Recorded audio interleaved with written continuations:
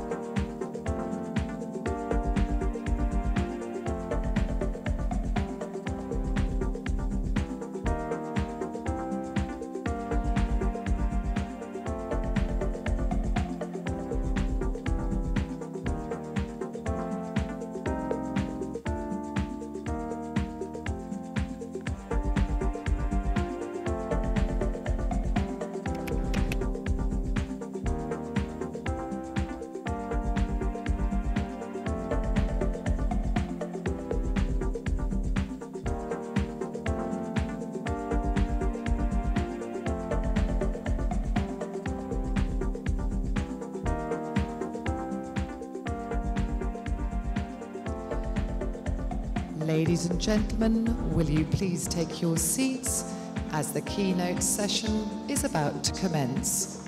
Thank you.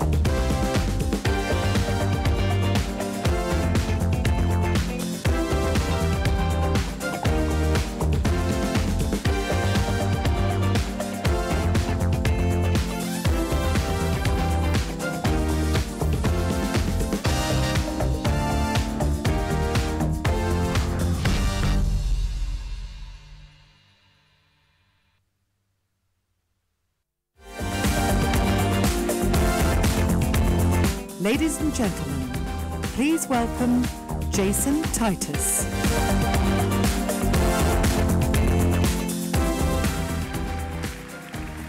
Good morning, everyone. I'm Jason, and I lead the Developer Product Group at Google. I'm so excited to be here with all of you at Google Developer Days Europe. This region is an amazing one for technology, with startup hubs blossoming across the continent from London to Paris to Berlin and Warsaw. The talent here is incredible. In fact, a few years ago, when I was the CEO at Shazam in London, we would hire from across the continent. Some of our best developers came from Spain and Greece, and Germany and Lithuania, and Poland. And fast forward to today, and Europe has more developers than the United States and Canada combined.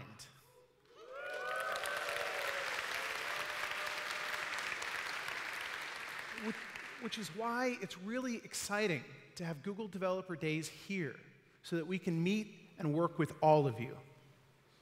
We want to give you what you need to turn your ideas into reality, whether you're building a mobile app or using new technologies like AR or machine learning we want to enable you to focus on the problems you're trying to solve and minimize the pain points of building a product. And in addition to building products to help you succeed, we're also working on building out trainings to deepen your technical, technical capabilities year round. Today, I'm happy to share that we've opened our mobile web certification that will enable you to further expand your web skills. And on the ground, our team is working in over 130 countries.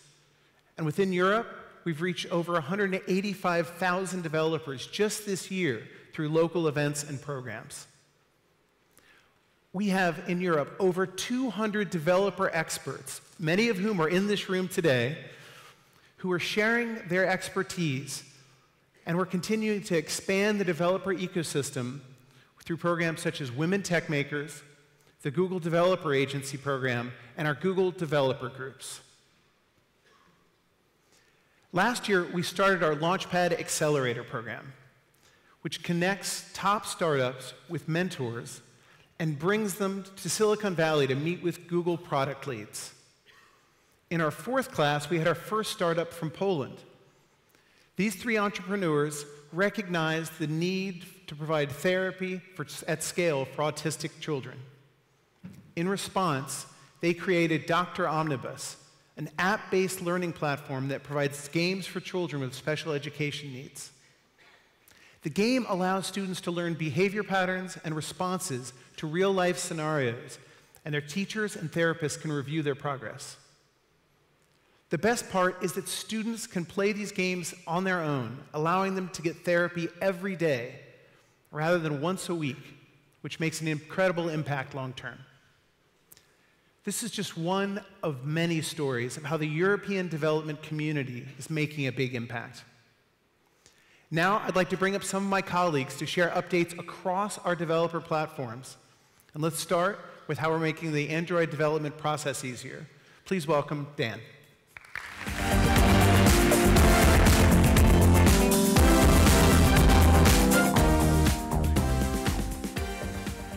Thank you, Jason. It is the best time ever to be an Android developer.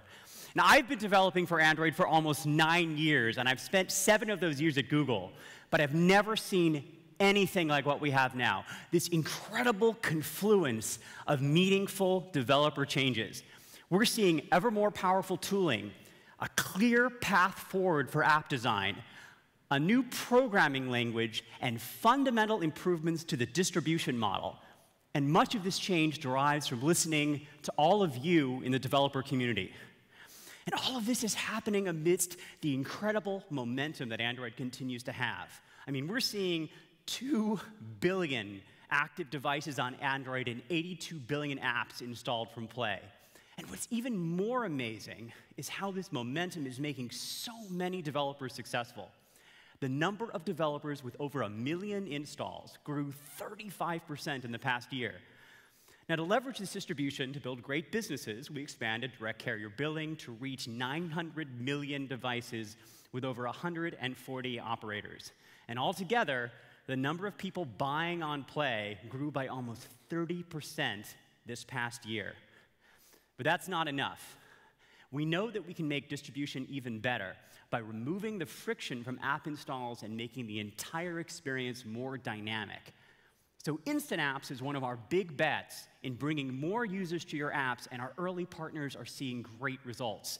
OneFootball, based in Berlin, saw that the number of users who read news and shared content increased 55% in their Instant App, while Vimeo increased their session durations by 130%. Jet found that the conversion rate in their shopping app increased by 27%, and there are many more stories like these. At I.O., we opened up Android Instant Apps to all Android developers, which means anyone can now build and publish an Instant App. Since then, we've made Instant Apps available to more than 500 million Android devices across countries where Google Play operates. Your Instant App is downloaded as needed, feature by feature, and you enable this by organizing your project into feature modules. And then you can use that exact same code in both your Instant App and your installable app. We're easing the process of refactoring your app into these feature modules by using the new modularize refactoring action. And modularize helps you move code and resources between modules. We've also included optimization tools, from space shaving shared libraries to more efficient asset delivery to on the wire compression. So when you're ready, you just upload your Instant App APKs together with your installable APK in the Play console. To get started building an Instant App today, visit g.co slash instantapps. All right, so since you're here, you probably heard our exciting news from I.O. And that, of course, is that we're now offering first class support for the Kotlin programming language in Android, and Kotlin support is now built into Android Studio. So. So, you know, obviously I don't have to tell you this, why Kotlin? And that's because the community really wanted it. Kotlin is a mature, production-ready language that has been around for five years, and so we investigated. And uh, people that are investigating became uh, Kotlin champions. As developers, languages are the tools that we use to express our thoughts, and with Kotlin, there's just so much less syntactic noise between what I want to say and how I say it. And since our announcement at Google I/O, Kotlin has been growing like crazy. It's really a fantastic programming language, and it's great to see so many of you out there adopting it. But to be clear, we have added Kotlin as an additional language. We're not replacing the Java programming language or C++, and we support building apps with as much Kotlin as you want, from 0 to 100%. And in fact, it operates 100% with the Java programming language. That means you can keep every line of code that you have in your existing code base, and you can seamlessly call from Kotlin into the Java programming language and back. And you can get started by adding as little as a single Kotlin class. And JetBrains, who we've partnered with to provide Kotlin support for Android, are here and giving a talk on Kotlin today. So please swing by to learn more if you haven't already. Now, minimizing install friction with instant apps and the support of the Kotlin programming language are just two of the ways in which we've listened to your feedback. We've also learned you want faster, easier development with better tools and libraries. So Android Studio is our official IDE, purpose-built for Android, and we keep increasing our investment. At Google I/O, we launched the preview for Android Studio 3.0, focusing on speed and smarts and platform support, plus new libraries for app architecture. And this is going to migrate to stable release soon. and based on your feedback, you can see all the speed and smarts updates we've made to Android Studio behind me. But I do want to call out one thing in particular. Your feedback has made driving down sync and build time our number one priority. So, benchmarking with a real life 100 module project since 2.2, build config time dropped from three minutes to two seconds. And we're continuing to work on build performance. And for me, super exciting on the emulators, we added the Play Store for end to end testing. So, next, we talk about Android platform support. We recently unveiled our latest dessert name for Android, and you'll find awesome features for Android Oreo in Android Studio, like end-to-end instant app support, Oreo system images, improved profilers, and tons of Oreo helper tools, like a tool to make building adaptive icons easy. And to download Android dependencies for your build, you don't have to go to the SDK manager anymore. We're now distributing through our own Maven repository. Finally, You've asked us to make Android frameworks easier, like providing an opinionated guide for best practices and a better solution for life cycles. So at I/O, we launched a preview of new architecture components, libraries for common tasks. And this starts with libraries for the view model pattern, data storage, and managing activity and fragment life cycles.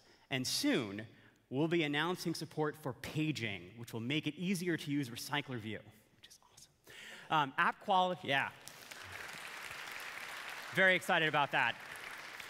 So, app quality is an essential piece to growing a successful business. And we took a sample of apps and we analyzed the correlation between app quality and business success. And what we learned is when apps move from average to good quality, we see a six-fold increase in spend and a seven-fold increase in retention. Quality is queen. Your, now, your app quality might differ depending on the type of device it's running on. So, to help you ensure that you're targeting devices that work best for your app, you can now target specific devices in the Play console. You can browse a detailed device. Yeah, isn't this? That's, it's awesome. Been waiting for that forever. You can browse a detailed device catalog, and if you need a certain amount of RAM or if you have issues with a particular system on system chip, you can set targeting rules to address this as well. And prior to excluding devices, you can even see your installs, your ratings, and your revenue details per device. Now, we've got Android Vitals dashboards in the Play console. So you can see aggregate data about your app to help you pinpoint common issues like excessive crash rates, ANR rates, frozen frames, slow rendering, excessive wake ups, and more. And these are enhanced by improved profilers in Android Studio and new instrumentation in the platform. Speaking of the platform, Android O adds so much for developers, such as vastly improved font support, an auto-sizing text view, notification channels, and a new native Pro Audio API. We've made massive improvements in the runtime, including a concurrent copying collector and a series of optimizations to make your apps run smoother than ever. We've introduced adaptive icons to improve the launcher experience and continued to harden Android security with Google Play Protect now enabled on every device with Google Play. We've improved accessibility, added support for autofill and smart text selection, added support for wide gamut color and extra long screens, and improved multi-display support. And I'll be diving into all of this and much more in detail later today.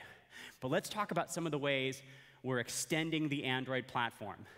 Last week, we announced and, and launched AR Core. Now,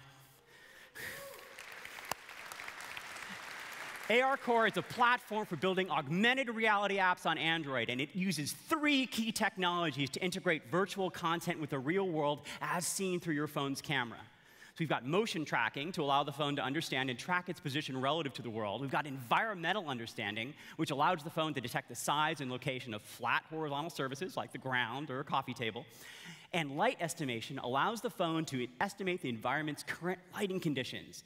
Now, this is being offered as an early preview, so you can start experimenting with and building new AR experiences. And this is also an opportunity for you to give feedback on an early version of the API. And this preview is the first step in a journey to enabling AR capabilities across the entire Android ecosystem. So check out the documentation pages to learn more. All right, switch gears literally to Android Auto. Uh, it's still early days, but we're seeing incredible growth. We continue to expand the number of Android Auto compatible cars through great partnerships with over 50 car brands. And there are over 300 Android Auto compatible models and aftermarket systems available today. And that's triple the number from one year ago. And it's well on its way to becoming a standard feature in every new car. And we've also made Android Auto available to all Android users with a standalone phone app, opening up the platform and ecosystem to many millions of drivers, no matter what kind of car they're driving. Whether you're looking to stay connected with WhatsApp or Allo, pass the time with a Player.fm podcast, or the latest album releases on Spotify, we've got great apps on Android Auto. And its usage is growing rapidly as well, but this is just the beginning. We're working with two European partners in automotive electronics and infotainment, Audi and Volvo, on vehicle infotainment systems powered by Android. And we're really excited to partner with them to usher in the future of connected cars. Now, voice input is critical in the car for safety reasons, and the Google Assistant can provide that intelligent and conversational voice as we move from a mobile first world to an AI first world. And we want it to be the best co pilot for the user in the car. So, on your road, your assistant can tell you about traffic ahead, or show you gas stations along the way, or play your favorite song. And many of these experiences are only possible because developers like you are implementing the right APIs. So, thank you for helping us create a great user experience on Android Auto. All right, let's go to the living room. Android TV is seeing amazing device growth. Our strong partnerships with pay TV operators and hardware manufacturers allowed us to double the number of activated devices in 2016, and we expect that trend to continue and further increase. We're seeing this both across partners in the set top box and in the smart TV form factors, including the many European solutions powered by Android TV. And we've expanded our international footprint to 70 countries, and there are now more than 3,000 apps in the Android TV Play Store. But the real Android TV story is the way we've redefined the experience. This new home screen is channel based and content first. It's divided into channel rows, each created by a media app to display a window of program content relevant to you. And selecting that program takes you right into that content in the app. You can see what on demand shows you need to finish binge watching, what's on your DVR, and what movies you might want to rent all in the same view. We've also updated the setup experience to allow you to easily transition media apps from other Android devices. And we've made big updates to the leanback library, such as the, the playback element, which adds detailed seek thumbnails. And of course, we've integrated the Google Assistant, which allows you to search, launch video content, and then uh, dim the lights when you want to watch, all using your voice. All right, let's switch to uh, something a little bit closer um, Android Wear. During the holiday period last year, Android Wear saw 72% growth, and that was before we launched Android Wear 2.0. The number of brands supporting Android Wear doubled from 12 last year to 24. And the choice of Android Wear watches doubled from 23 last year to 46. And Wear is enabling fashionable watches from European partners such as the connected modular 45 from Tag Heuer, the Montblanc Summit, and the Louis Vuitton Tambour Horizon and along with a multitude of styles, like from partners across many price points and brands. And apps are taking advantage of Android Wear 2.0 and its standalone functionality. So this app from our partner Telegram works the same if you're connected to an Android phone or an iPhone, or if your watch has a cellular connection without the phone at all. Sending stickers to your friends has never been easier. Another feature we added to Android Wear 2.0, Complications, allows watch faces to display extra information without needing code for getting the underlying data. Users select the watch face that they want with the most important information they really care about, and it's available at a glance throughout the day. So here, Robinhood, the financial investment app, is showing you your overall portfolio's value. Tapping on it then takes you to your watch list, and you can tap on individual stocks to see their values. Finally, as part of the Android Wear 2.0 launch, we announced the Google Assistant is now on your wrist, enhancing Wear's voice capabilities. So going forward, apart, going forward, apart from notifications, watch faces, and native apps, you will have another option to bring this service to Android Wear when we enable actions on Google for Wear. And we're excited about the new capabilities this will bring. All right. With so many ways for people to interact with Android, the strong communities that are supporting Android development, the improvements that we've made in the platform, tooling, language, and in the distribution of Google Play, it really is the best time ever to be an Android developer. So please check out the sessions, the trainings, and the code labs here to learn how we're helping developers make Android great. Now, all of the Android form factors are tapping into the power of the Google Assistant. So it's my pleasure to welcome my colleague Tilke to the stage to talk about what the Google Assistant means to developers. Thank you.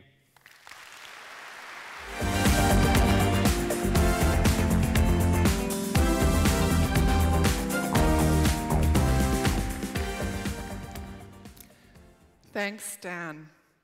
Hi, everyone. As you just heard, the Google Assistant is now available across many devices, from your phone to your car to your watch and TV. It is also available on Google Home and all the, uh, the devices powered by the Google Assistant SDK. Tomorrow, you'll hear more about these from my colleague Bishad, who will talk about the improvements on the Assistant on these devices. But today, I want to focus on what you, as developers, can do to bring the power of the Assistant to your own apps. With the Assistant now available across devices, you have the opportunity to grow your user base in a new way. But more importantly, you can build apps for entirely new assistive use cases. Things that previously weren't suited for the voice-only interface of Google Home, like shopping for clothes or ordering food from a lengthy menu. With UI elements like image carousels, lists, and suggestion chips, users can see more details. They can also seamlessly transition between voice, typing, or taps in a single conversation to easily get things done with your app. We also want to make help, help you grow your business by making it easy to complete purchases through the Google Assistant. We designed the transactions experience to be easy and lightweight for users and developers alike. For payments, available in Europe soon, you can choose Google facilitated payments. They are easy to integrate and allow you to leverage cards that, Google's, that users have already stored with Google for free. Or you can use a payment method the user has already provided you. You can use seamless account linking to enable users to sign into an existing account, or even create a new account with just two taps. But a, a transaction isn't over when the user pays. The users may want to check on, modify, or reorder an item, which they can do from the transaction history view accessible in the Google Assistant. Finally, we built a new order updates feature that we're currently testing in the US to make it easier for users to re-engage with your app. You'll be able to send status updates to users asynchronously, like when a car arrives to pick them up or their food is delivered. But none of this really matters if people can't discover your app. At I.O., we began rolling out a new app directory that will come to Europe along with the Google Assistant. Accessible from within the Assistant, it not only has categories and user ratings, it also allows users to try your app directly from the directory page. Users can create a shortcut for your app for an easy way to invoke it. For example, instead of saying, OK, Google, ask forecaster Joe what's the surf report for the Outer Banks, you can just say, OK, Google, is the surf up? And to make finding your app easier, the assistant is also learning from the directory and from the information provided by you, the developer. Thanks to these signals, the assistant can often respond to general requests like play a game with a few different options from third parties. Improving discovery is very important for us, so you can expect ongoing investment and improvements in this area. It is also important to us that the developer process is smooth. That's why at I.O. we launched a new developer console. The Actions console helps your, you work as a team and collect data on your app's usage, performance, and user discovery patterns. It is integrated with the Firebase and Google Cloud consoles so that you can share your data within your apps. In addition to the console, we're also providing you with access to developer tools that allow you to quickly and easily build apps for the assistant. Since the launch of our platform, we've worked with an expanding number of developer tool companies to make their solutions compatible with Actions on Google.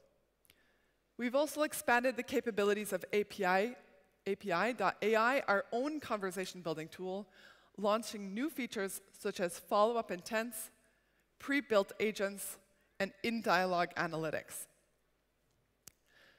While we are still in the early days of the platform, we are focused on making it more robust and expanding its reach and its capabilities. We recently launched in UK and Australian English, and will launch the platform in French, German, and other languages following this year. We're super excited for the road ahead, and we want more of you to join us by developing for the platform. With an addressable audience of more than 100 million devices, new capabilities like transactions, and an improved developer experience, we think this is an incredible opportunity for all of us.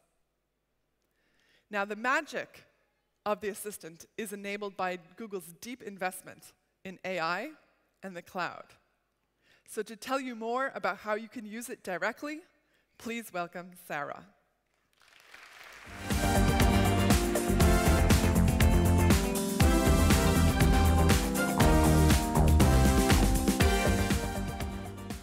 Thanks, Tilke. I'm incredibly excited to tell you everything we're working on related to machine learning. My name is Sara Robinson. I'm a developer advocate on Google's cloud platform team focused on big data and machine learning. In today's world, anytime we see the words ML on a slide, it always gets a lot of people's attention. But before we dive into the details, I want to talk about what machine learning actually is. At a high level, Machine learning involves teaching computers to recognize patterns in the same way that our brains do. Over time, as machine learning models are given more examples and experience, they can improve and start to generalize on examples that they haven't seen before. With more data, they're able to generate better predictions. Does anybody remember how they learned their first language? Your parents probably didn't give you a dictionary and a bunch of grammar books. That would be weird. Instead, you learned over time after being exposed to many examples. So for example, if you had pierogies for dinner, since we're in Poland, you saw them on your plate, you heard your parents identify them, and over time, this strengthened certain pathways in your brain, so that the next time you had them for dinner, it triggered the part of your brain that told you, that's a pierogi. And that's roughly how machine learning works too. To summarize, machine learning is loosely based on how the human brain learns with mathematical neurons that mimic the neurons in our brain. These neurons take a vector as input, transform those values, and then output new values. And machine learning models let you solve problems without requiring you to know exactly what the solution might be. And again, as I mentioned before, with more and more data, these systems are able to generate better predictions. Now, many people see the term machine learning and immediately think it's something solely for experts. If we take a look back 60 years ago, this was definitely the case. This is a picture of the perceptron, the first neural network invented in 1957. It was an electronic device that demonstrated the ability to identify shapes. Back then, if you wanted to work on machine learning, you needed access to extensive academic and computing resources. Let's fast forward to today. At Google, even just since 2012, the number of products using machine learning has grown dramatically. But at Google, we don't think machine learning should be something just for experts. We want to put machine learning into the hands of every developer and data scientist, that's all of you, with a computer and a machine learning problem they want to solve. On Google Cloud Platform, we've got two ways to help you integrate ML into your own applications. First, if you're new to machine learning, we have six pre-trained APIs give you access to machine learning models with a single REST API request. And second, if you want to use your own data to build and train a model from scratch, we have a variety of tools to help you do that as well. Let's start with these pre-trained APIs. We have a growing number of models that have already been trained and are continuously being updated using Google's own domain expertise and datasets. For example, the Speech API lets developers implement speech-to-text transcription functionality into their own applications, similar to OK Google. I'm going to talk about all of these APIs in detail later today during my breakout session. So for now, I want to give you a demo of just one of them. I'm going to pick one at random. I'm going to go with the Vision API, which lets developers better understand their images. You can try out all of our machine learning APIs directly in the browser using your own images, text, or video content. So here I can upload an image and see what the Vision API responds. So if I click on this, I'm going to choose a selfie that I took yesterday in Krakow. It's a little silly. We're going to see what the Vision API responds. So we can see that it's able to identify landmarks. Landmark detection is one of the features of the Vision API. It knows the name of the building I'm standing in front of, and it also is able to identify Main Market Square. The face detection endpoint identifies my face in the image, and it's also able to identify the emotions joy and surprise. I won't go over all of the response types in the browser, um, but you can all try this out with your own images if you go to cloud.google.com slash vision. So we've seen the machine learning APIs used across a variety of industries to accomplish common machine learning tasks like classifying images, identifying inappropriate content, extracting subjects from a text document, and more. But many of you may have use cases that go beyond these common machine learning tasks. If you want to build ML models trained on your own data to perform custom tasks, we've got products to help you do that as well. We know that data is at the core of any machine learning problem. And you need a foundation of good data to get started. So in order to help you prepare your data, we have tools to help ingest, transform, clean, and store your data on Google Cloud Platform. Once your data is ready, you can train, deploy, and serve your models at scale on managed Google infrastructure. In addition to all of this, the Google Brain team has provided an open source library called TensorFlow. From the beginning, we wanted to let everyone in the industry benefit. So we made TensorFlow an open source project on GitHub. And the uptake has been phenomenal. TensorFlow is the most popular ML project on GitHub, with over 68,000 GitHub stars and contributions coming from many different companies, not just Google. To give you a taste of what's possible with TensorFlow, I want to show you TensorFlow Playground, a visualization of a neural network in the browser. So the data set we're working with here is called double spiral. And the data here could really be anything. We're just classifying it into one of two categories. So let's say here we're working with email data that we're classifying as either spam or not spam. So the orange dots would indicate spam, the blue dots would indicate not spam. And as humans, if we take a new data point, let's say we have a data point right here, we can almost immediately classify that as spam, as an orange dot. But it's much more difficult to teach a computer these underlying patterns. And before we start training, our neural network's predictions don't make too much sense. The background color here indicates the output or the prediction of the network. So we can see here that most orange dots are being classified as blue. So if we start training, we can see that slowly our loss or error of our model is decreasing, and it's able to identify some complex patterns in our data set. If we look at each individual neuron, we see that they're performing very simple classification tasks. But as we move through the network, it's slowly able to identify complex patterns in our data set. And with more and more training, we can see that it's able to identify this double spiral pattern. So we see that as we went through training, our loss decreased, the accuracy of our model increased, and now it's able to classify almost all of the points in our dataset correctly. I encourage all of you to try this out at playground.tensorflow.org.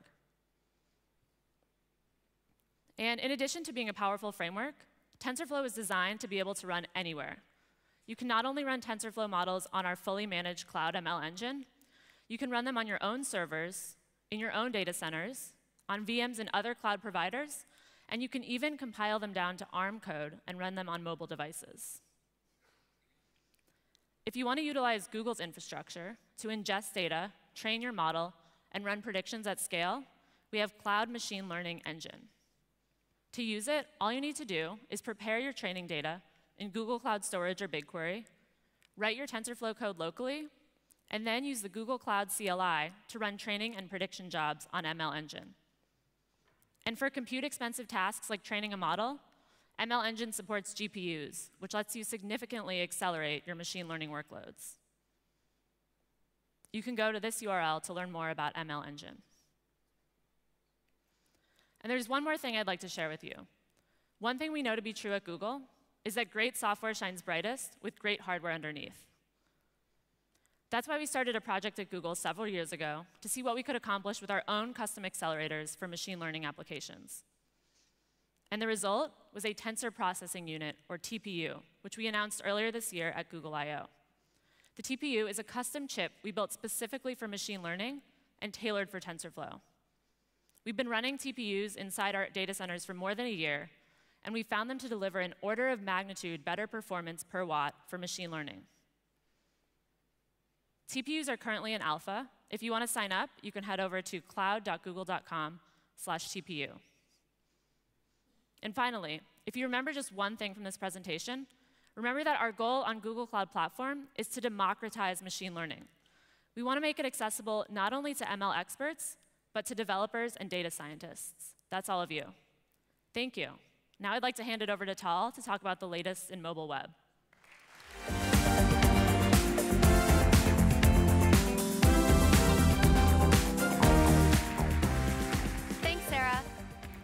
Everyone. My name is Tal from the Chrome team, and I'm excited to tell you about some of the great improvements we've made on the web over the last year. The web is big. With over 2 billion instances of Chrome, we know that the web has tremendous reach. But one of the true strengths of the web is that it's bigger than a single browser. So regardless of whether a device is a smartphone or a laptop or a desktop, they all have a browser. So any web-based experience is available on these billions of devices today. And we've seen this have a real impact on how many users web apps are reaching. We've all seen how quickly mobile has been growing, and native apps have been growing at an incredible pace with it. But what's really remarkable is that even with the web's large initial reach, we've seen the average monthly web audience growing even faster. And because of this growth, we're seeing the web expand into new areas with experiences like WebVR being built on the web platform.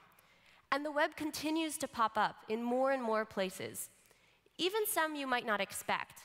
We now see the web popping up on watches, TVs, or even fridges.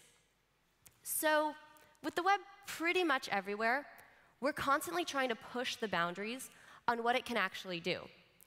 Over the past year, we've shipped hundreds of additional APIs that cover a range of capabilities, that from making it easy to integrate payments into your web experience, to making it possible to build fully capable offline media experiences directly on the web. And with all of these new experiences, we've seen a massive growth in experiences built on the web. Accelerated Mobile Pages, or AMP, allows publishers to easily create fast articles. And since launch, we've seen this grow to over 2 billion AMP pages across 900,000 domains. And beyond AMP pages, the modern mobile web also allows developers to build rich mobile experiences with something that we call progressive web apps, or PWAs. PWAs are about helping web developers leverage the web's reach with new capabilities to build high-class immersive experiences. They can load quickly, they work offline, and they can even send notifications to users. And we've seen a number of amazing experiences taking advantage of these new capabilities. As just one example, Twitter recently launched a new web experience. Here, they have a polished, fast, immersive experience that works on any connection and can send users notifications. And since it's built completely on the web platform, it's already accessible on billions of devices. And with an immersive experience like this, we also want to make sure that it's really easy for users to get back to it. Add to home screen has existed for some time and allows users to add any experience to their Android home screen. But with our improved add to home screen flow, when you add a PWA to your home screen, it's fully integrated into the platform, so that it, to users, it feels just like any other app experience on their device. It'll appear in the Android launcher alongside your other apps, and it'll even appear in Android settings. But since it's a PWA, it's inherently small, so users are able to get an immersive experience without requiring additional storage space. And this fast, integrated, improved add to home screen experience is available now. With all of these new capabilities, we've also been working to make sure that it's super easy for web developers to build these experiences. We'll be going into a lot more detail about PWAs throughout the web track over the next two days. But no matter how you're building your web app, Lighthouse is a tool that can show you how to improve your experience. Lighthouse is a Chrome extension and command line tool that quickly audits your site to identify how you can improve your app's performance, accessibility, and progressive web appiness. And we're excited to announce that as of M60, Lighthouse is now integrated into Chrome DevTools. So now you can quickly see how your website is doing and what to do next directly in Chrome. With all of these tools, we've seen just how easy it can be for companies to take advantage of these new capabilities for their web experience. To give one example, there's Trivago, a popular hotel comparison site that recently built a very polished PWA. It's an experience built directly on the web, so users can get to it easily. And with our new Add to Home Screen flow, it can be easily accessed from the app launcher or the Android home screen. And when you open it, you get a high-class, immersive experience that can even work if you're offline and is built to be resilient against different network conditions, so you get a seamless experience when you go back online.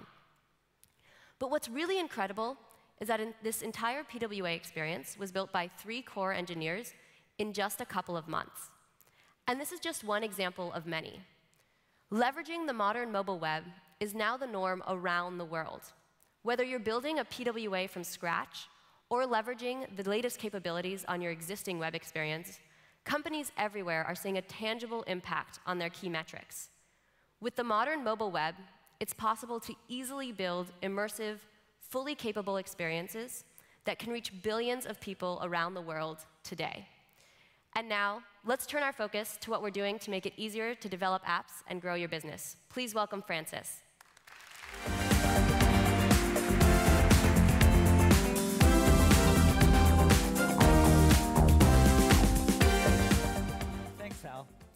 Hi, I'm Francis, and I lead the Firebase product team. Our mission is to help developers build a better app and grow a successful business. Since I/O 2016, we've expanded Firebase from a set of backend services to a broad mobile platform to help solve many of the common problems you face across the lifecycle of an app. From helping you build faster and easier with products like real-time database and cloud storage, to helping you better understand and grow your app with tools like analytics and cloud messaging. Whether you're starting something new or looking to extend an existing app, we're here to help you so that you can channel more of your time and energy towards creating value for your users. And we deliver all of this in a single, easy-to-use SDK available across platforms. To date, there are over 1 million developers using Firebase, and we're humbled so many of you have taken this journey with us. We're deeply committed to Firebase, and we're doubling down on our efforts to help developers succeed. On that note, earlier this year, we're excited to have the Fabric team join us at Google.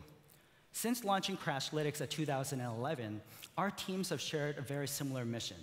And now we're working together to integrate our two platforms and bring you the best of both in a thoughtful way. One of the first steps we're taking is to bring Crashlytics to Firebase to make that our flagship crash reporting product.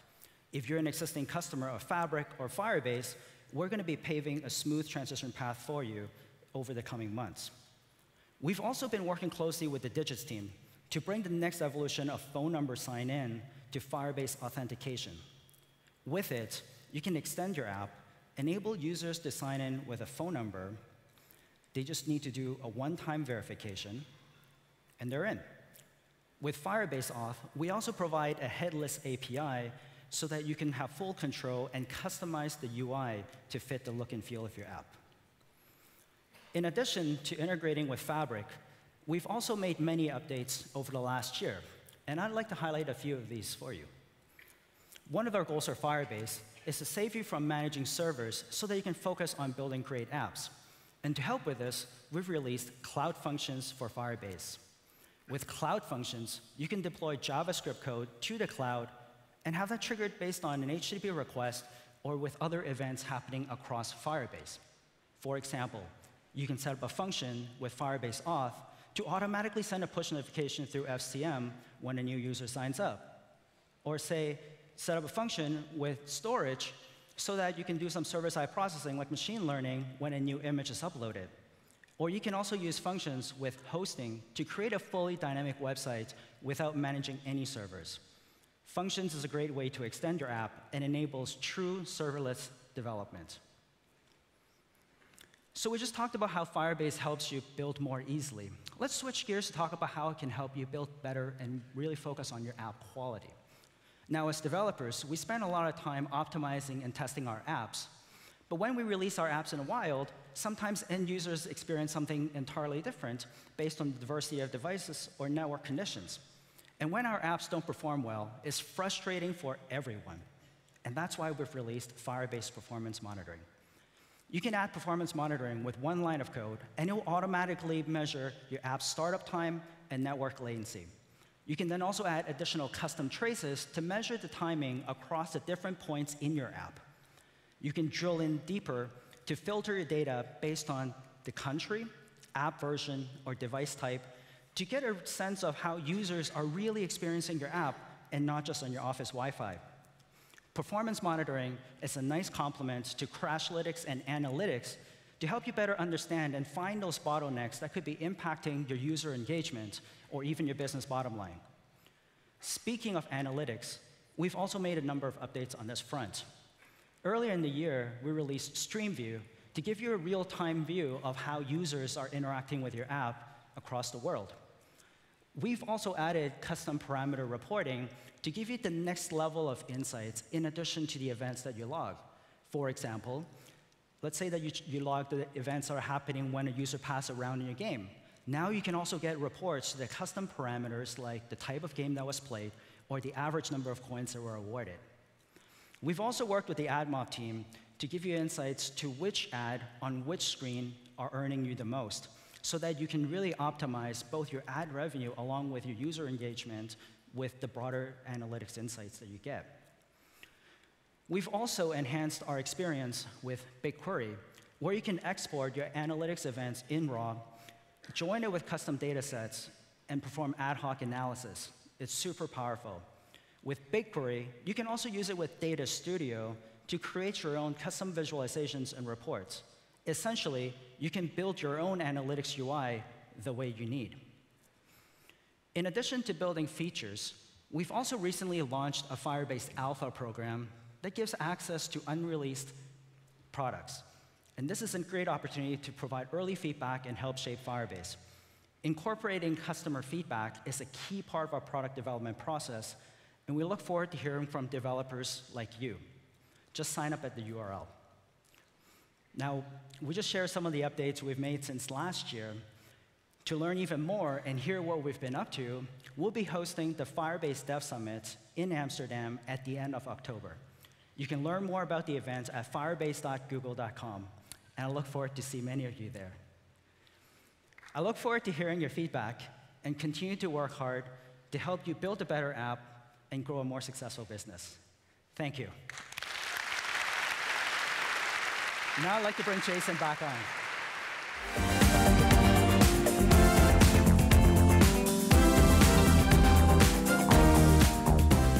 Thanks, Francis. As you can see, we're continuing to work hard to improve the developer experience for Google's products. Tomorrow morning, you'll hear more about the products our engineering teams at Google are building here in Europe. Whether it's our compression team in Switzerland, amazing, comp amazing compiler and language work in Denmark, or our cloud team in Poland that's scaling the cloud, you'll also have the opportunity to dive deep into a number of our products covering Android, to Firebase to the mobile web. We'll have sandboxes to help you experience products firsthand, instructor-led trainings and code labs to get you trained and running our latest, on our latest APIs today. In addition to all of this, we have a large number of Googlers who are available for one-on-one consultations through office hours. Not only can they help you understand our products, but more importantly, they're here to get your feedback. I do have one other thing to mention before you head out to the breakout sessions today. Last year, we partnered with Udacity to provide 10,000 Android scholarships to European developers. And we were overwhelmed by the demand for the scholarship, and we're truly amazed by some of the stories that came out of it. Let's take a look at Ildikó story, a former literature teacher turned coder. Play the video. Fekete Ildikó vagyok, két gyermekes anyuka. Magyar tanárként végeztem, és mostanában kódolással foglalkozom. Az első gyermekemet vártam, amikor eh, komplikációk léptek föl, és az orvos azt mondta, hogy tanácsosabb lenne otthon maradnom, így eh, úgy döntöttem, hogy ott hagyom a munkahelyemet. Nem szerettem volna ezt az időt tétlenül tölteni. Később eh, el is költöztünk a párommal az ő munkája miatt rengeteg kihívás elé állított ez minket. Szembesültem azzal, hogy nem fogok tudni a régi munkámhoz visszatérni. Böngészés közben találkoztam a lehetőséggel, hogy a Google jogoltából a Udacity honlapján tanulhatok. Nagyon megtetszett, és jelentkeztem. A tanulói program alatt megtanultunk Android készülékre applikációkat készíteni, elkészíteni a layoutokat és a javakódot egyaránt. Nagyon élveztem azt a hátteret, amit ezúttal a Udacity számomra biztosított. A Greenfield applikáció, amit készítettem, kiszámolja az ökológiai lábnyomunkat, amikor a gyerekeim megszülettek, észrevettem, hogy hihetetlen mértékben megnőtt a szemét termelésünk. Nem gondoltam, hogy valaha képes leszek saját applikációt készíteni, ami a természetvédelemmel kapcsolatos, és tényleg számít, hatással lehet emberekre. Azt hiszem, hogy a, a programozás az, az lehetővé teszi, hogy bármit elkészítsünk. Coding mamnak lenni nehéz, de szuper. Bízom benne, hogy a Udacity tanulói program keretében végzett tanulmányaim miatt könnyebb lesz majd munkát találnom a gyerekek mellett,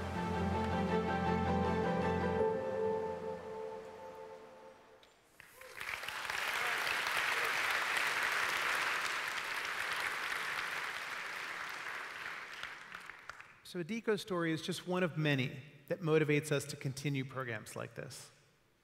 That's why today I'm excited to announce that we're extending our partnership with Udacity to begin the Udacity Scholarship Challenge. This time with enough space for 60,000 aspiring developers across Europe and select parts of EMEA.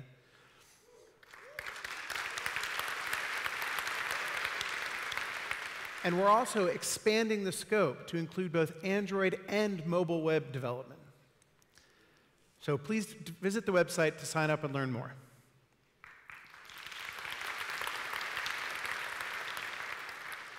So, as you heard from the speakers today, we're really excited about the possibilities for developers to build some truly amazing things. We're looking forward to getting to know you over the next two days and hear what's on your mind. Thank you and have fun. Welcome to Google Developer Days Europe. We're happy that you'll be joining us for two days of talks, demos, hands on training, and more. By now, you've checked into registration on level zero to receive your badge. Your badge must be visibly worn at all times. And don't forget, you'll need it for the after party reception at the end of the day. The Google Help Desk is also located on level zero. If you have any questions or are in need of assistance, feel free to stop by. All talks and sessions will be taking place in either the auditorium hall or the theater hall and are accessible on levels 0 through 2. For hands on trainings and code labs, be sure to visit the S3.1 and S3.2 Training Chamber Hall and S4 Code Labs Conference Hall complex on level 3, where instructors will teach you how to use the latest Google technologies, or you can work at your own pace to execute different coding challenges. This is also where you'll be able to meet with product teams for office hours and ask them questions or visit a review clinic to get feedback on an app that you might have created. No Google event would be complete without showcasing the newest products and technologies, so we invite you to explore the different sandbox demos that are located throughout the venue on all levels. Be sure to check out the Community Lounge and Google Developers and Cloud Certification Lounge located on level 2. There will be scheduled meetups, fun activities, and engagement opportunities, as well as places to just sit and relax and meet with your peers. This is an inclusive community. No matter your experience or background, you're welcome here. We encourage you to be excellent to each other by saying hi to new faces, building on one another's ideas, and reporting any uncomfortable experiences. We have a zero tolerance policy for harassment of any kind. This policy is posted on large signs around the venue, and our full community guidelines are on the event website. Please share your positive and constructive feedback with staff and speakers. Staff and speakers can be identified by their staff or speaker badges or shirts.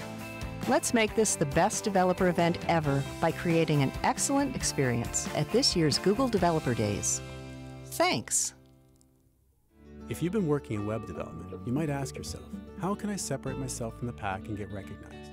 Introducing the Mobile Web Specialist Certification by Google, an achievement available to those who can demonstrate the skills of an advanced level mobile web developer. The first step on your journey is determining if you're ready to take the exam. Start by learning what the exam covers. Review the skills that you'll need to demonstrate when taking the exam. Next, decide whether you need training or if you're ready to take the exam. You can reference our study guide and training is available online. When you're ready, sign up and take the exam. As part of the sign up, you'll pay an exam fee. If you live in India, you'll pay 6,500 rupees. If you live outside of India, you'll pay 99 US dollars. After you've signed up and paid the fee, you'll receive a voucher that you can use to schedule the exam. The exam is a timed, performance based assessment in which you'll write code to solve challenges and demonstrate your skills in mobile web development. You'll have four hours to finish, after which you will submit the exam and respond to a set of exit interview questions. If after grading you're successful, you'll receive a digital badge from Google and join our community of Google certified mobile web specialists. Once you are certified, you can share your badge on your resume, LinkedIn, G, Twitter, and in your email signature. Ready to start your journey?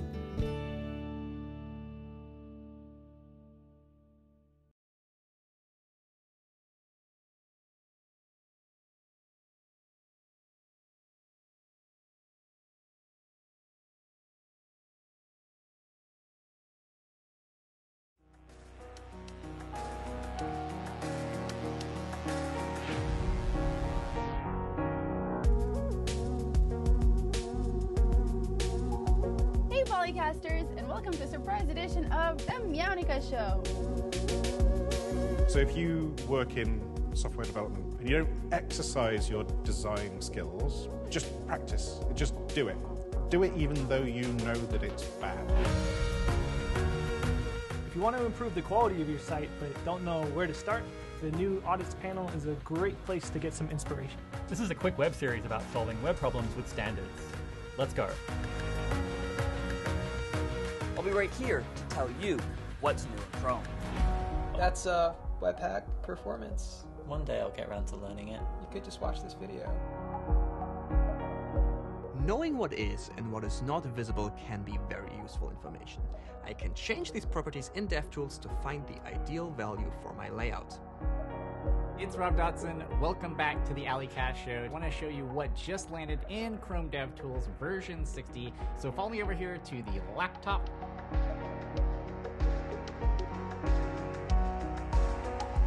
If you want the latest news and ideas in web development, subscribe to the Google Chrome Developers YouTube channel.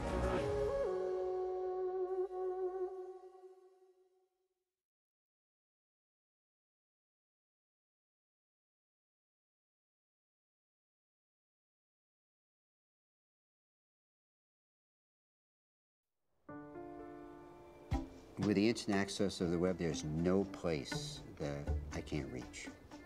The impact of the web on the newsroom was monumental. It's now more the reader telling the newsroom, this is important to me. You really have to start to build from scratch what is a story on the phone.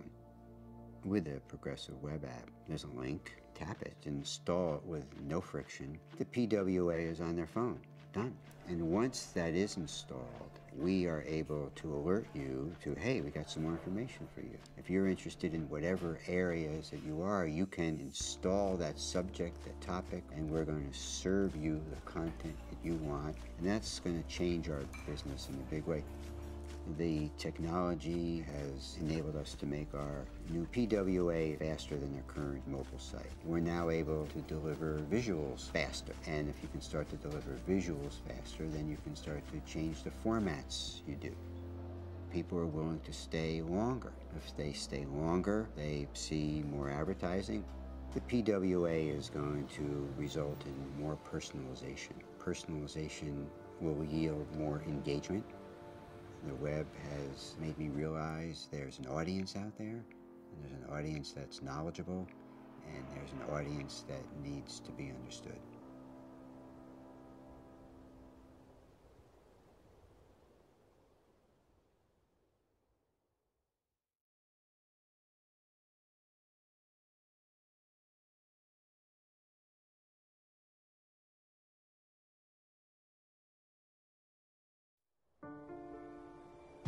With the instant access of the web, there's no place that I can't reach.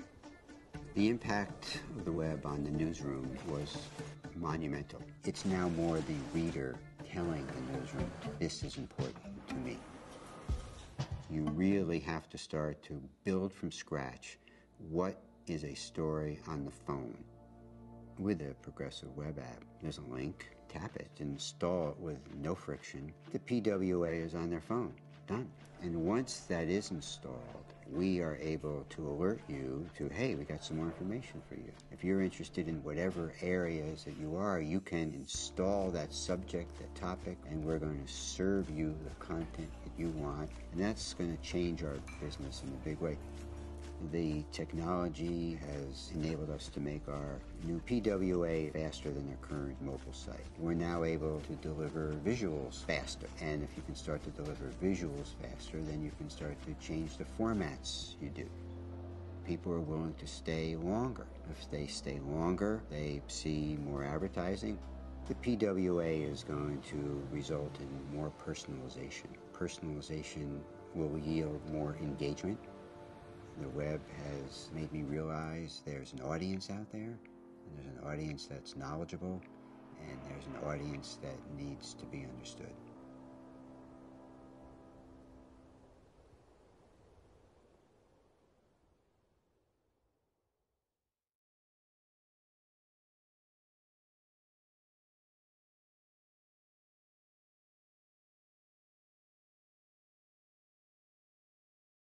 Banking should be painless, easy, fast, it should just assist you in doing whatever you want to do. So actually it's our strategy to empower people to take a step ahead in life and in business. If you look at our company, we have all this different IT landscape in all the countries. Still, we want to be able to share. And that's when we start to look at web components, and web components solve that for us. Because when we use Polymer and web components as the standard underneath, we can suddenly create components which will work in any country. So you can just take that components and start delivering a feature. So now when I'm in that shop looking at that bike, I'm not only checking my balance, I'm also pressing the button, let's look ahead. And what it will tell me, next month your mortgage will be deducted from your account. So maybe this is not the best time to buy that bike. And that's what we're doing it for, for features and not for the UI part we are starting to see this all developer community which is moving to one technology and we are seeing more and more people working together from all the countries. When this translates to results, anything can happen.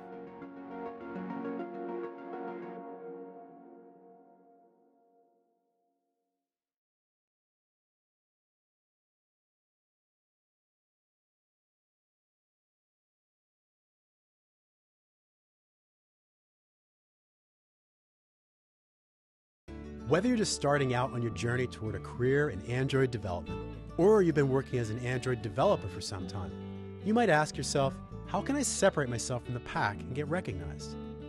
Introducing the Associate Android Developer Certification by Google, an achievement available to those who can display the skills of an entry level Android developer. The first step on your journey is determining if you're ready to take the exam. Start by learning what the exam covers. Review the skills that you'll need to demonstrate when taking the exam. Next, decide whether you need training or are ready to take the exam. Training is available online as well as in person.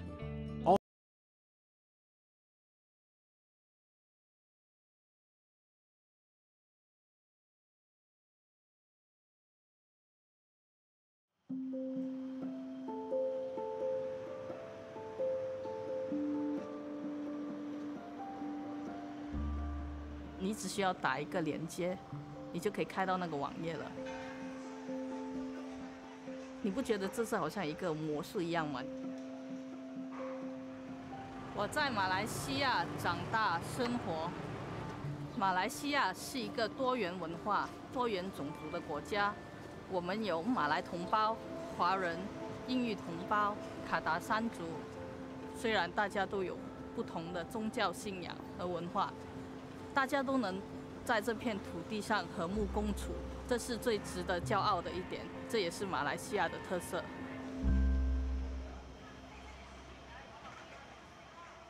在城市地区，大多数地方都有 WiFi 连接，通常上网不是一个问题。但是可能在比较郊外的地方要上网的话，就可能比较困难，因为设施还不完整。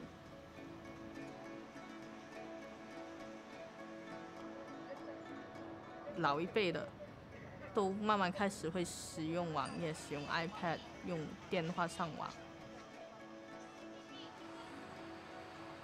父亲并不完全知道我的工作性质是如何，他只知道我是做关于 IT 的，他只知道我是写编写软件的。我爸呢，一开始接触上网的时候，其实他最想要做的就是要知道计时彩票开卷的。号码，当他知道他可以上网得知得到这个资讯的时候，他就开始叫叫我和弟弟叫他上网。我爸现在拥有智能手机，他会上网，他会上 Facebook，他会用 WhatsApp 和我们聊天。我们还有一个家庭组。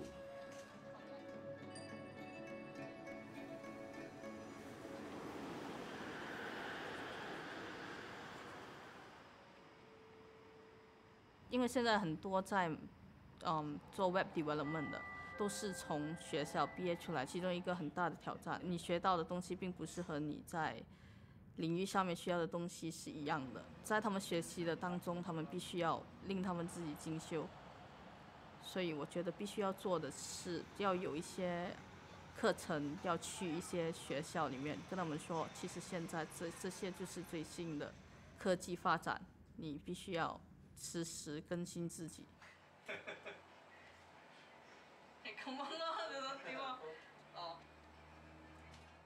我开始找寻我第一份工作的时候，我遇到了困难，因为当时我所学的技术和当时领域需要的技术是不一样的，所以当我去第一份工作面试的时候，我失败了。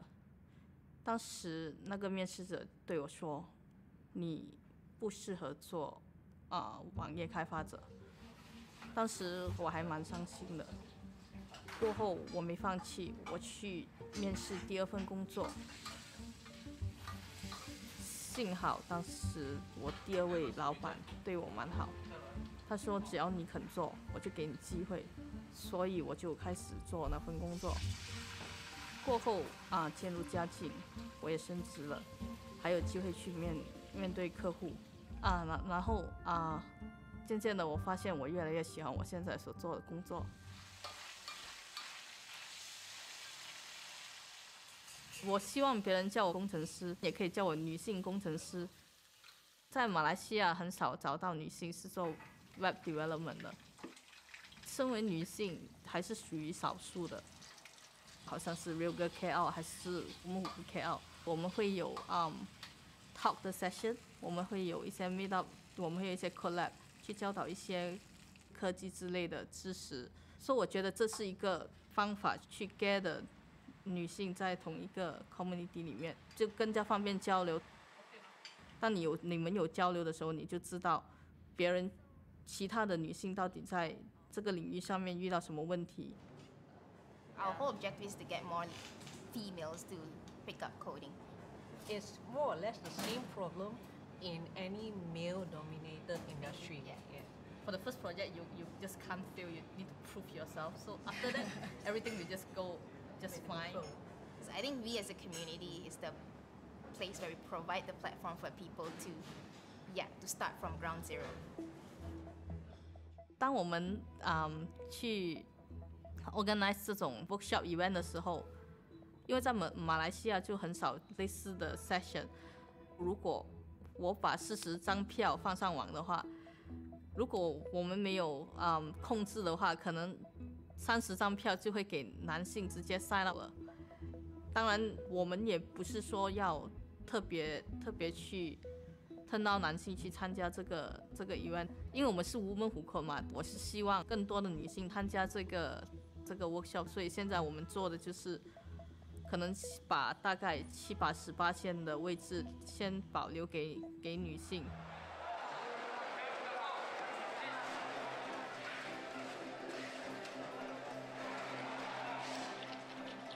在传统华人而言呢，父亲是扮演一个比较严厉的角色。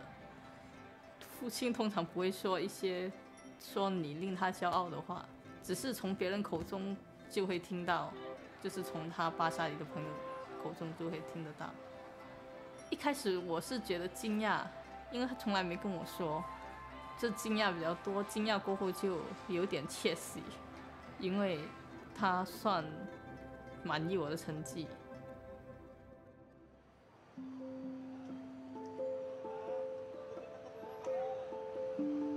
我觉得呢，网页是无法被代替的，只是有什么是我们可以做，令可以令网页更加 popular，更加多人使用的。学习网页、学习开发这一部分，在马来西亚还是比较缺少的。我觉得我个人的经历是有影响到我如何去 mentor 新的人去去领导他们怎么学习网页。我希望我是其中一个推动网页发展。我希望做到的是，让这种知识更普及，更多人知道如何开发网页。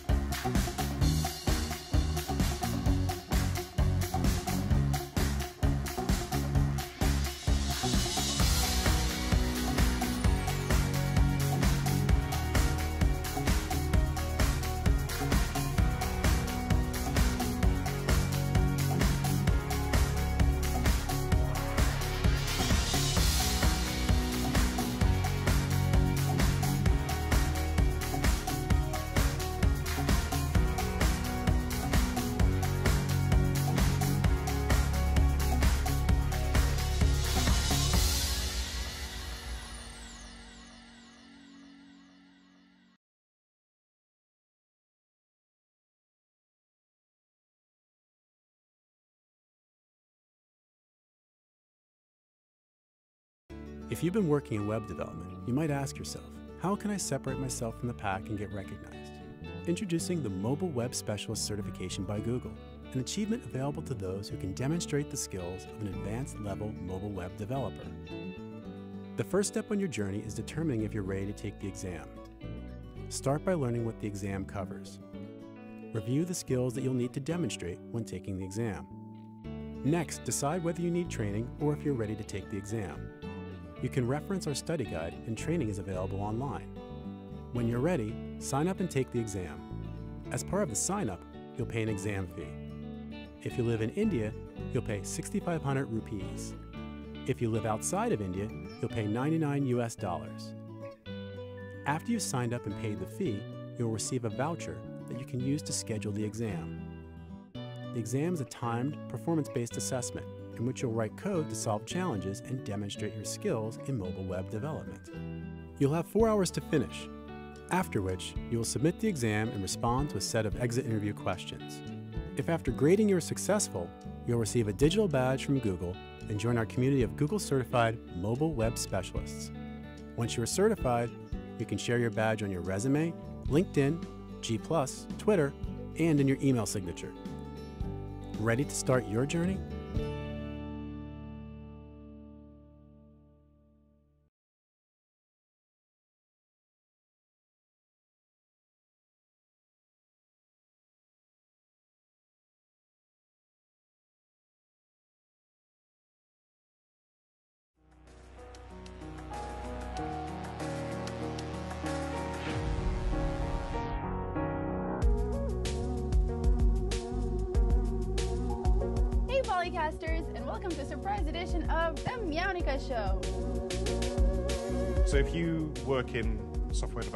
You don't exercise your design skills, just practice. Just do it.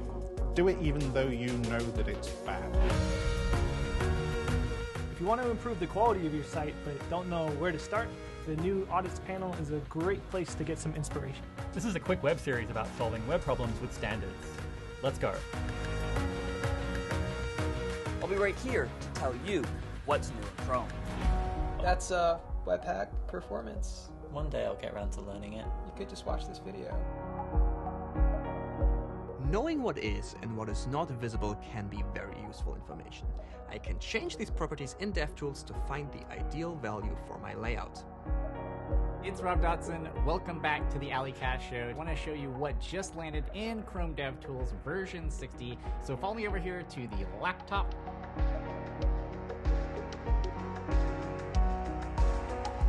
If you want the latest news and ideas in web development, subscribe to the Google Chrome Developers YouTube channel.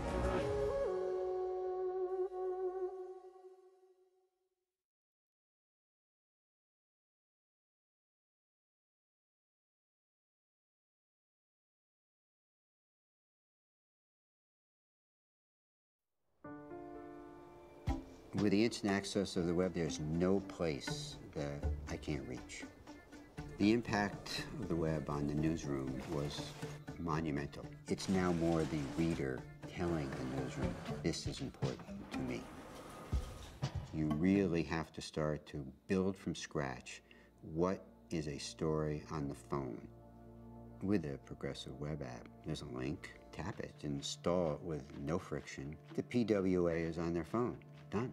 And once that is installed, we are able to alert you to, hey, we got some more information for you. If you're interested in whatever areas that you are, you can install that subject, that topic, and we're going to serve you the content that you want. And that's going to change our business in a big way. The technology has enabled us to make our new PWA faster than their current mobile site. We're now able to deliver visuals faster. And if you can start to deliver visuals faster, then you can start to change the formats you do. People are willing to stay longer. If they stay longer, they see more advertising. The PWA is going to result in more personalization. Personalization will yield more engagement. The web has made me realize there's an audience out there, and there's an audience that's knowledgeable, and there's an audience that needs to be understood.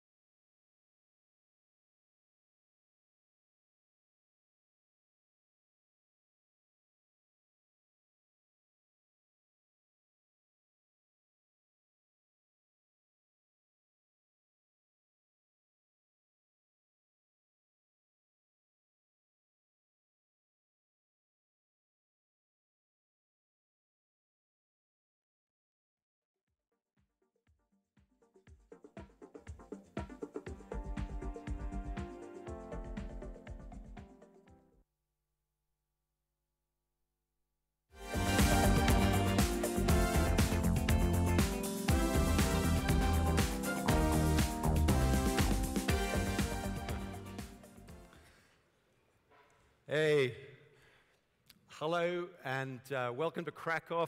Uh, for those of you from Krakow, you know, thank you for welcoming us to your, you know, beautiful city.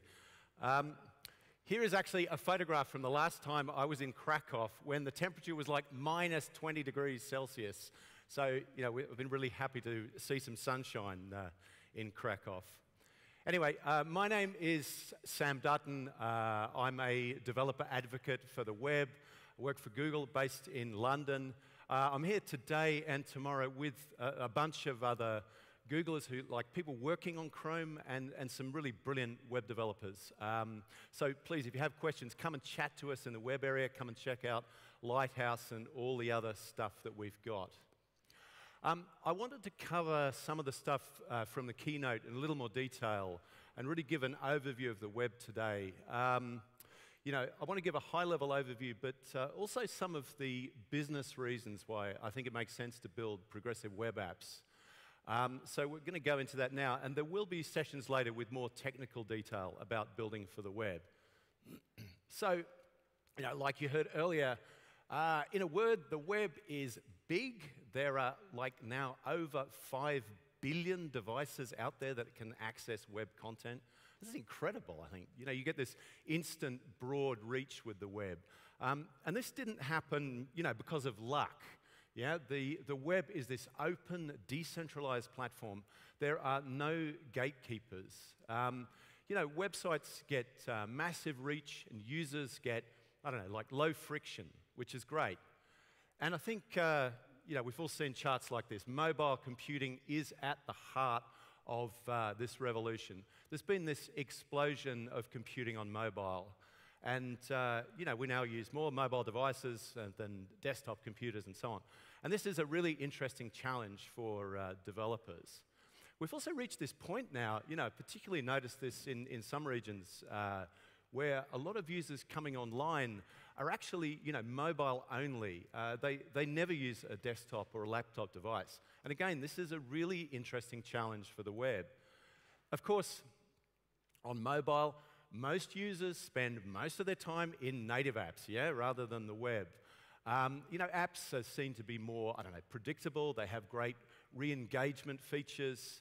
Um, you know, all this good stuff in native apps. You, you, think, well, like I could cut my presentation short right now and say, well, you know, go and build native. Uh, we could all go home. Um, there is a flip side to this, though, and uh, I'm sure you understand this, uh, particularly app developers in the audience here. You know, app usage is highly concentrated. Users tend to only use a few apps. They see native apps like as a, you know, a big commitment to device space and time and cost. Uh, native apps are engaging, but uh, only a few are worth installing. Now, based on a recent study, uh, something like you know the average user is, is installing like zero apps per month. Um, this certainly does not mean that uh, users are not using native apps, but you know by contrast, from our own data, something like uh, the average mobile user visits like around 100 sites per month. Um, you know, this is the, the power of URLs and uh, the ephemerality of the web, particularly to meet, you know, like one-off needs. I think one way to think of the difference between native and web apps is on the capability access. Uh, you know, native apps start up quickly and uh, reliably when you tap their icon. They tend to work offline. So, you know, who here, like, when do you ever open a web browser when you know you're offline? You know, that's just not what people do. Um, you know, native apps can use uh, push notifications, sync in the background, and so on. And they've had you know, access for some time to device sensors like microphones, cameras, and so on. Um, by contrast, the web has been seen to be, I don't know, like safer, more respectful of privacy maybe, but it hasn't had those capabilities. I think, you know, what if we could add those capabilities and the web could get that engagement and meet those UX expectations? You know, we could have the best of both worlds. And, uh, you know, this is what progressive web apps represent. Um, a user experience that's good enough, like integrated enough, so can actually earn a place on the home screen. And the notification tray without having to give up that reach to get that. This is really the core point. Uh, progressive web apps is really just a term for, you know, like radically improving the quality of the end to end user experience. We, we want to learn from native apps. We want to take what's best from native apps and bring that to the web. And, and this requires being really honest about what matters to users. So, in order to do that, I think we need to focus on four things. Uh, we need to make the web fast, we need to make web experiences better integrated with device, you know, hardware platforms and other apps. And we need to make sure that web experiences are reliable and we need to keep users engaged. So I want to look at each of those properties in a little more detail. Now, from a really good native app, you know, users do not expect janky scrolling or slow load performance. And you know, the web has had a bad name for slow performance, I think, particularly on mobile. And by performance, I mean like in-page you know, performance like scrolling and so on, as well as load performance. And in, in a sense, um, an app has to be kind of invisible. You know, sh- users should not be aware that they're actually loading an app. It should just work. And we want to see that on the web. And this isn't just a kind of abstract goal. You know, we all know that time is money on the web. Um, this data from uh, SOASTA, you know, shows just how much that is true after only like a little more than three seconds, something like 20% of your users will abandon the experience. Um, and you know, there's evidence that, uh, that users are getting shorter attention spans, that this is getting tighter every year. So, a couple of other numbers. You know, it takes the average web page on mobile 19 seconds to load on a 3G connection. You know, that's really bad for everyone. Um, for every one second delay in page loads, we calculate that uh, sites lose something like uh, 7% of conversions. You know, that's really bad for business. Um, you know, we really need to fix this. And one of the, I think one of the side effects, you know, thinking about this on the web, uh, of the reach of the web, is that you do not have control where users start in your experience, like which page they hit first on your site. You know, you can't dictate like you can with a native app where users start. So we've been working to make sure that uh, wherever someone starts, they start fast. Uh, you know, pages need to be reliable and fast from the first time that users load them. And to fix this, last year we started working on a project, Accelerated Mobile Pages, known as AMP. Uh, this is an open source project to create super fast web pages. You know, we all know that uh, accessing pages on the mobile web can be, can be painful, and AMP is a framework to ensure that content loads reliably. We've been able to prove this over the last year. Uh, AMP pages load on average in less than a second. On average, they use less, like 10% less data than compared to non-AMP pages. This is particularly important for users, you know, where data is expensive, where people are really constrained by their use of data. Uh, a good example of this, doing great work actually, the, the Weather Channel. They've seen like a, a four times increase in click through rates. It's fantastic on their AMP articles and into their main site. Um, you know, that's up from something like 21 to like 90% click through rates, which is great since launching the beginning of this year. So, you know, instant access to information is, is really valuable, like, you know, this example of these giant hailstones, you know. Weather.com, they, they get that, and uh, I think you know, AMP is really paying off for them. Now, AMP was originally focused on publishers and static content. The format has been constantly evolving to support you know, really critical new features uh, and verticals like, uh, like e-commerce. Um, merchants can now use AMP to build really interactive and uh, engaging pages. And a, and a lot of uh, commerce uh, e-commerce partners have really started to, uh, to do that. Uh, last summer, eBay launched all their product listing pages on AMP. Over 15 million pages, reliably load in less than a second. Um, and now they're launching product pages worldwide on AMP. Uh, and that means that you know, users can go from searching on Google to actually buying something on eBay in like milliseconds. Uh, so in total for AMP, since launch, there have been over 2 billion AMP pages, 900,000 domains, and yeah, every second, 58 AMP pages released into the wild. That's incredible. Um, if, you want to, if you want to learn more about AMP, uh, check out Ben Morse's presentation uh, after lunch today. We have an AMP training session tomorrow afternoon as well. And you'll find out like AMP and progressive web apps, you know, they work really well. The, the two attitudes to building for the web work really well together. You know, to build sites that, you know, as the slogan goes, to start fast and stay fast. So, as well as speed, users expect this app like integration with their device hardware, the operating system, and other apps. Um, you know that feeling when you use a really great native app, you get that tight connection right from the start.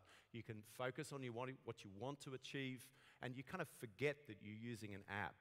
Um, I think that users shouldn't, you know, they shouldn't have to feel like they're reaching through a browser tab in order to access your app. In fact, the user shouldn't have to think about the fact they're on the web. They're just, you know, using their phone or their tablet or desktop to complete whatever is their task. So just one example of this, is like dear to my heart because I've worked on this stuff, is uh, media. You know, in the past, it's been really difficult uh, to get media working well on the web. Um, and people have felt like they had to consume media in an app. Uh, this just isn't the case anymore. Um, you know, we work really hard across platforms to make media more effective um, and also you know, just to ensure that uh, video, audio content can be included in the page and it just works. Uh, we've got uh, you know, great new APIs to build robust, you know, secure, efficient uh, media experiences um, that can even work offline.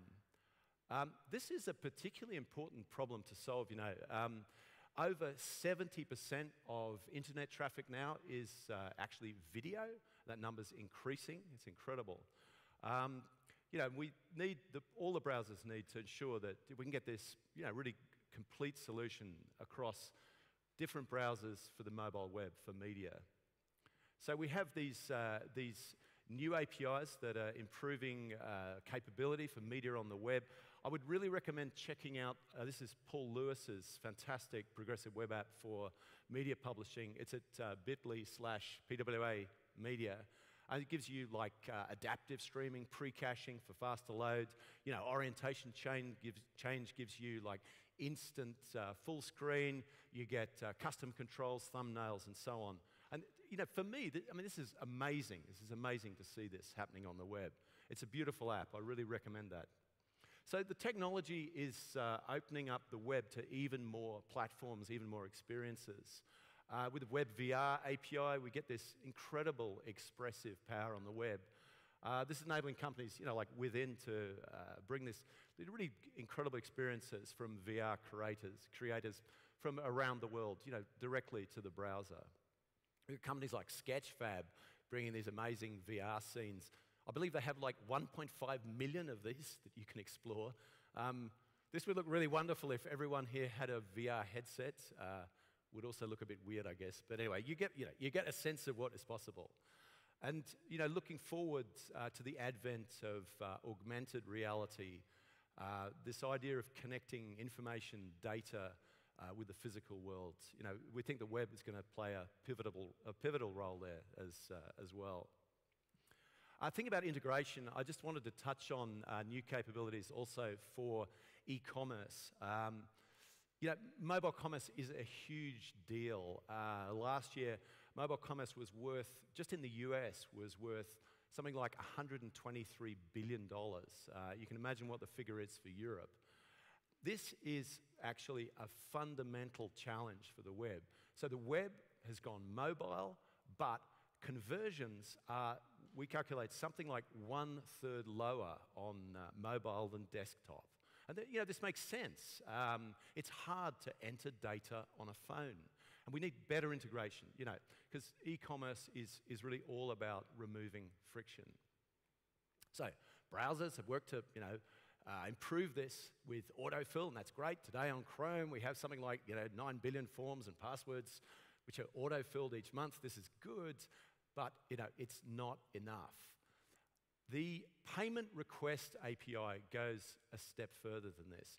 This is a W3C standard for browsers to present a, you know, a standardized interface for users to enter payment and shipping data so the users get you know, a consistent, secure experience, and you know, developers don't have to reinvent the wheel every time. And you know, this works from like a tiny boutique right up to you know, some e-commerce giant. Uh, sites can call the payment request API, like in the screencast here. the browser, you know, then securely can store email shipping, credit card data on file for the user. So the, the browser can provide a merchant with all this in one form, you know, pre-populated, you know, again, to reduce friction. So you can see that the, uh, the web has become this, you know, highly capable platform. It's tightly integrated with uh, underlying operating system, hardware capabilities. Um, users need better reliability as well. You know, at present, users like have not come to expect the web to work without a network connection, yeah? And like most of us don't even bother to try when connectivity is slow or intermittent. We really need to change that perception. Web apps must be reliable. When a user taps like on a home screen icon, they expect it to load instantly and reliably. You know, launched from the home screen, apps should never, ever show the dinosaur. Um, thinking back to the 90s, you know, when the web was growing up, does anyone know what this actually is? Maybe not. Maybe a few people. you know, for those who've never seen it, this, was like how we got online, probably from some, you know, monolithic desktop machine somewhere in the house in the basement or something. You know, with this modem, you had to put the whole house into like online mode. I remember like back in the day, you know, 56K to me would have been really exciting because, you know, we'd grown up on like 14K. And, you know, what you have to do is like yell to the whole house, like, don't pick up the phone, or that would like kill the connection, you know, in the middle of a download or whatever. And of course, in those days, you know, we knew that we were online because nothing else was happening. Now, we think of the internet uh, connectivity kind of more like a utility, you know, like gas or electricity, almost like oxygen, you know. Users are coming to expect connectivity to be available all the time. And you know, we've become used to this. And uh, this means that, uh, you know, seeing this dinosaur is just not an option. You imagine if you go to, went to a native app and you got some kind of system generated error message, you know, when the device was offline. You know, you just think, what? This is crazy. But we've become used to this on the web. We have to deal with this, we have to solve this. The other problem is that, uh, as we know, mobile phones, you know, they're not just online or offline. It's not a binary state. Uh, they exist in this kind of Schrodinger's cat state. You know, is it on? Is it off? Um, we get these problems with cell connectivity, like you know, you've got four bars here, but it turns out you do not have a working connection. So it's not just no connection that breaks our experience, it's slow or intermittent connections that can really uh, be worse for users. And like I say, mobile apps should how much as I love the cute little dinosaur, you know, it should never show him. Um, no other app, you know, will show this. And so, you know, in order for web apps to, to really earn their place on the home screen, you know, we need to make them reliable even when the network is not reliable. And this is where service workers come in. Um, I just wanted to ask who has heard of service workers and you know feels like they have a pretty good idea of why they're game changing for the web. Oh, that's great, actually. Hooray. that's really good to see. You know, the, for those of you who don't know about Service Worker, the traditional web model has been like, you know, you type in a URL or you click on a link or a bookmark or whatever, and the browser goes to the network, looks up the web server, and uh, retrieves the resources required for a page. Um, now, the browser, of course, has an HTTP cache, um, but, you know, if the network is down, you know, you get a visit from uh, our friend the dinosaur. Um, and the user experience obviously can be even worse with uh, flaky connectivity. So, a service worker is a client side proxy, acts as an intermediary between your app and the outside world. Uh, you write a service worker in JavaScript in a separate file, kind of like a web worker. And after the first visit, the service worker is installed. And after that, it can intercept, respond to events like network requests. Um, and you know, the service worker then can use the cache API to cache resources and work with storage uh, features like IndexedDB for data and so on. And that enables you, the developer, the, you know, the site owner, to decide when to use the cache and when to go to the network. This is extremely powerful. Um, like I said, you know, service workers are acting like a proxy between your app and the outside world. Now, this means that they can also handle like incoming events as well as outgoing requests. Uh, push notifications are a great example of this. Uh, push messages are received via, you know, by the operating system via whatever push service uh, it uses and then passed on to the browser. The uh, push event from the browser then wakes up the relevant service worker that subscribed to it, and then that can call a push handler. The really nice thing is here that the browser does not even need to be open. Yeah, this is fantastic for reducing usage of you know, memory, CPU, battery, and so on. I think you know, this kind of I don't know, capability for engagement, re-engagement is where progressive web apps are, you know, are really coming alive. So, of course, a truly engaging app needs to kind of go beyond being, you know, just functional and reliable and ensure that like the whole experience is delightful and it makes it easier, you know, for the user to do what they need to do. Really good experiences on the web. They need to have the right capabilities, use them at the right time, in a beautiful way. Uh, Twitter is a great example of this. Uh, they launched a progressive web app in spring this year. They'd noticed like their web traffic was growing, and yet, you know, the experience wasn't great. Uh, so they set out to redesign their mobile web experiences at PWA. Uh, and this is a great place to look to see what can be done on the web. They had three goals in mind. They you know, needed to cope with slow or flaky networks, and they had to consume less data. This is critically important for a, a global service for all their users. And you know, Twitter needs to work well for a huge variety of smartphones, uh, from high end to low end. You know, some of which have tiny levels of storage and limited CPU and so on. Um, for those of you who've got a phone in your hand, you can check this out right now, mobile.twitter.com. You'll see how like fast and smooth the scrolling is. Now, performance is a huge priority for Twitter. Um, they can, you know, access uh, photos and, and videos for upload. You can see a tweet going on here. And of course, the web can now send uh, push notifications. Uh, you know, on Android, these appear alongside native web app notifications. And th this is a fantastic re engagement tool. I believe uh, Twitter are now sending out something like uh, 10 million push notifications per day, which is incredible. Uh, what I really love, though, is that Twitter can deliver this experience at a fraction of the size compared to native. Uh, you know, you can see here the difference that a progressive web app can make. Um, so, how can a PWA be so small? Um, well, you know, when you download an app, you download everything that the app needs, which is why you get those data sizes. But the PWA can leverage the resources of the browser and then, you know, progressively install more assets and data as required. And again, this is a huge deal for, like, we need to remember that, like, for a lot of users in, in many regions, uh, their constraint is actually from data cost uh, as well as connectivity need to remember that and bear that in mind. So, as you might expect, you know, Twitter is getting great metrics for their PWA compared to their previous mobile experience. And they're getting something like a million daily visits, uh, users coming from the home screen icon, which is great.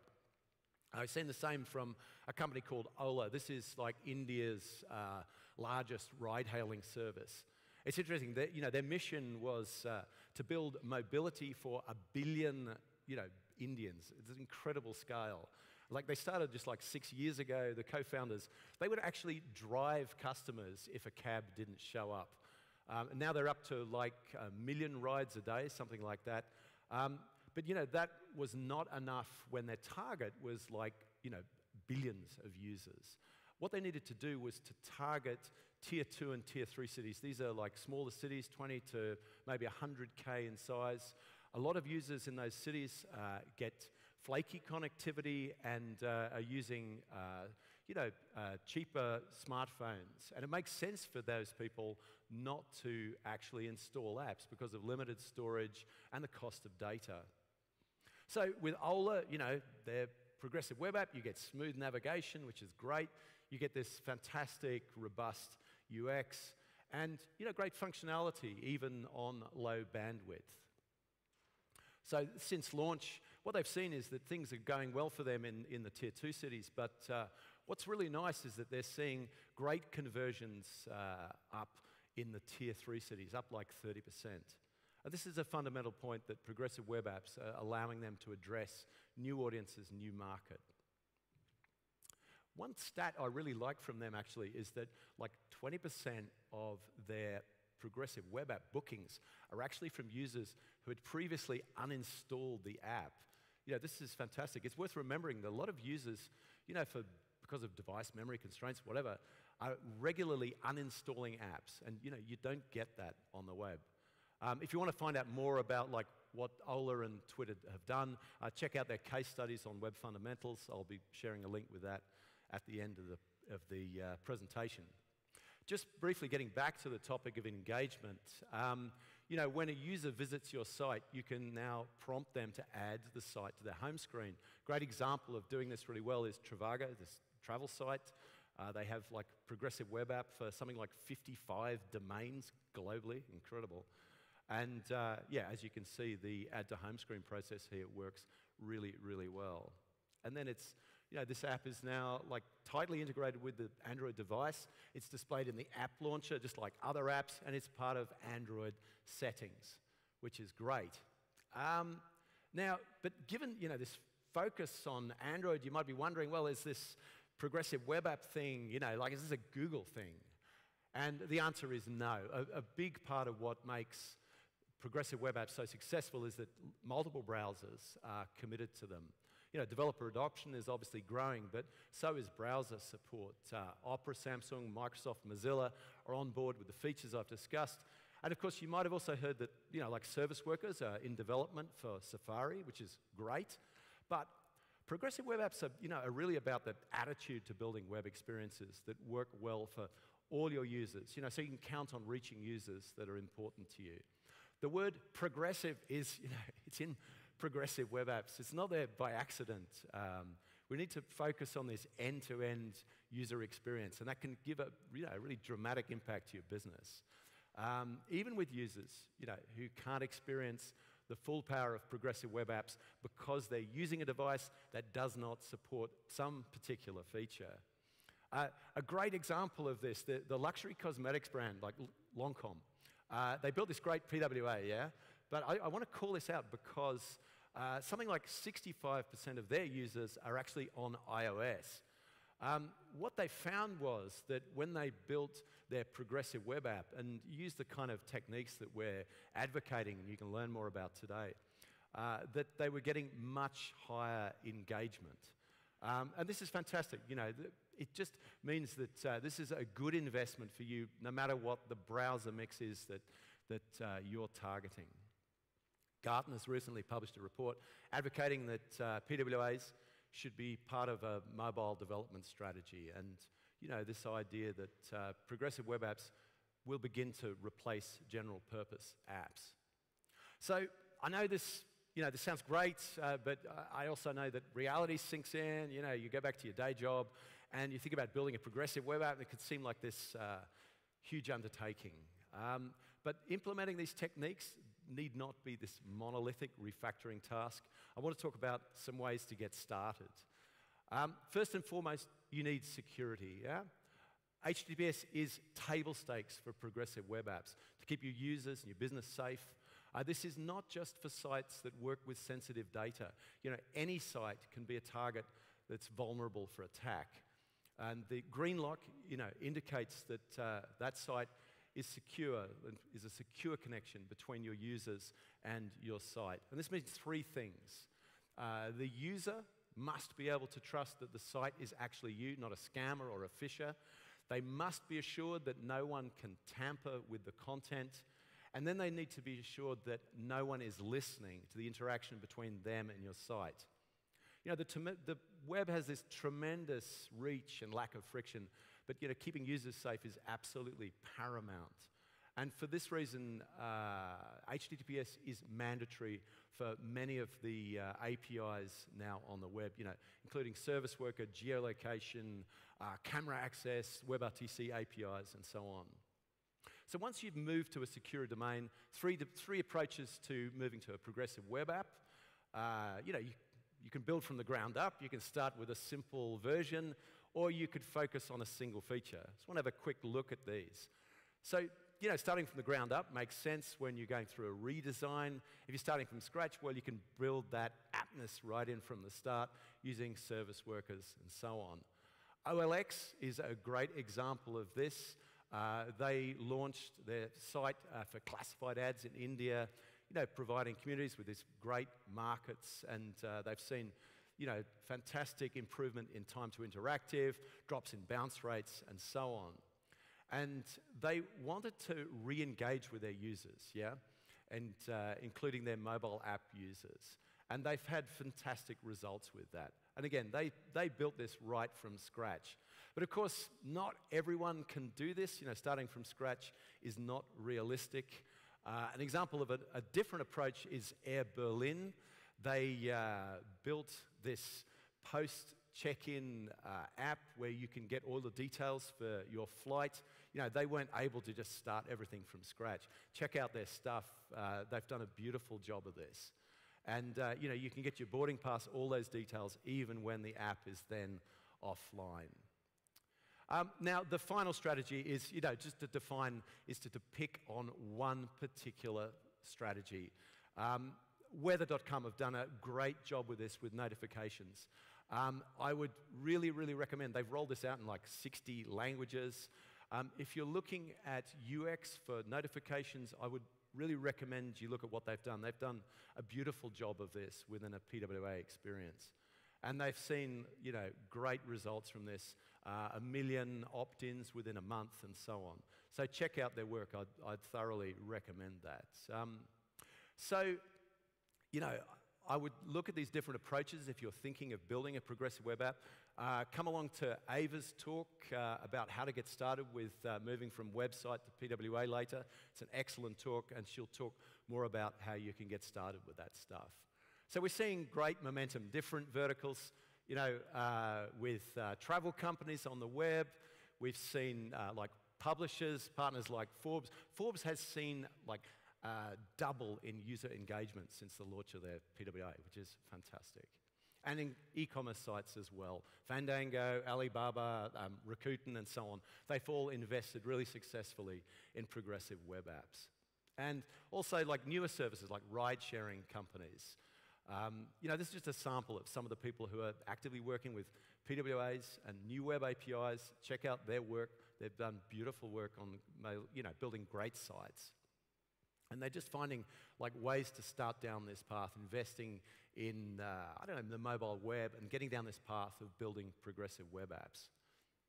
So I think, you know, progressive web apps for these companies, it's giving them, you know, reach and capability, the ability to target new audiences and new markets, which is, you know, incredibly exciting on the web.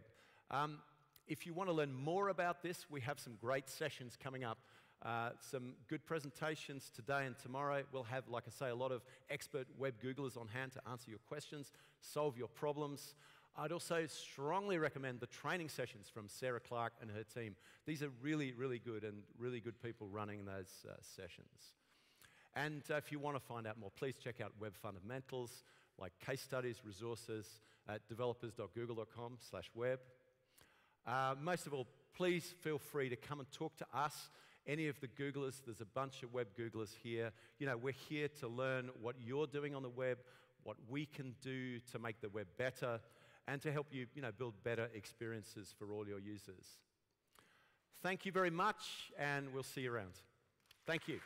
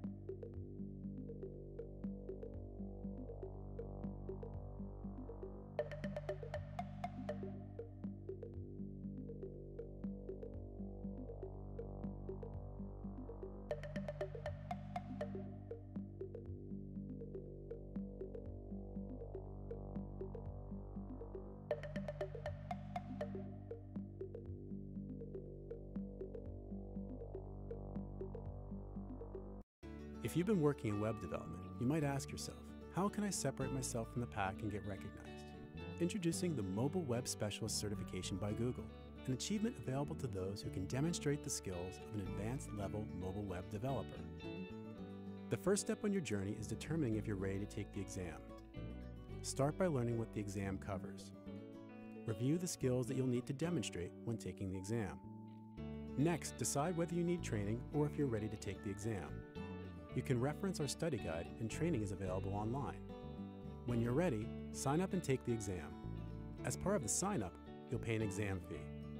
If you live in India, you'll pay 6,500 rupees. If you live outside of India, you'll pay 99 US dollars.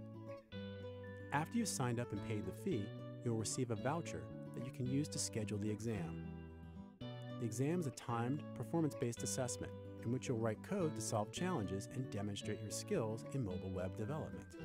You'll have four hours to finish, after which you will submit the exam and respond to a set of exit interview questions. If after grading you are successful, you'll receive a digital badge from Google and join our community of Google certified mobile web specialists. Once you are certified, you can share your badge on your resume, LinkedIn, G, Twitter, and in your email signature. Ready to start your journey?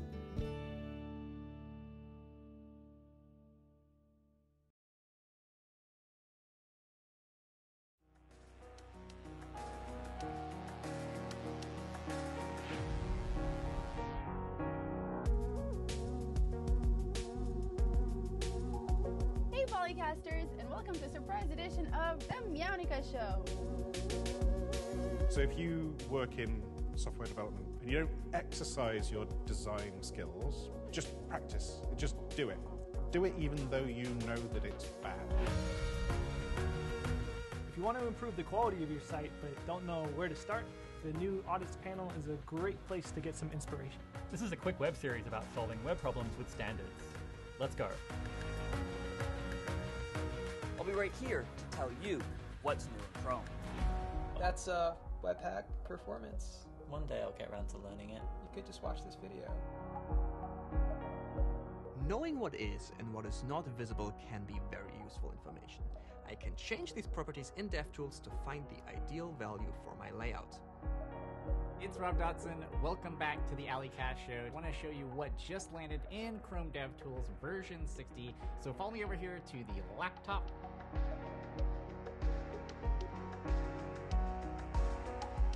If you want the latest news and ideas in web development, subscribe to the Google Chrome Developers YouTube channel.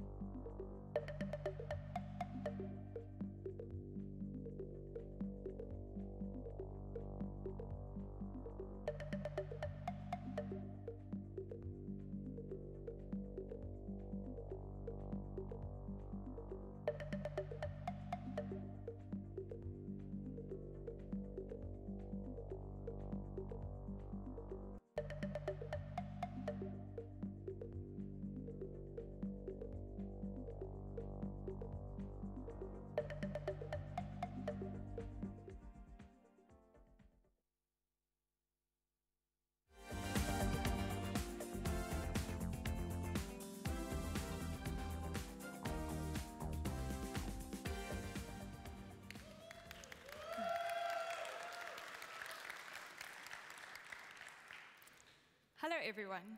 My name is Rebecca Franks, and today I'm going to be speaking to you about Android Things and why I think it is the IoT platform for everyone.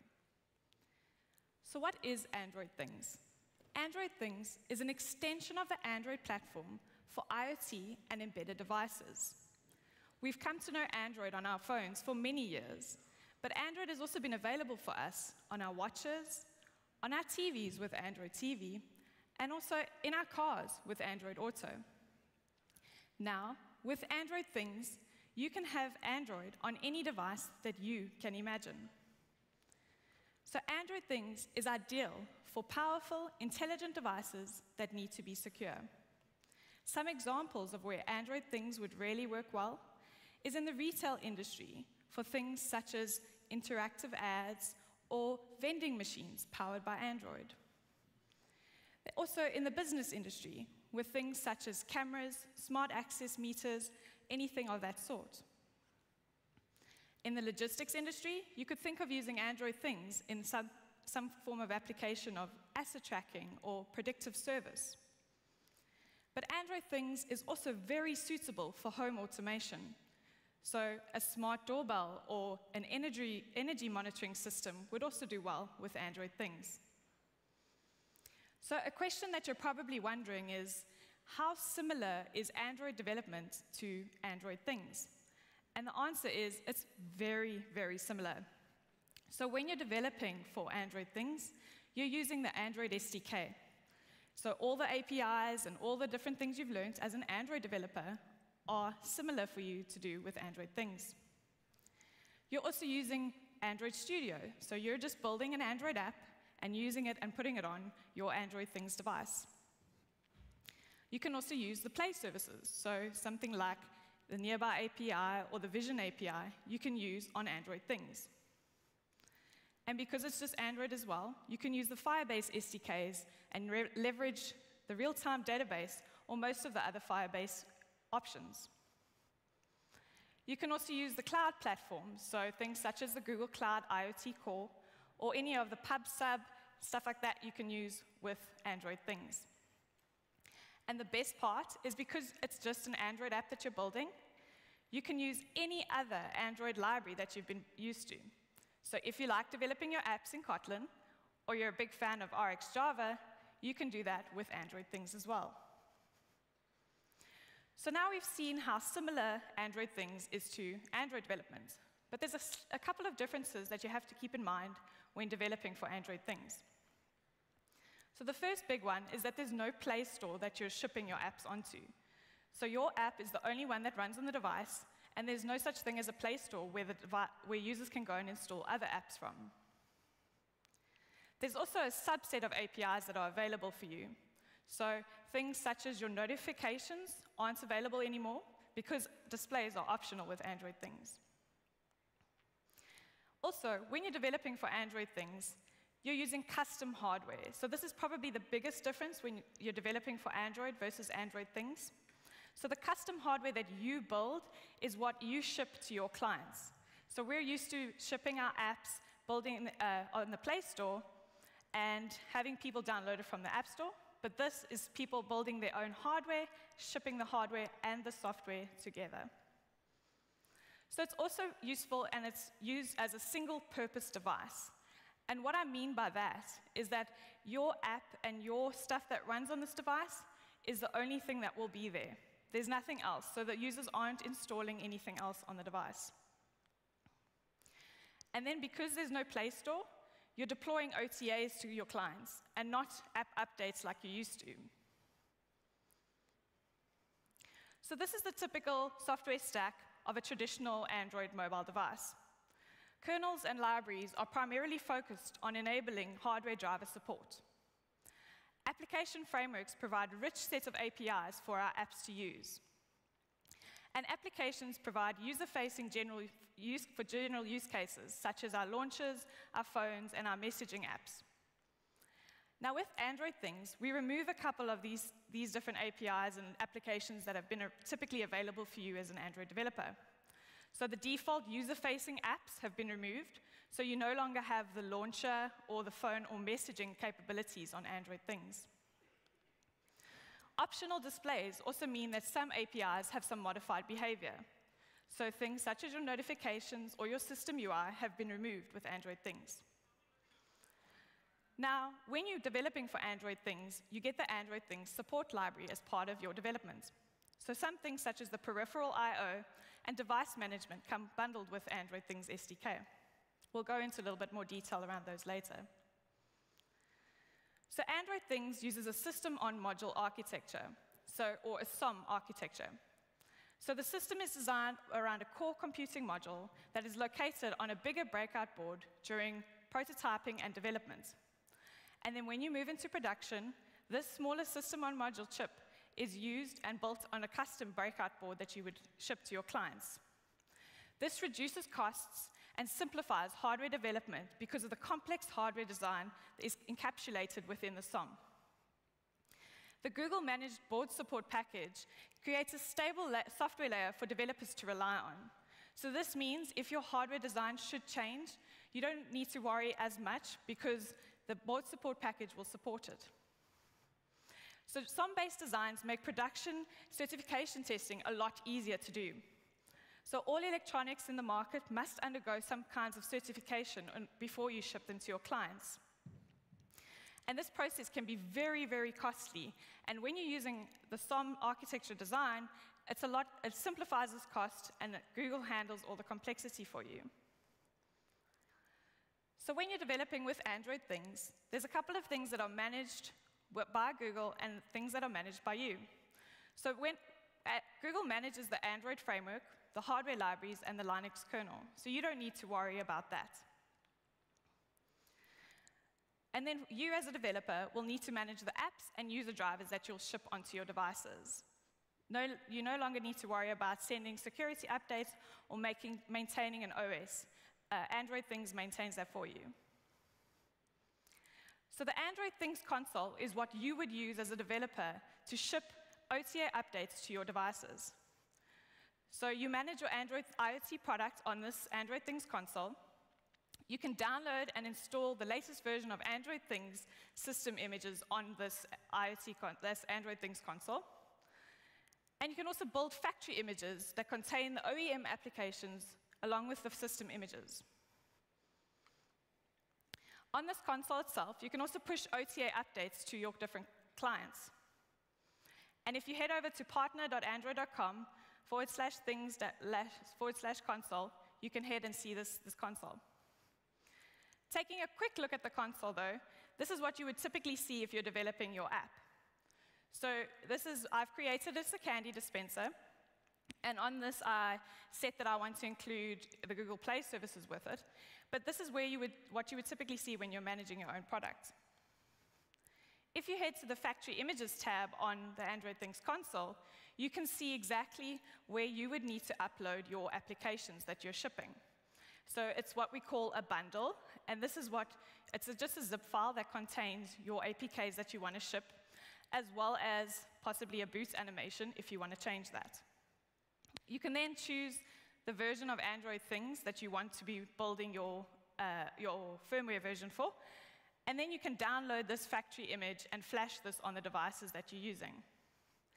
If you've already got devices out in, in production, you can then ship OTA updates by doing the same process, selecting the bundle and the factory image, and then doing a push update. Cool, so we've got a little bit of background on how Android Things works and what it is. So I'm going to take a quick look at how we can develop for Android Things. So to get started with Android things, you would need to purchase or obtain a developer kit. So there are two that I particularly like, the NXP IMX7D or the Raspberry Pi 3. And these, what you would typically do is, with the Raspberry Pi, you would download the factory image and flash it on the SD card like you would normally do with any other operating system for Raspberry Pi. You would then start up the device and you would have Android things running on it. From this point on, you can connect to it over Wi-Fi or via the USB cable. I particularly like the NXP a lot more than the Raspberry Pi because it's a lot easier to debug. So when you're developing, you can just develop over the USB cable and you don't need to worry about Wi-Fi. So because we're developing custom apps, we can use custom hardware with our devices. And in order to access these different hardware peripherals that we might include on our devices, there are different, different options for you to do. So I like to think of it as two different ways, one being the difficult way and one being the easy way. And the peripheral I.O. extension is what I like to think of as a bit more of a difficult way. But basically what this gives you is access to all the different protocols that you might be used to if you have done any kind of IoT development before.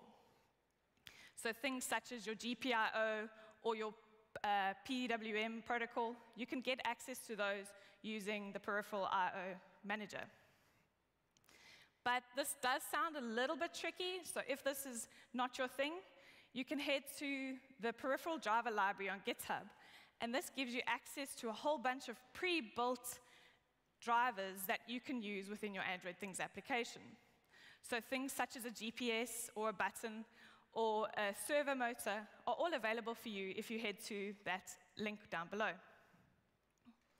So I like to think of it as if you don't really know what you're doing with Android things, you can do the GitHub library, versus if you don't know, if you're more into getting low-level access, you can use the standard protocols. Okay, so we're going to try quickly build an app. And this is basically what we have on screen here is a breadboard with a button and an LED. So this seems really simple. I mean, why do we need Android things involved? But we're just going to have Android things control the LED when the button is pressed.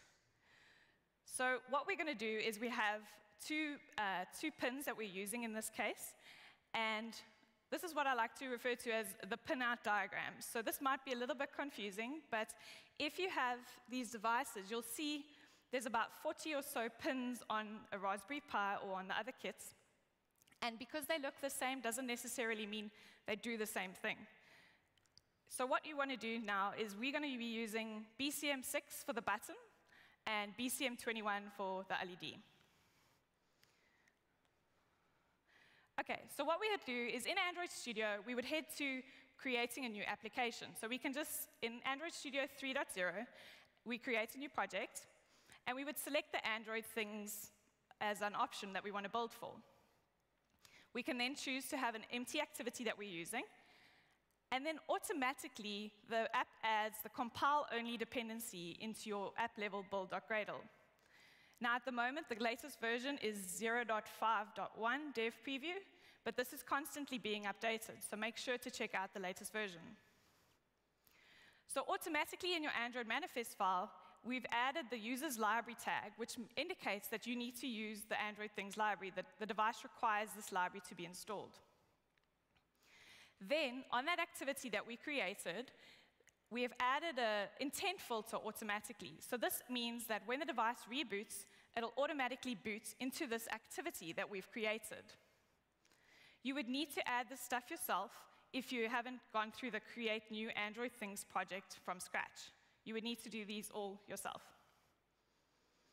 Now, in our example, we had a button that we were using in order to get pressed events. So what I'm going to do is use the button from the GitHub support library that we saw earlier. So I'm just using it within Gradle, putting it in my uh, build.gradle file, and now I get access to a button. So I would create a new button by saying new uh, equals new button, and I give it the pin that we were talking about earlier. In this case, BCM6 pin. Now you must just remember that this button is not the same as the android.widget.button. It is a different one from the Android things support libraries. Now, what you can do is set an on-click listener on the button, and this will get fired whenever we receive a physical button press. And all we're going to do in this case is set the value of our LED GPIO pin to true or false. Now, this might be a little bit confusing first, but we'll get into the LED GPIO pin next. The next thing we need to do is make sure that we close the button access that we have. This just frees up any resources that we were using before. So to get access to the LED that we have, we would just get access to the Peripheral Manager Service uh, API.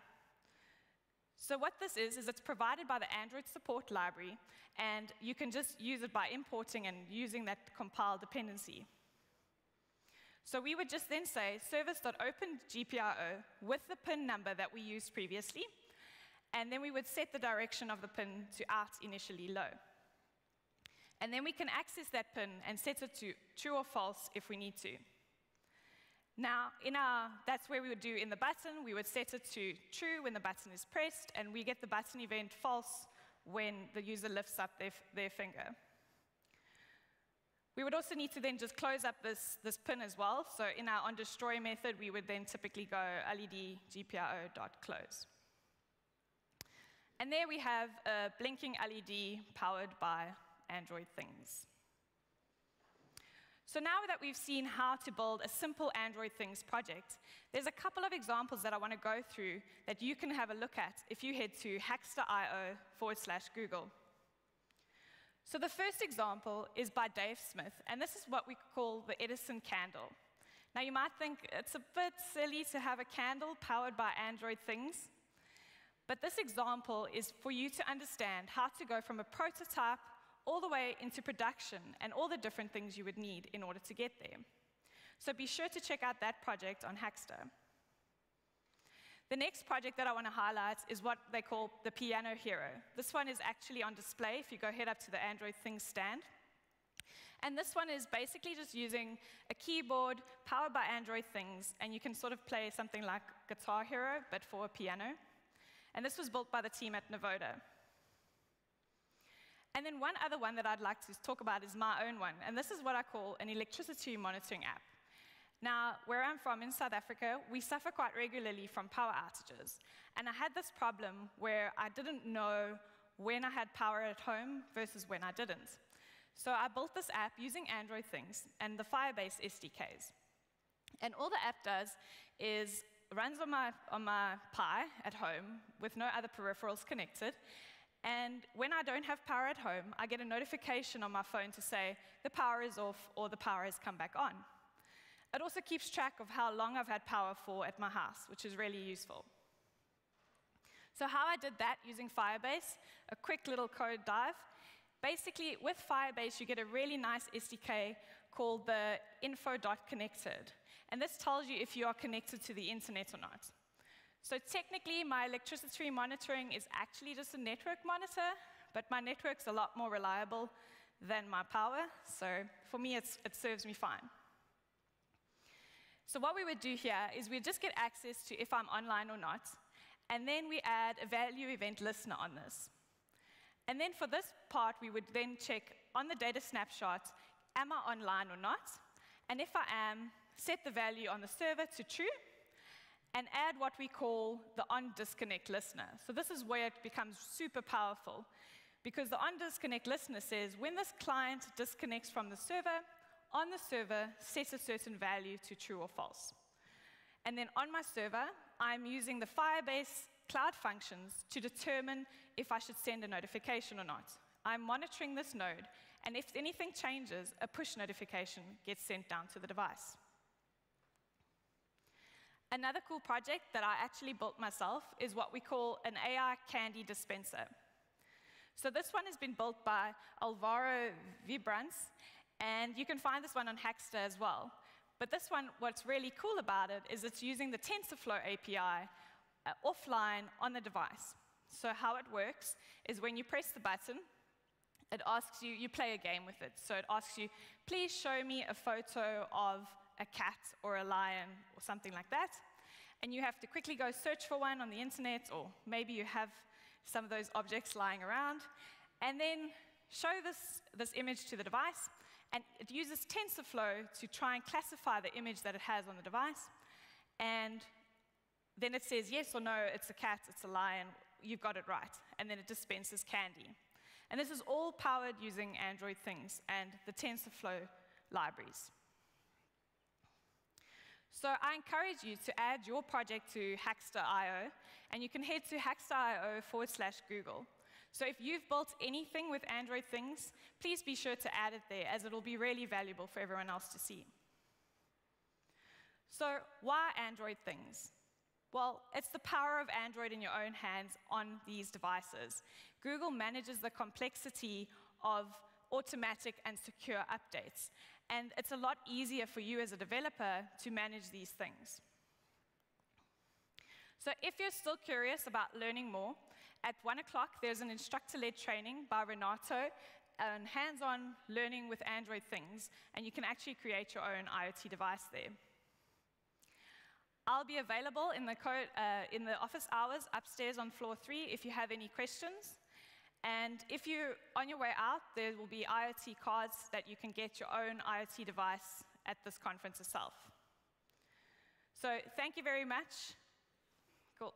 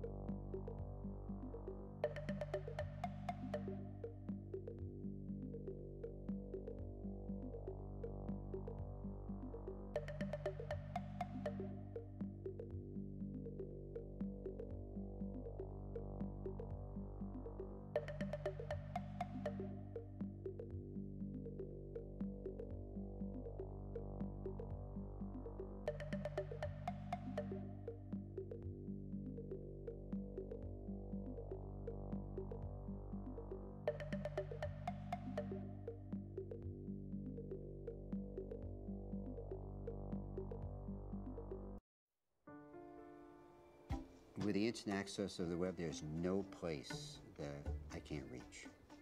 The impact of the web on the newsroom was monumental. It's now more the reader telling the newsroom, this is important to me. You really have to start to build from scratch what is a story on the phone. With a progressive web app, there's a link, tap it, install it with no friction. The PWA is on their phone. Done.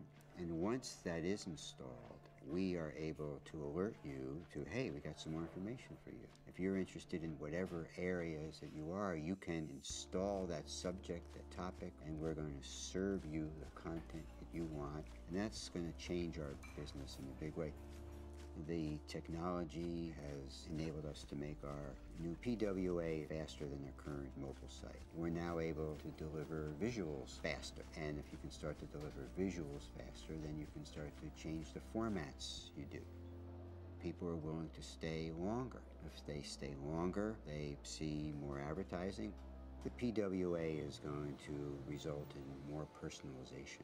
Personalization will yield more engagement the web has made me realize there's an audience out there, and there's an audience that's knowledgeable, and there's an audience that needs to be understood.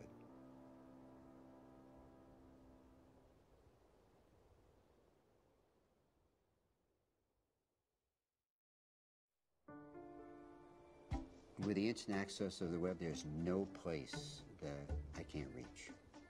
The impact of the web on the newsroom was monumental. It's now more the reader telling the newsroom, this is important to me.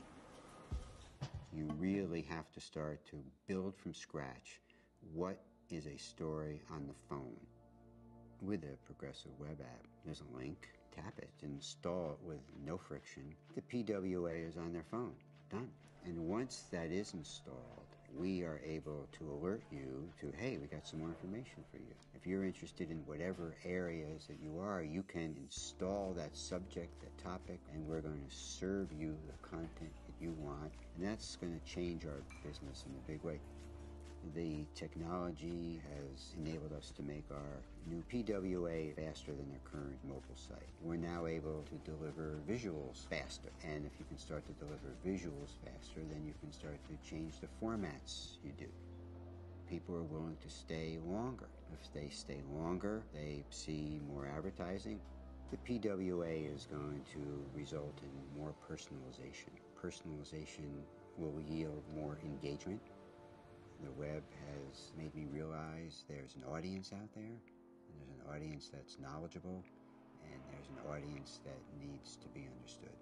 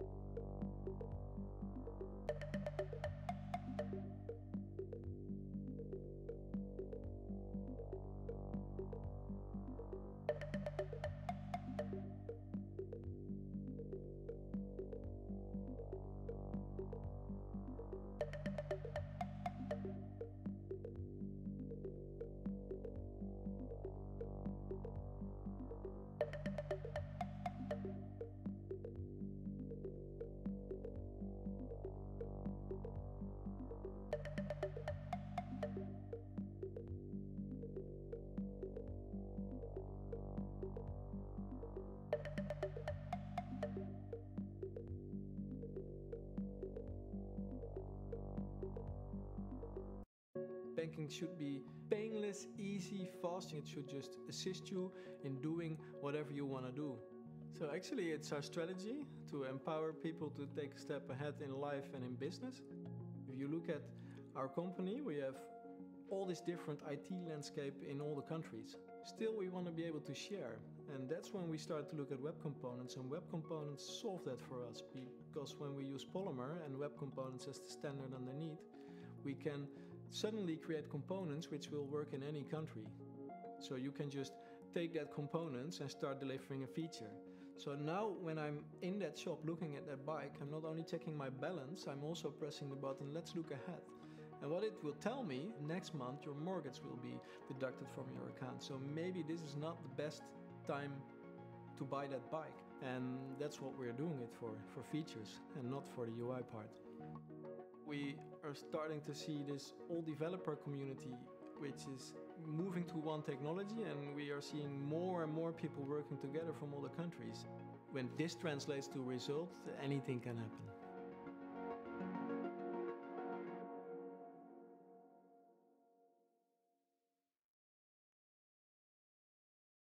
Whether you're just starting out on your journey toward a career in Android development, or you've been working as an Android developer for some time, you might ask yourself, how can I separate myself from the pack and get recognized?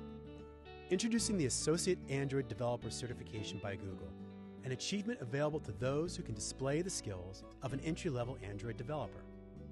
The first step on your journey is determining if you're ready to take the exam. Start by learning what the exam covers. Review the skills that you'll need to demonstrate when taking the exam. Next, decide whether you need training or are ready to take the exam. Training is available online as well as in person.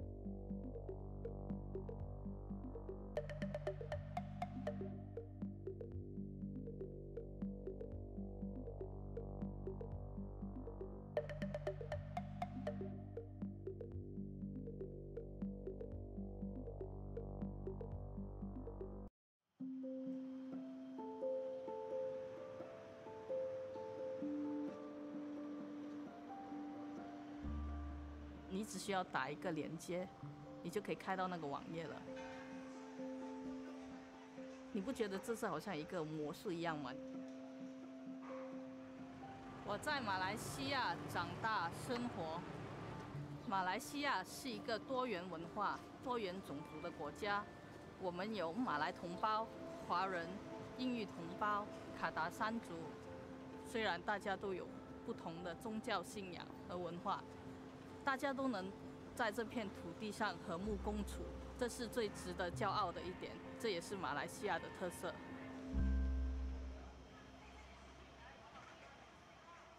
在城市地区，大多数地方都有 WiFi 连接，通常上网不是一个问题。但是可能在比较郊外的地方要上网的话，就可能比较困难，因为设施还不完整。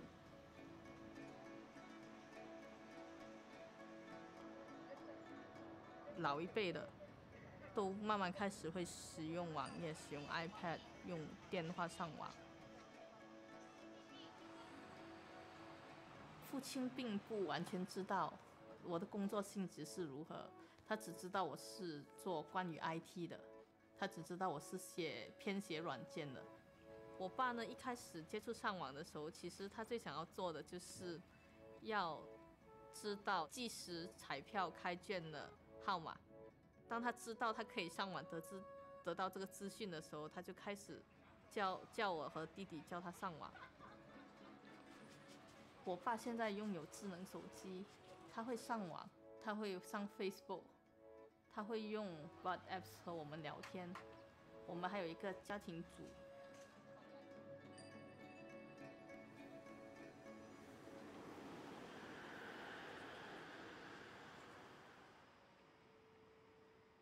因为现在很多在嗯做 Web Development 的。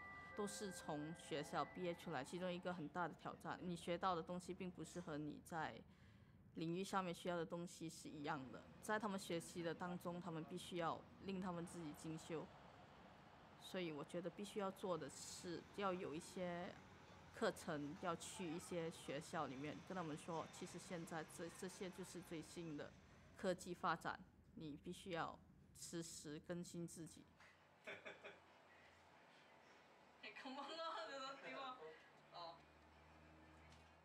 我开始找寻我第一份工作的时候，我遇到了困难，因为当时我所学的技术和当时领域需要的技术是不一样的，所以当我去第一份工作面试的时候，我失败了。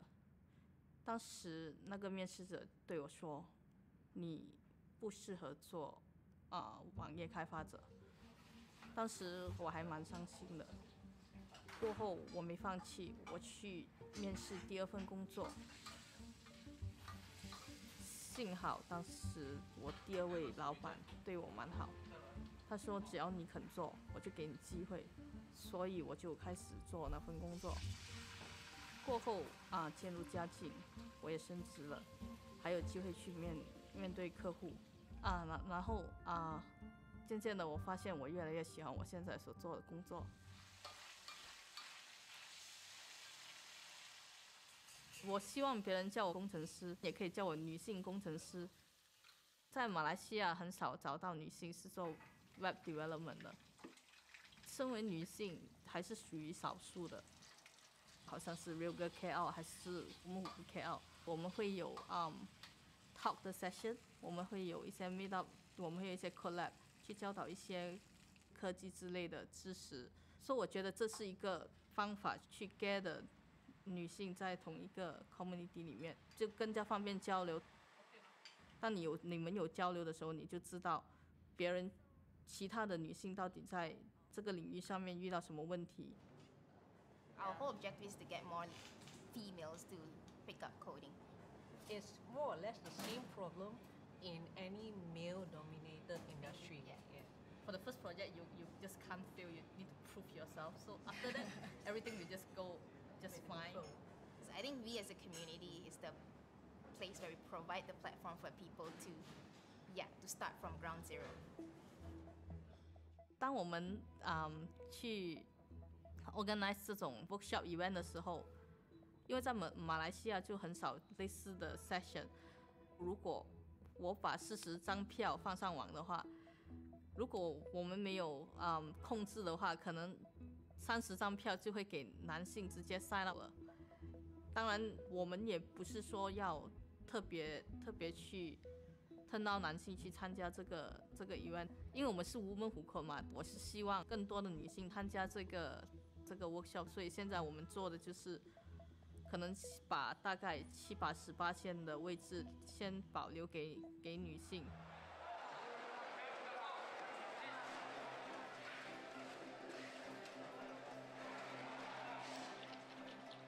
在传统华人而言呢，父亲是扮演一个比较严厉的角色。父亲通常不会说一些说你令他骄傲的话，只是从别人口中就会听到，就是从他巴萨里的朋友口中就会听得到。一开始我是觉得惊讶，因为他从来没跟我说，就惊讶比较多。惊讶过后就有点窃喜，因为他算满意我的成绩。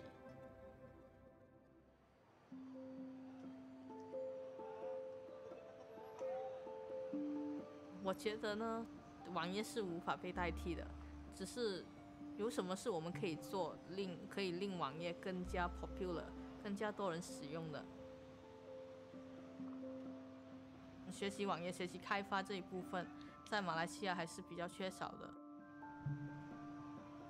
我觉得我个人的经历是有影响到我如何去 mentor 新的人，去去领导他们怎么学习网页。我希望我是其中一个推动网页发展。我希望做到的是，让这种知识更普及，更多人知道如何开发网页。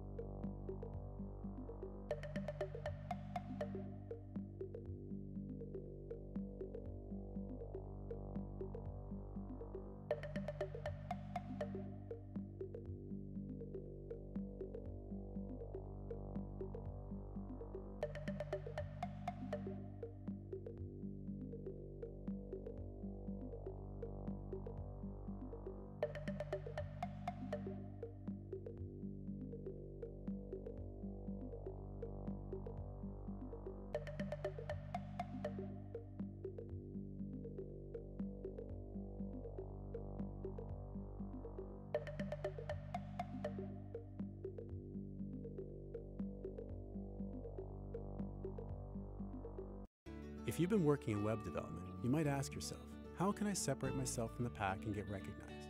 Introducing the Mobile Web Specialist Certification by Google, an achievement available to those who can demonstrate the skills of an advanced level mobile web developer. The first step on your journey is determining if you're ready to take the exam. Start by learning what the exam covers. Review the skills that you'll need to demonstrate when taking the exam. Next, decide whether you need training or if you're ready to take the exam. You can reference our study guide, and training is available online. When you're ready, sign up and take the exam. As part of the sign up, you'll pay an exam fee. If you live in India, you'll pay 6,500 rupees. If you live outside of India, you'll pay 99 US dollars. After you've signed up and paid the fee, you'll receive a voucher that you can use to schedule the exam. The exam is a timed, performance based assessment in which you'll write code to solve challenges and demonstrate your skills in mobile web development. You'll have four hours to finish, after which you will submit the exam and respond to a set of exit interview questions. If after grading you are successful, you'll receive a digital badge from Google and join our community of Google certified mobile web specialists. Once you are certified, you can share your badge on your resume, LinkedIn, G, Twitter, and in your email signature. Ready to start your journey?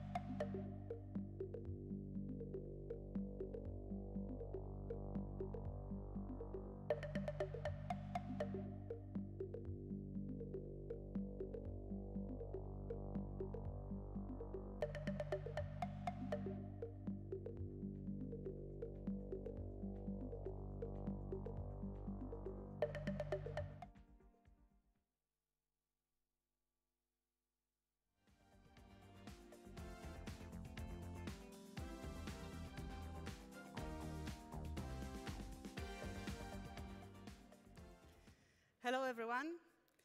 My name is Ewa Gasperowicz. I'm a developer programs engineer here at Google. And I'm very happy to see you here at today's session, and especially in the beautiful city of Krakow, which I'm very proud of. So welcome. My intention today, my intention today is to shed some light on the process of transforming an existing website into a progressive web app. Me and my team we recently went through a few of such processes, and I would like to share with you some of the things we find out on the way. Probably, probably by now you've heard a little bit about progressive web apps. The notion of PWAs is making rounds in the industry. And also, if you've been by any chance to some session about PWA, who've been in the morning? I've been there, yeah. yeah plenty of people. Um, you probably know all of them by now. But in a nutshell, progressive web apps are experiences that combine the best of the web and the best of the apps. They are web, experiences, which means um, they have the wonderful reach of the web. There is no installation, and every new experience is just one click away. At the same time, they use to the full extent the capabilities of modern apps and modern devices. It means they are fast, then don't make the user wait for them to load or react. They are, they are integrated, which means they feel like a natural part of your device. They are reliable, which means they load and operate no matter the circumstances. And they are engaging, which means they give users pleasure from using them. This all sounds very new and very exciting, but is it really? Some years back, when I first got my hands on a smartphone and started to browse the web, I totally expected it to work just like on desktop. My expectation was that if I visit a URL, it actually loads, right? That's not too much to ask. And I expected it to load quickly within my attention span. And please mind that for people like me, uh, people like me don't want to get stuck on the loading screen forever. And for people like me, the forever usually means like 30 seconds.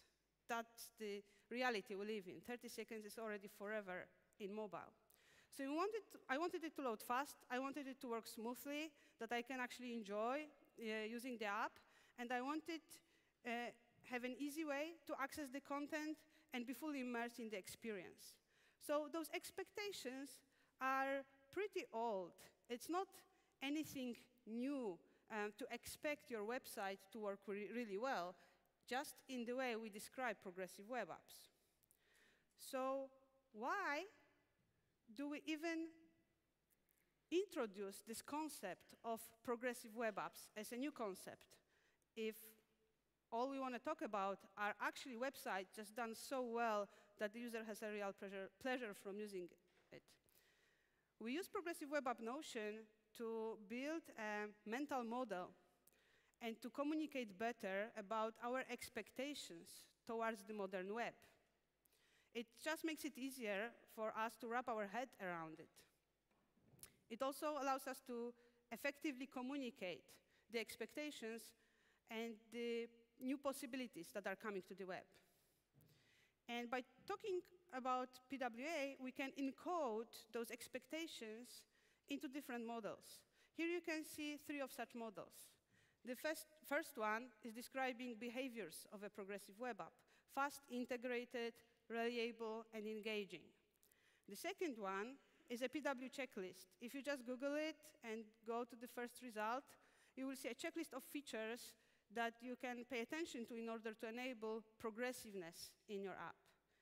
And finally, we encode also a set of rules in a tool called Lighthouse.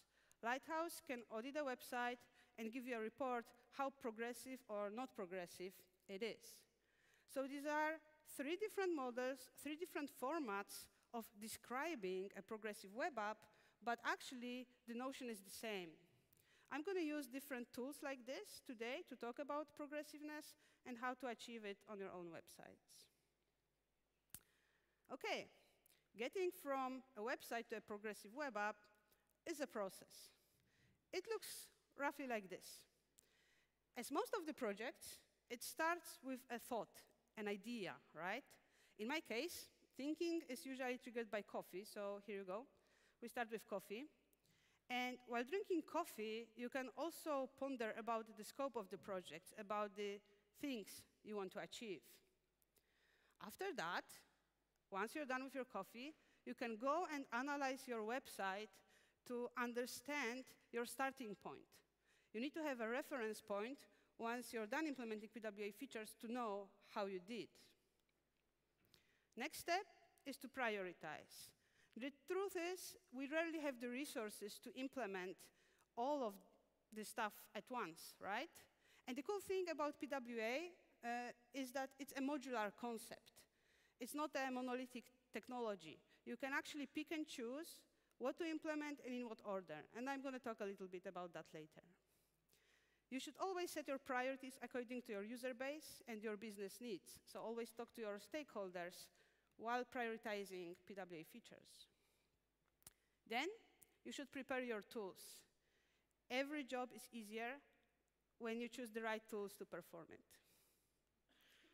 Finally, you can just execute your plan, implement the features. I'll talk about some issues that you can encounter at this step, although it's a very broad topic, and by no means I can be exhaustive here. At the end, there is sometimes an overlooked step, the evaluation, measure and evaluate. It gives you both a nice summary of how you did in your migration from website to progressive web app, but it can also be a very valuable starting point for your next iteration on the project. This is how the process looks like, and we're going to follow it throughout this presentation. OK, so while drinking our coffee, let's talk about the scope of PWA, what this notion actually includes. We know the goal, we want that we want to deliver the delightful user experience, but what are the actual practical deliverables? Usually, when we talk about PWA, uh, we talk about these three core technologies first. We talk about service worker and related techniques like caching. They allow you to offer your users an offline experience, but also they can improve reliability of your app, which can now load no matter the circumstances and also positively influence the speed for your second-time visitors. Push notifications allow you to send user a message and bring them back to your app or re-engage them. Add to home screen allows you to make your app feel like a first-class citizen on your mobile. The user can install it to their home screen and access it easily, making it easy for them to go back to your app again.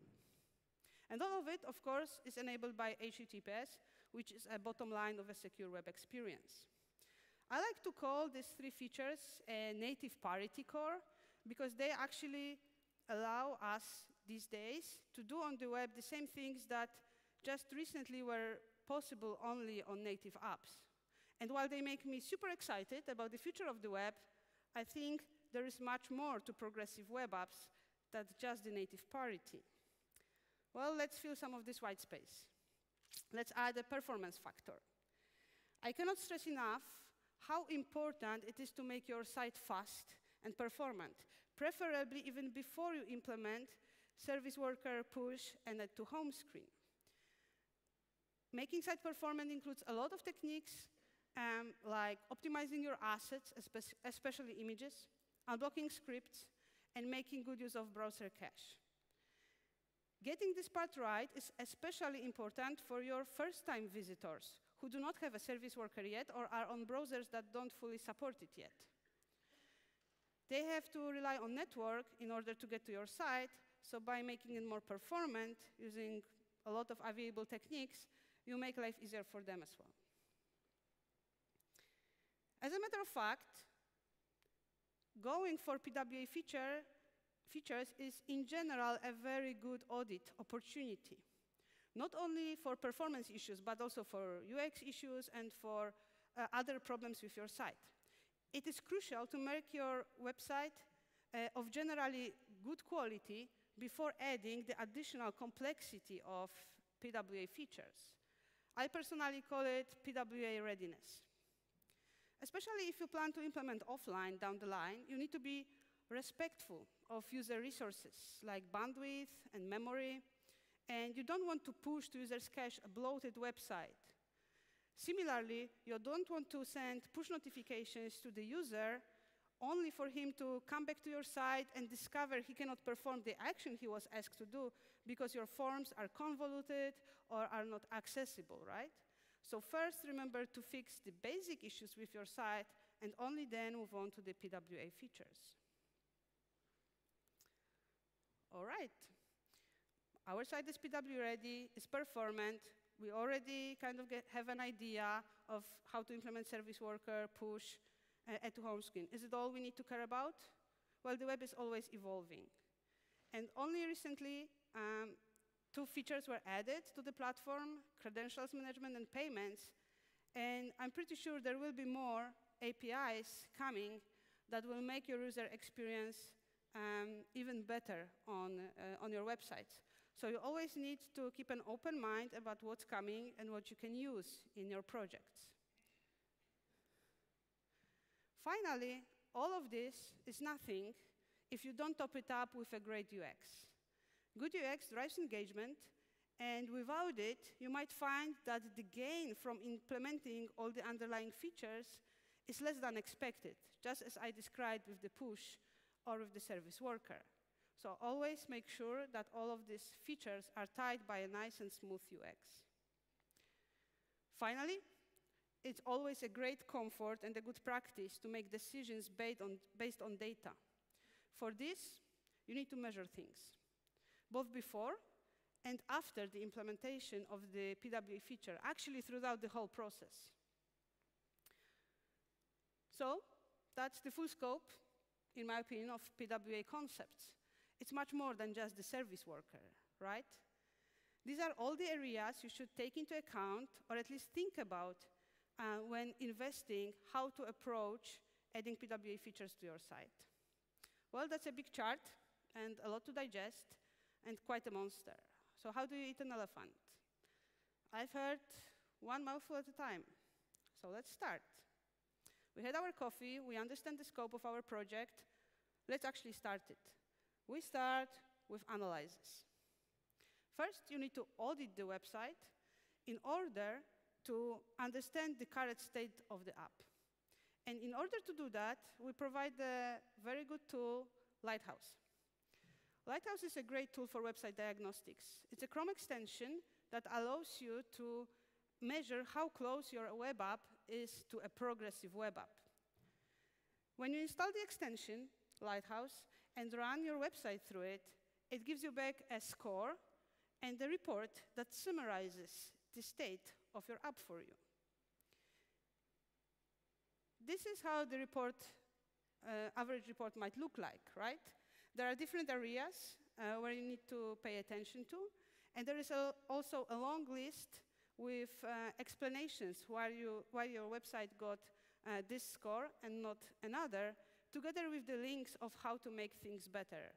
So apart from being a diagnostic tool, it's also a very good educational tool because just by checking a report for your website, you can learn a lot about how you can make this website better.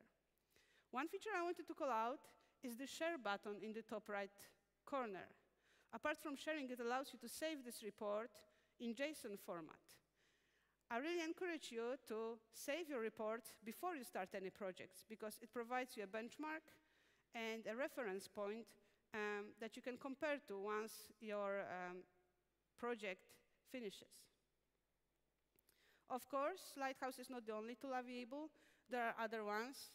Um, and most of them actually also allow you to save the data somewhere.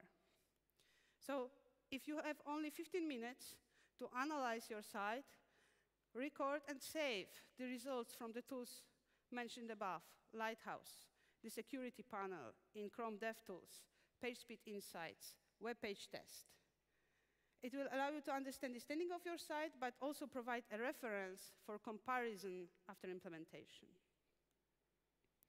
All right, so we analyzed our website, we saved our snapshots of data, and we know exactly how it performs in different areas. Now it's time to prioritize. This is the all areas I mentioned you should take into account. So the question is where to start. I would say Start at the beginning. Ensure PWA readiness. No amount of PWA features will solve unresponsive, cluttered, or junky website.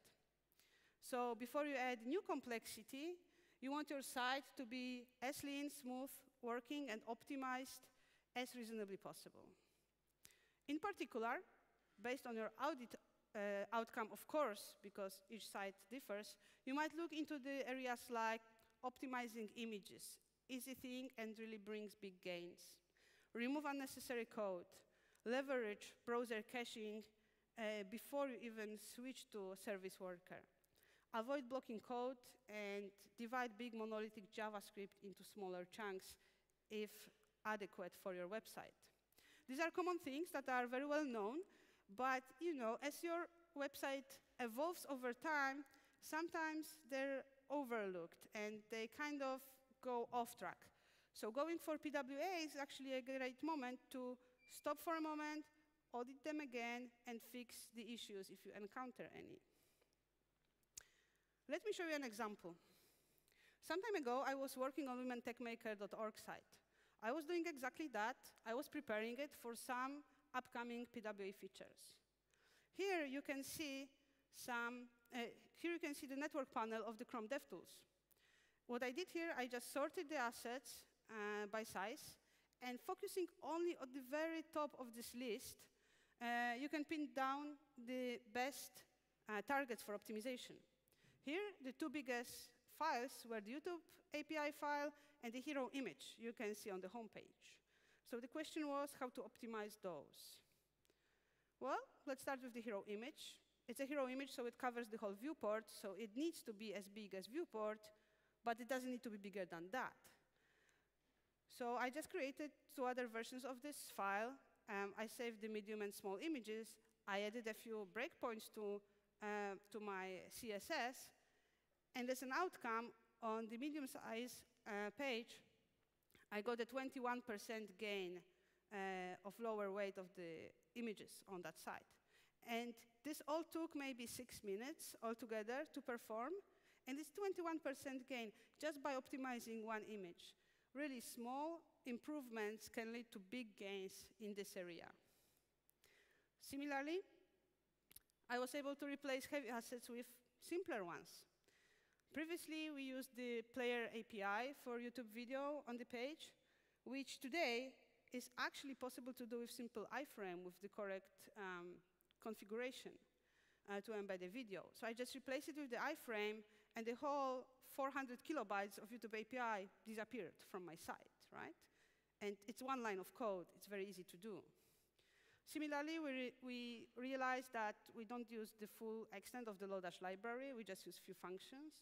So we can replace it with the core. It brings us from 24 kilobytes to 4 kilobytes, and maybe 20 kilobytes is not a great deal of amount of download data, but it, those small gains do add up.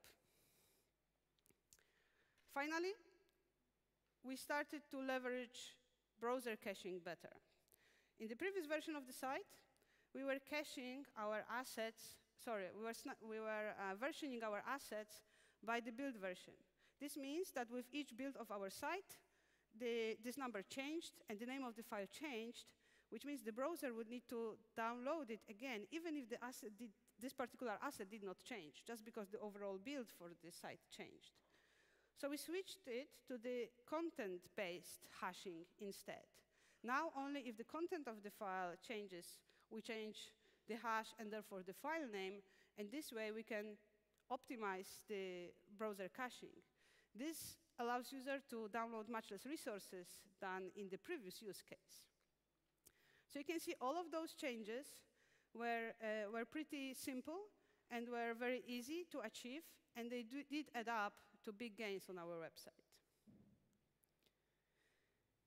Once you are PWA ready, you should ensure safety of your users. We want to develop great progressive web apps in order to leverage the frictionless and accessible web out there. But the web is also dangerous. So keeping your users safe is hugely important. So I would go for HTTPS as one of the first things you implement on your site if you go for a PWA. Also, a lot of new web APIs are actually, actually require HTTPS to be enabled on your site. Uh, so it should be a natural step to take. Once your site is PWA ready and secure, you can simply follow your business need, and this pretty much depends on your site and on your business. For example, if user acquisition is important for your business, you should focus on perf, because performance site that loads quickly on the first visit allows you to gain some more users. If you have a huge bounce rate because of unperformant site, a lot of users don't even see your site in the first place. So for user acquisition, you might want to focus on perf. If you care about users that are in low connectivity areas or in, I don't know, London Tube maybe, then you should focus on offline, on implementing service worker and the offline experience, because this is where the big gain for your users is. User retention, focus on push and add to home screen. This allows you to re-engage user uh, in your experience. And you can pick and choose because PWA is modular and you can see which areas benefit your business best. All right. Now we're choosing the tools. And there is a lot of tools out there, right? There is a lot of tools. Um, there are some starter packs and generators for different frameworks and libraries that allow you to build a progressive web app from scratch. But I want to focus on migrating an existing website to a PWA. That's why I will give a shout to one library in particular. It's the Workbox library. When developing offline experience, things might get a little bit fiddly. There is also a lot of boilerplate because many tasks are simply repetitive, like caching. So my advice is, don't do things by, by hand. They might bite you. Remove both stress and boilerplate with Workbox. And luckily, at quarter to three, we have a wonderful uh, workshop for you from website to PWA with Workbox on the third floor. So if you want to see all the ins and outs and gains you can get from this library for your website, uh, go and check out the training. Yay, finally, we got to the point where we can implement our PWA features. This is the hardest part to give any generic advice on because it differs a lot from project to project, right? So instead, let me share with you an example of how we solved an offline dilemma in the Women Techmakers site. I think it shows nicely the type of problems you need to solve when implementing PWA features, in this case, offline. So this is a Women Techmakers site, uh, seen as online. And it's a beautiful site. It's a very rich visual experience, lots of images, really, really nice uh, looking site. And I was supposed to implement offline experience for it. If I wanted to save all of this to cache, that would be very, very heavy. So caching all the images was rather a no-go. How about no images? Well, the site looks kind of ugly, but it's also unusable. Like, I can't even go to a different subpage because the menu button is missing, so it's totally unusable. Therefore, caching no images is also a no-go. How do we find a middle point? How do we negotiate this? Well, I took a deeper look at the website to really understand its structure. I divided images by function. Let's take a look. The yellow images are the navigational and action images. They are there so that user can navigate and perform some activities on our website.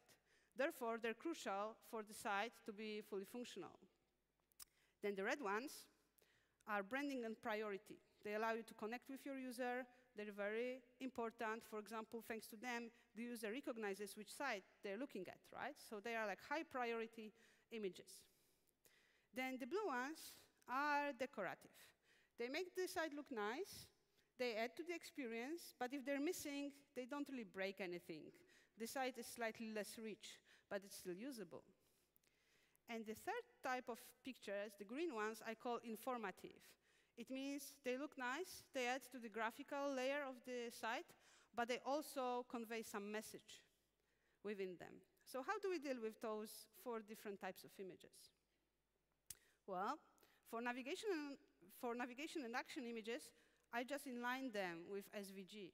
They're usually small, they're icon-like, so it's easy to do, and if you embed them in your HTML, if you cache HTML, they're going to always be there, right? So problem solved. You don't even need to come up with caching strategy with them, because if the HTML is there, your images are there as well.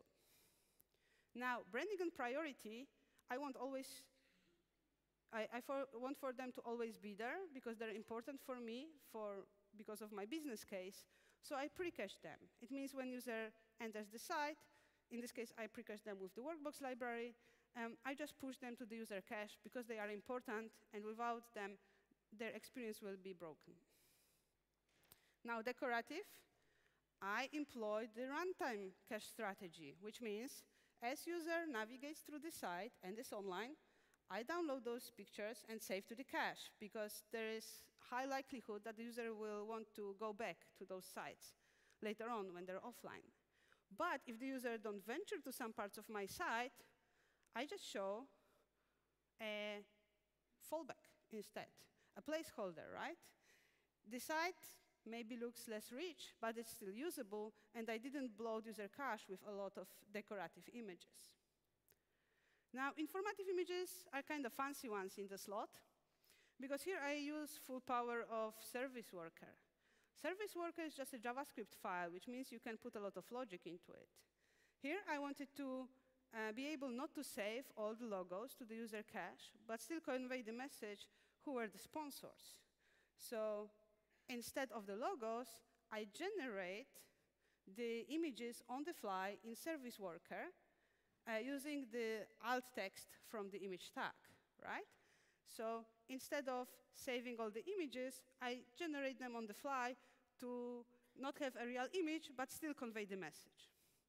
And this is just an example of how you can deal with images and four different strategies. Um, the message I want to convey is that you should really look deeply into the structure of your site and type of content you have, and try to divide it and come up with different strategies to different parts of your content. And this way, you can provide the best user experience for your users while offline. OK, once we implement everything, we need to evaluate the site. And it's often an overlooked step. Remember when I told you to save the snapshots of data from before the implementation? Well, now they come in handy. You can go again uh, through the audit procedure and record all the same stack traces and compare the outcome with the previous version. Hopefully, it will give you a surge of joy as you see metrics improve on your site. However, there is one caveat. Metrics are helpful, but they are only metrics. Getting 100 on Lighthouse feels great.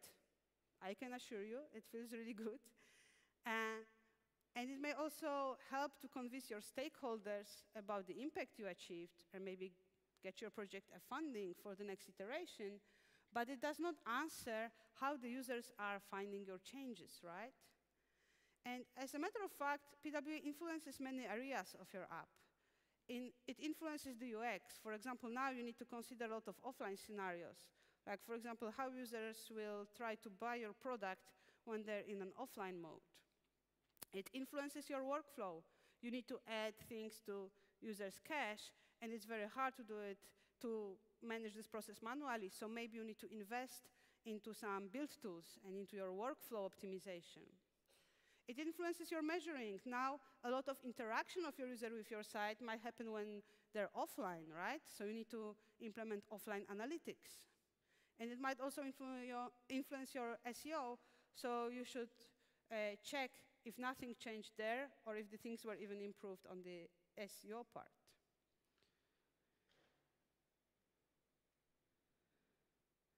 So that's the process. That's how we got from the website to PWA. First, we analyze the website, then we prioritize, and we choose the features we want to focus on. We get a set of tools to perform those um, actions. Then we implement our changes, and then we evaluate it. And the important thing is, this can be an iterative process, right? Like each ending point where you measure can be also a starting point for the next iteration of your website. The web develops, and your websites will develop over time as well, and your user needs will change over time. So you need to keep going back and checking what can be done to provide better experience for them. Luckily, you're not alone in this road for perfection of your websites. There is a lot of resources, and a lot of them are available to you uh, today at this conference. There is Lighthouse tool. You can use it both as a Chrome extension and online. And there is one uh, real-life lighthouse on the first floor, so feel free to give it a try. There are site clinics where you can consult the healthiness of your site uh, with Googlers. Uh, they happen on the third floor. We held some office hours. If you have any questions after this session or want to talk to me, I'll be present in the office hours area on the third floor after the session. Um, there is the instructor-led training, quarter to three, that walks you through Workbox. And of course, there is the progressive web app section on developersgoogle.com that I really encourage you to try out. Thank you very much. I hope you enjoyed the session, and see you around.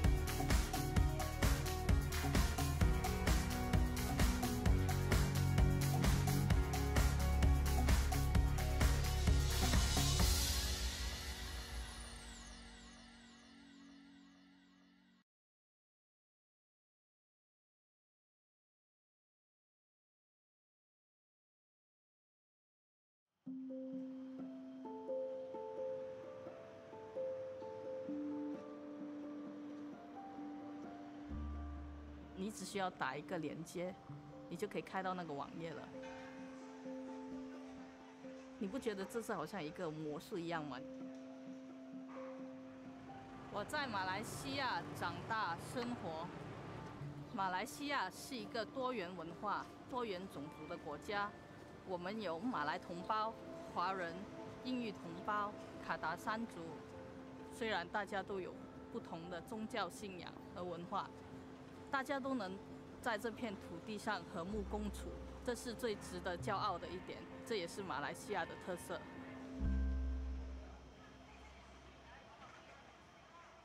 在城市地区，大多数地方都有 WiFi 连接，通常上网不是一个问题，但是可能在比较郊外的地方要上网的话，就可能比较困难，因为设施还不完整。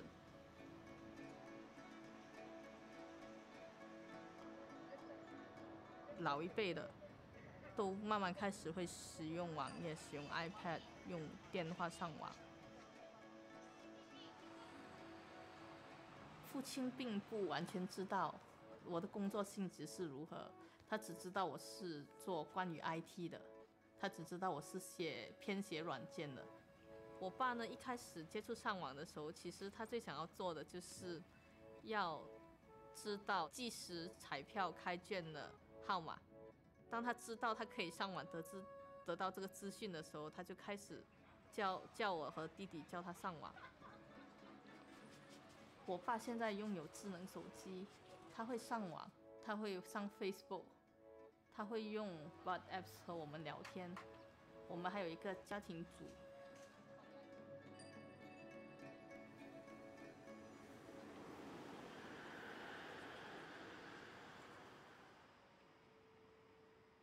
因为现在很多在嗯做 Web Development 的。都是从学校毕业出来，其中一个很大的挑战，你学到的东西并不是和你在领域上面需要的东西是一样的。在他们学习的当中，他们必须要令他们自己精修。所以我觉得必须要做的是，要有一些课程，要去一些学校里面跟他们说，其实现在这这些就是最新的科技发展，你必须要实时更新自己。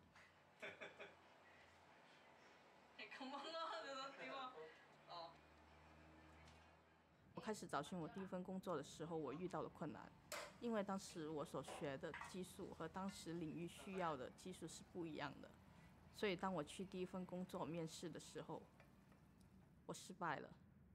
当时那个面试者对我说：“你不适合做啊网页开发者。”当时我还蛮伤心的。过后我没放弃，我去面试第二份工作。幸好当时我第二位老板对我蛮好，他说只要你肯做，我就给你机会。所以我就开始做那份工作。过后啊，渐入佳境，我也升职了，还有机会去面面对客户。啊，然然后啊，渐渐的我发现我越来越喜欢我现在所做的工作。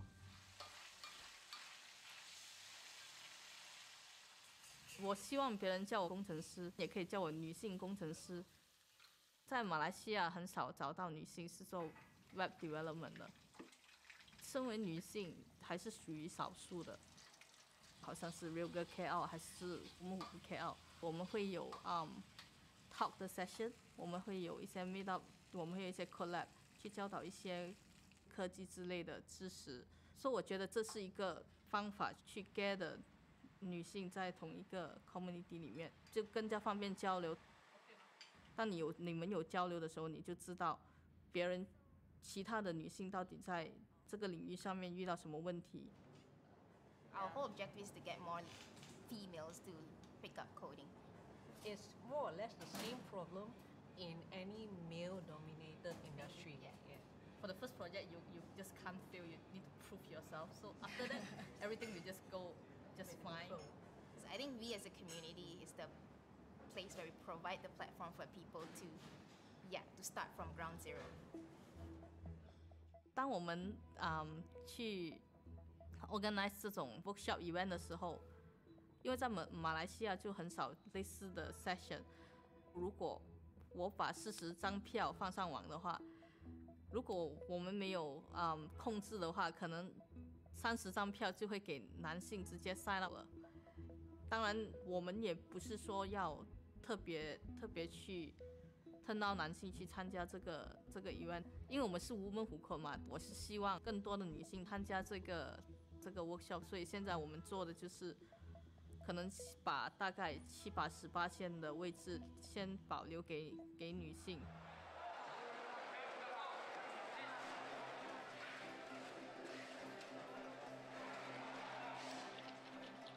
在传统华人而言呢，父亲是扮演一个比较严厉的角色。父亲通常不会说一些说你令他骄傲的话，只是从别人口中就会听到，就是从他巴萨里的朋友口中就会听得到。一开始我是觉得惊讶，因为他从来没跟我说，就惊讶比较多。惊讶过后就有点窃喜，因为他算满意我的成绩。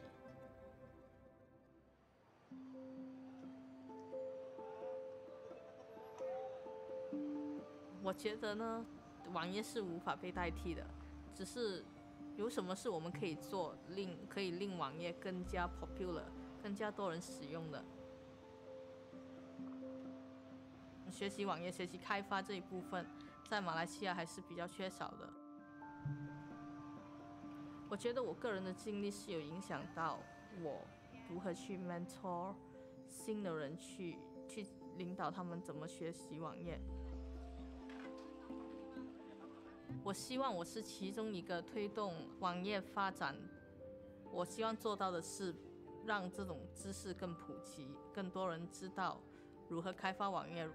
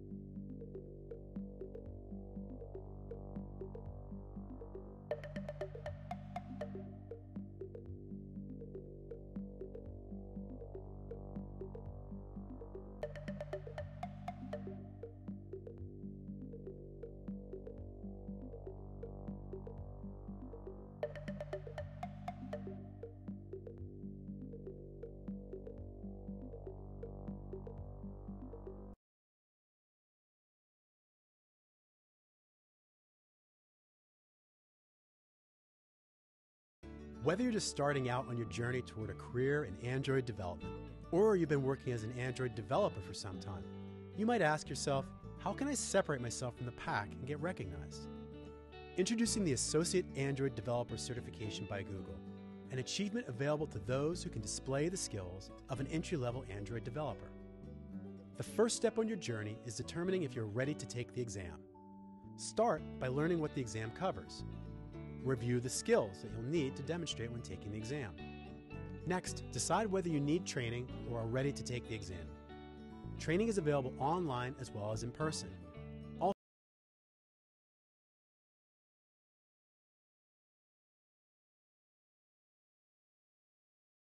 Banking should be painless, easy, fast. It should just assist you in doing whatever you want to do.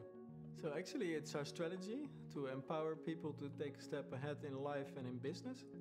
If you look at our company, we have all this different IT landscape in all the countries. Still, we want to be able to share, and that's when we start to look at web components, and web components solve that for us because when we use Polymer and web components as the standard underneath, we can suddenly create components which will work in any country. So you can just take that components and start delivering a feature. So now when I'm in that shop looking at that bike, I'm not only checking my balance, I'm also pressing the button, let's look ahead.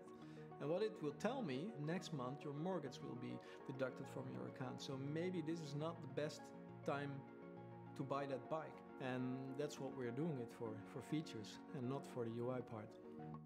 We are starting to see this all developer community, which is moving to one technology, and we are seeing more.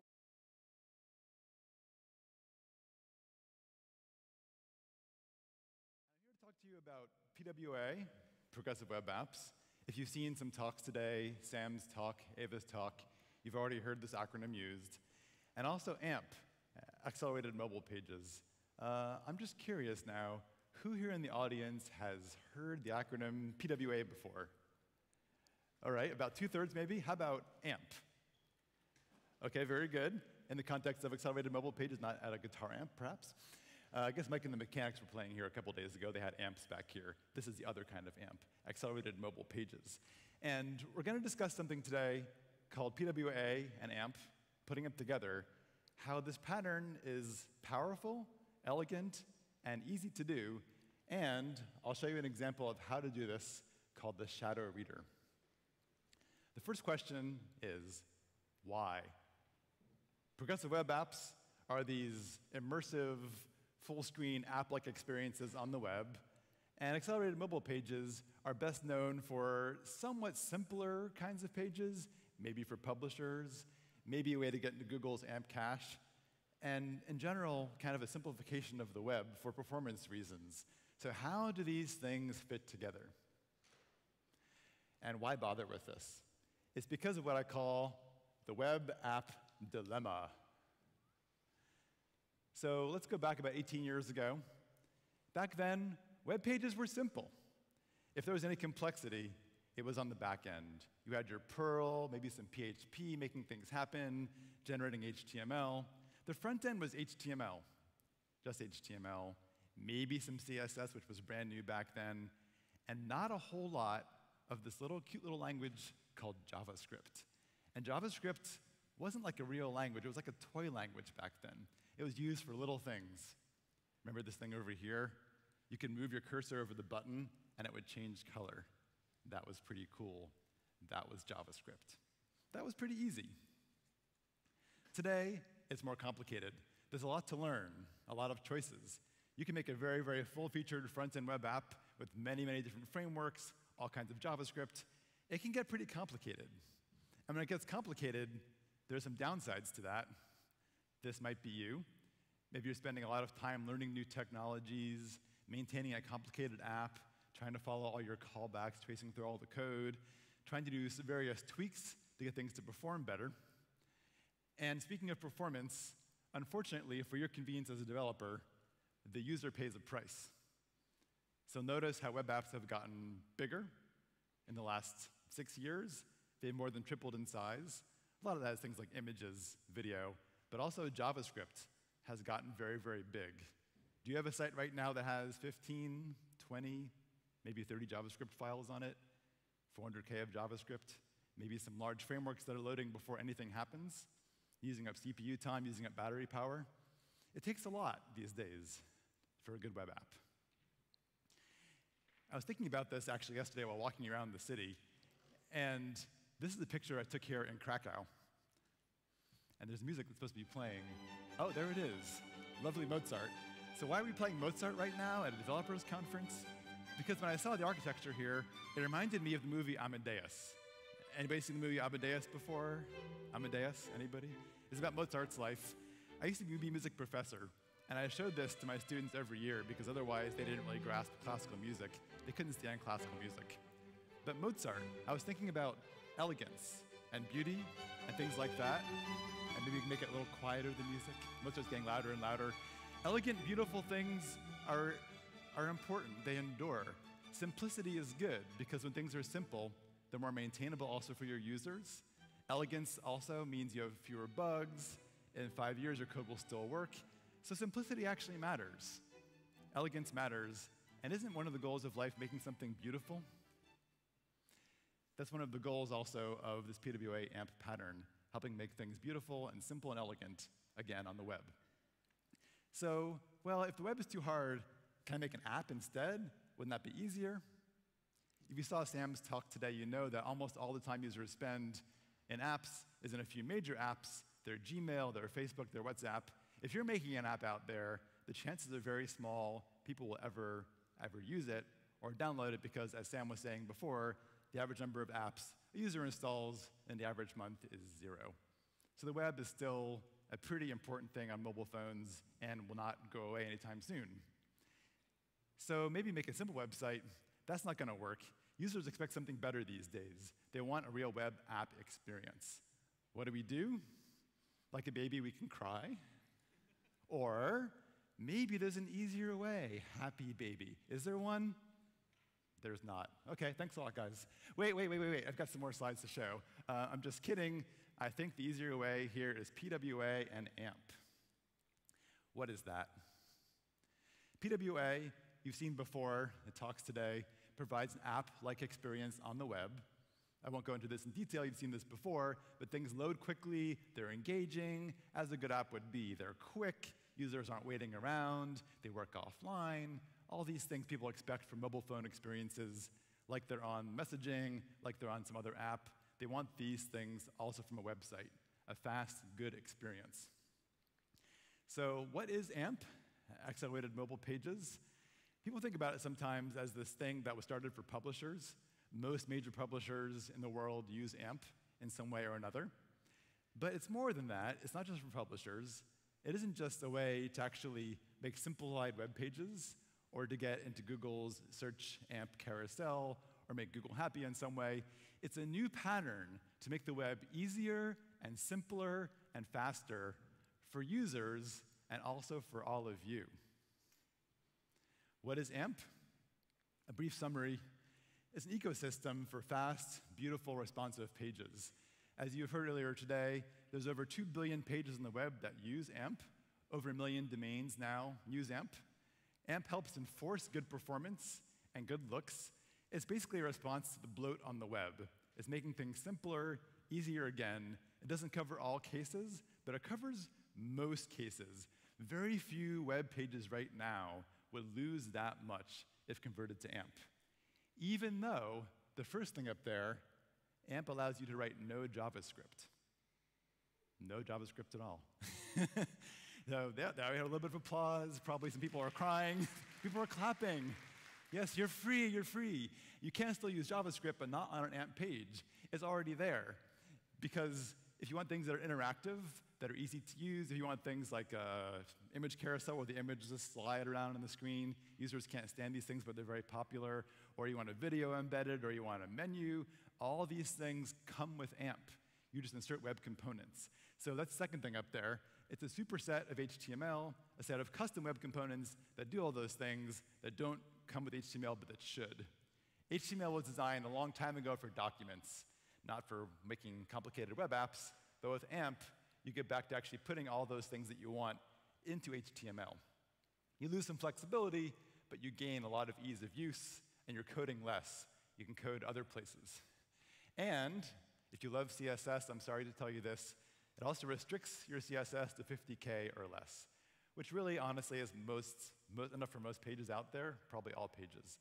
The idea behind all these things, no JavaScript, uh, web components, and less CSS, is to make the pages faster. So for users, AMP pages tend to load, even on 3G connections, in a second, in two seconds, which users tend to like quite a bit, and which makes your company's money. It's good. And don't forget the elegance thing as well. Your pages, your code is more beautiful. It's simpler. You're not trying to reinvent the wheel. The wheel's already there for you as part of AMP. That sounds kind of hard, right? I've got to learn two new things PWA and AMP. I can't do that. I don't have time. Well, actually, it's not as hard as it sounds. And to prove that, we've created a simple example called the shadow reader. Whenever I say shadow, I'll say it like this typeface over here the shadow reader, because I have no shame. So let's say that you work for a major news publisher and you've got a website that's out there, but the boss knows people want to use a web app. They're sick of the website, sick of the slow transitions between pages. He wants a newsreader app. So your assignment from this very, very stern-looking boss over here, you're the person there with the hat, is to make a web app out of existing web pages. The site already uses AMP. So how do we do that? How do we take things that already exist, those AMP pages, and get those into a nice, immersive, progressive web app experience? Well, PWA slash AMP is your answer. So, why are AMPs useful in a progressive web app context? Let's discuss a couple of ways AMP can be used that haven't been used so much so far, but ways AMP is starting to be used now, which play on AMP's strengths as web components library. So first of all, we'll discuss how AMP can be used as web components, Second, as rich data. And third, AMP pages can be portable embeddable content units that you can embed in other pages thanks to the magic of Shadow DOM. I love that name, Shadow DOM. First of all, AMP has web components. This actually is kind of obvious. AMP is really a library of web components. Here are some examples of those, uh, those things. Here's one over here. Let's say you want to make one of those lovely image sliders that users, again, tend to object to, but people love these things. And uh, there it is. That's an entire carousel. That's done. So AMP carousel, you must specify width and height in AMP because the pages are laid out in advance. So as things load and lazy load, the page doesn't shift around. So all of your dimensions for images, ads, everything else are specified in advance. And there's a couple of images with the AMP image tag, and you're done. There it is, your carousel. Things lazy load, it's all good. You're done. Number two, AMP as rich data. This is kind of a weirder idea, but kind of a cool idea once you get the idea. Idea, idea is a good word to say several times in a row. AMP can be used as rich data. So often if you're making a web app, you've got your app shell of some sort, and you're loading in JSON, and then converting that JSON to HTML using templates, using some sort of logic. This can be a fragile, difficult process. So instead of doing that, you can use HTML itself as the data.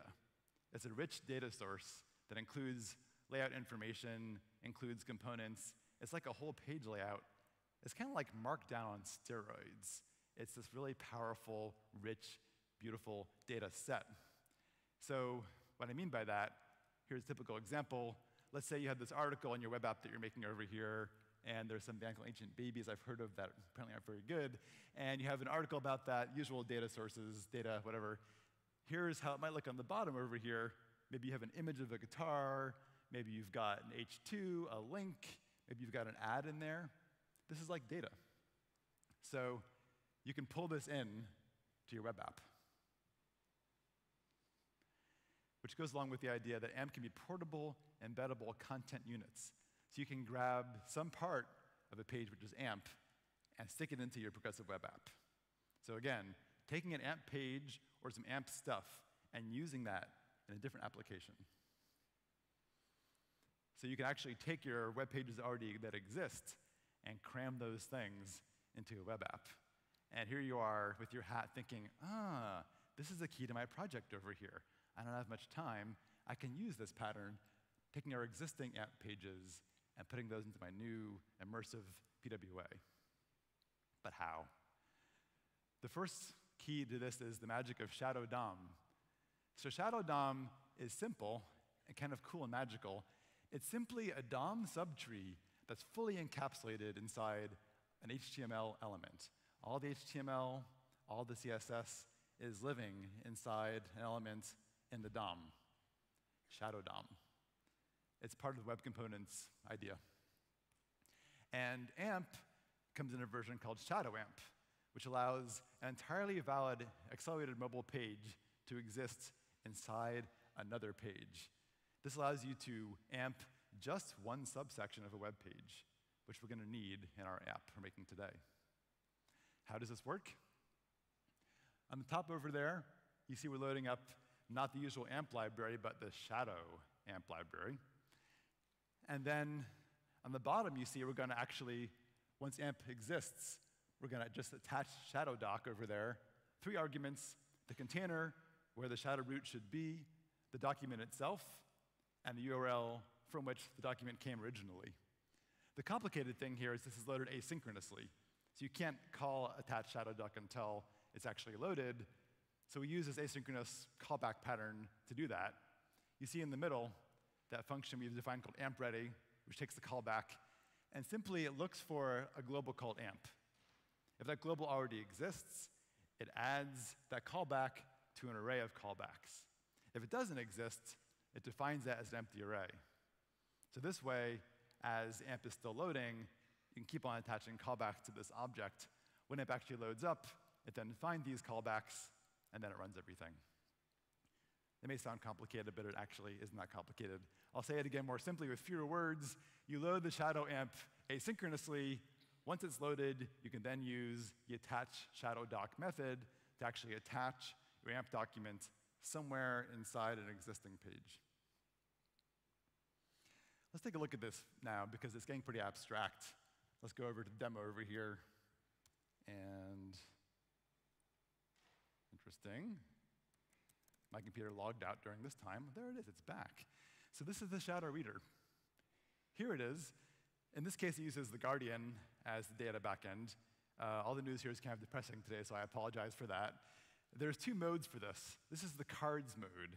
So this just shows top stories from The Guardian as a series of cards. And then clicking into a card, we'll look for one that's not bad and scary. Here we go. A black hole. That's kind of cool. It's not scary yet. Clicking on that, you see a bit of an animation, and it pops out, and there's the article mode, the second mode of this application. There it is, an enormous black hole. Not a problem for a long time, as far as we can tell. And uh, by the way, this bottom over here is all the AMP page. That's all AMP. If you go back over here, you're back here, there are sections, and so on.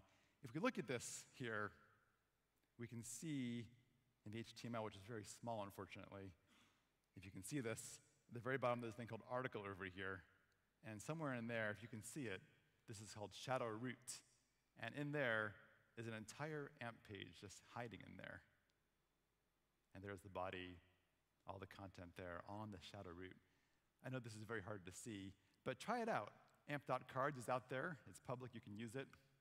Check this out. The code is out there too. Check it out. See how it's built. Let's go back to the slides now. We're going to talk about more about how this thing is built. How is this thing built? As we discussed already before, there's your AMP page living within the PWA. That's the real key.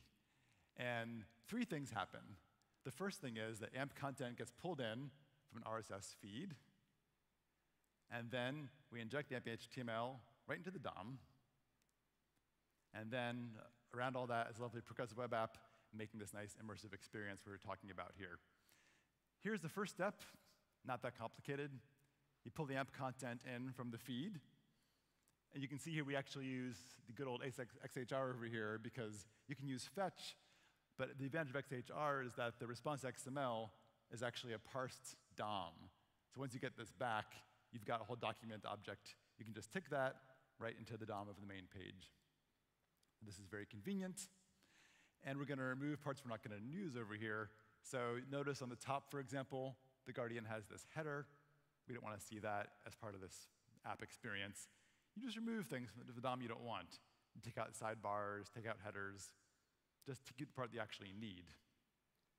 Step two, we inject the HTML into the DOM.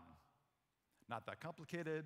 We uh, create a shadow root and use that magical attach shadow doc to actually, again, take that AMP document and stick it right there into the Shadow DOM. And then, all around that is a nice progressive web app, which has the kind of features you want from progressive web apps. It loads quickly with an app shell. As the app moves around, as you navigate through the app, things go on loading quickly. The experience is immersive throughout, like an app would be, you have the possibility on Android of adding to the home screen and an app like display, taking away the whole URL bar. And content is available also offline. How do those things work? Quickly, the first thing over here is that the initial load is pretty simple. Let me show you over here again, if I can get back to the computer here. The actual original payload over here that comes with this. A lot of CSS. The HTML is pretty simple.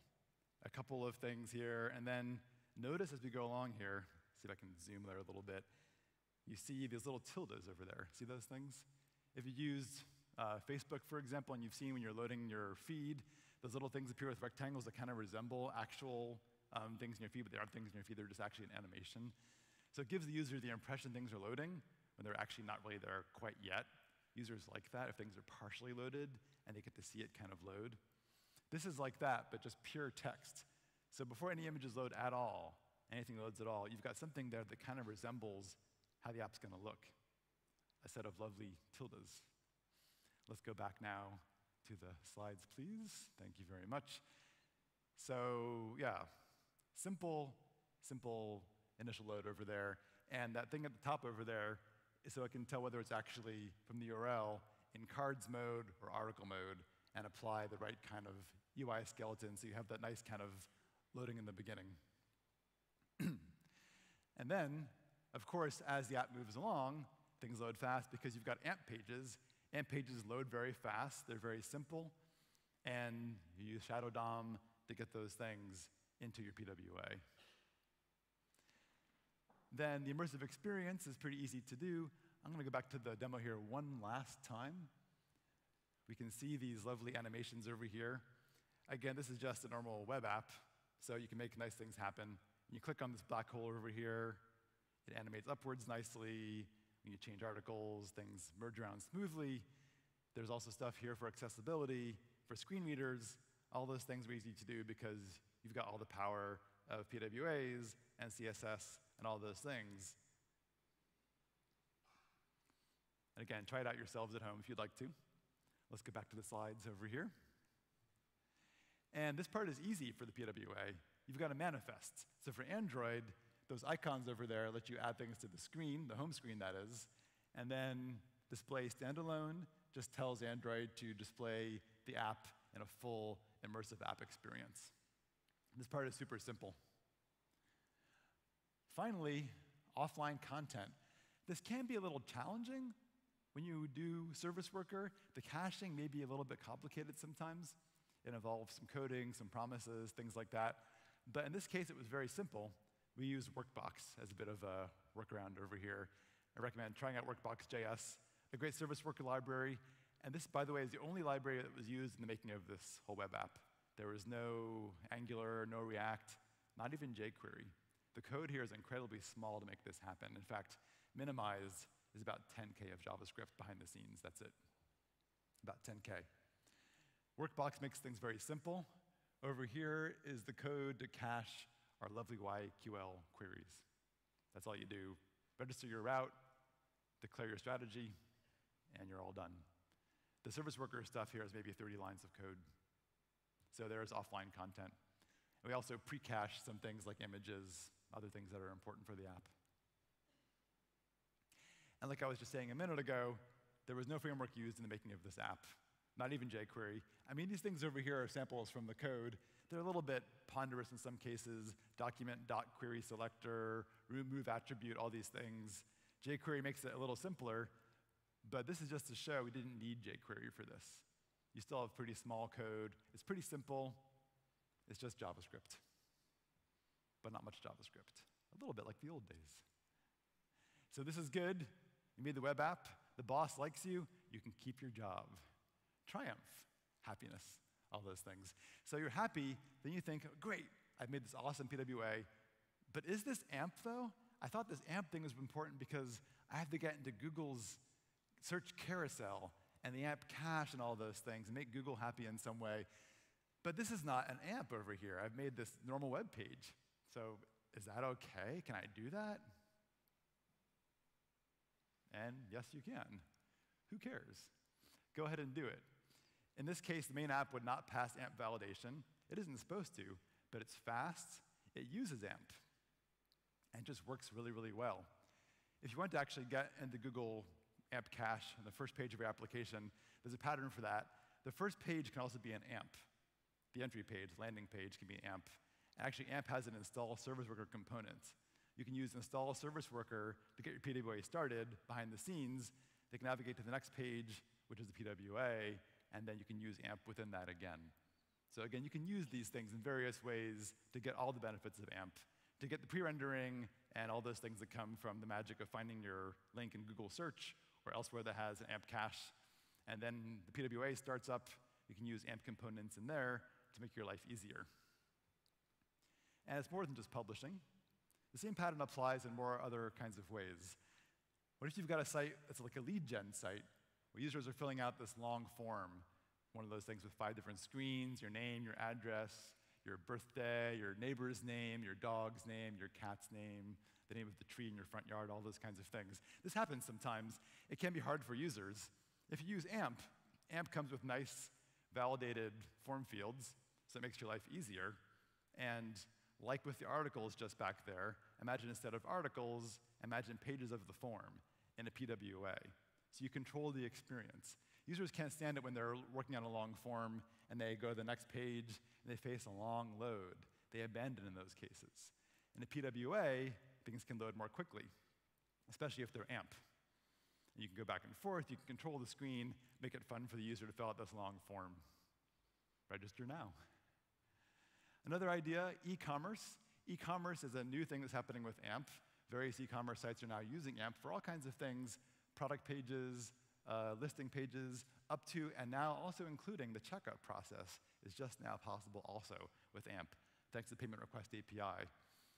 So in this case over here, I imagine instead of your news articles, a series of product pages, which are all written with AMP, so they're fast, user isn't waiting around to actually have things load. And dynamic content is possible with AMP as well. There's AMP state, there's AMP list, there's various components that let you actually change things on the screen dynamically. So you change the number of things you're buying, the prices can change, shipping costs can change with user input, and so on and so forth. Or imagine the travel application. Instead of these articles, you've got hotels, hotel information, and you go back between hotels. So again, all possible with AMP in a PWA context. The upshot is this makes you money because the users are happy because they have a better experience. They're not abandoning the pages as much. And a lot of data shows us AMP pages tend to get better user engagement. A lot of data shows us that faster pages get better user engagement, get better conversions, lower bounce.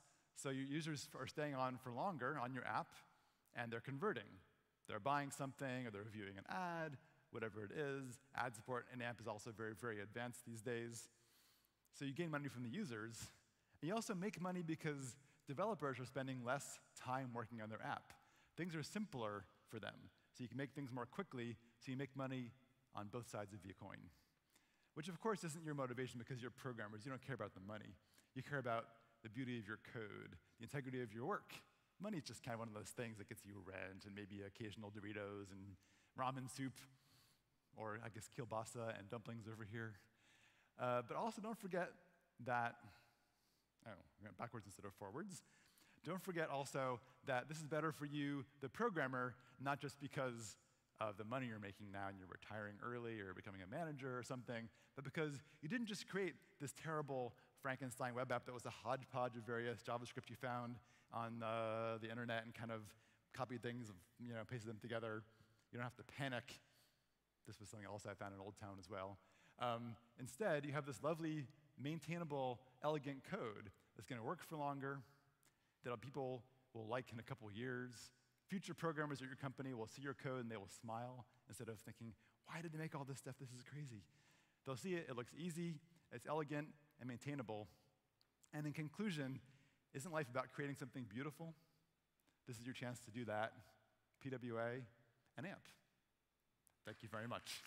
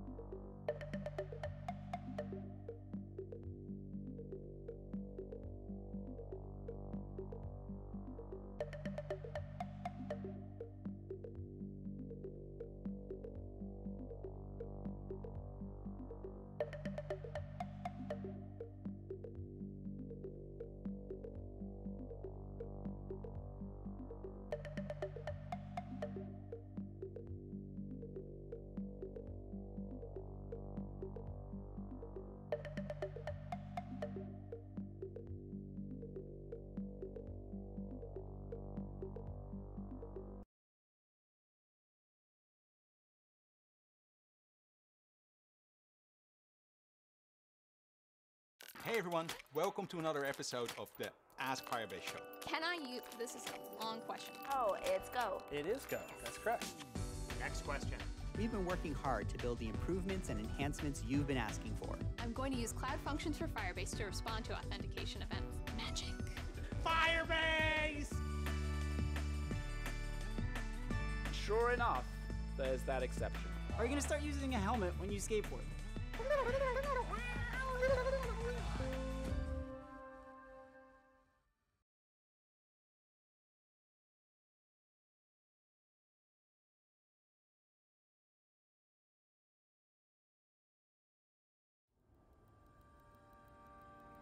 I sat in front of the computer, I felt like I had superpowers, but people told me I was just wasting my time. When I turned seven, I got parts to build a computer with my dad. It was mind-blowing for me that, you know, something that I built came to life. When I graduated high school, my parents just told me that I need to do something that can land me a job. I didn't really know where to go, and I gave up on my dreams of pursuing computer science, and eventually I got into business school. Felt like I was out of place. I felt like it wasn't a good fit, and I knew it wasn't a good fit. Dropping out felt really risky because I was afraid that I'm gonna make the same mistake again. Since my parents didn't graduate high school, they didn't know what was right for me. I found Udacity. It was a good way to learn about different areas of computer science before I start my studies again. Online learning is really good at reflecting the market's needs, and you can start with something like web development and, and work yourself up to self-driving cars. It's all in the realm of possibilities, and, and you don't need a degree, and you can do it from anywhere in the world. With Udacity and Google, you build projects which are interesting for potential employers. When I had my job interview, they looked at the app I built, and they saw what I could do for them.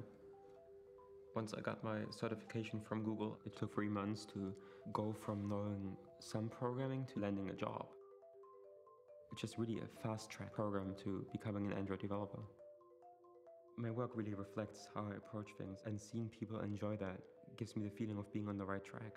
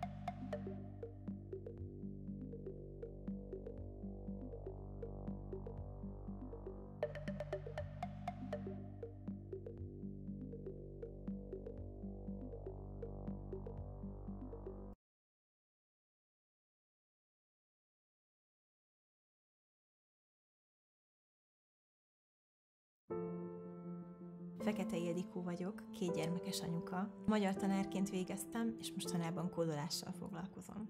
Az első gyermekemet vártam, amikor komplikációk léptek föl, és az orvos azt mondta, hogy tanácsosabb lenne otthon maradnom, így úgy döntöttem, hogy ott hagyom a munkahelyemet. Nem szerettem volna ezt az időt tétlenül tölteni. Később el is költöztünk a párommal az ő munkája miatt, rengeteg kihívás elé állított ez minket. Szembesültem azzal, hogy nem fogok tudni a régi munkámhoz visszatérni. Böngészés közben találkoztam a lehetőséggel, hogy a Google jóvoltából a Udacity honlapján tanulhatok. Nagyon megtetszett, és jelentkeztem. A tanulói program alatt megtanultunk Android készülékre applikációkat készíteni, elkészíteni a layoutokat és a javakódot egyaránt. Nagyon élveztem azt a hátteret, amit ezúttal a Udacity számomra biztosított. A Greenfield applikáció, amit készítettem, kiszámolja az ökológiai lábnyomunkat. Amikor a gyerekeim megszülettek, észrevettem, hogy hihetetlen mértékben megnőtt a szemét termelésünk. Nem gondoltam, hogy valaha képes leszek saját applikációt készíteni, ami a természetvédelemmel kapcsolatos, és tényleg számít, hatással lehet emberekre. Azt hiszem, hogy a, a programozás az, az lehetővé teszi, hogy bármit elkészítsünk. Coding mamnak lenni nehéz, de szuper. Bízom benne, hogy a Udacity tanulói program keretében végzett tanulmányaim miatt könnyebb lesz majd munkát találnom a gyerekek mellett.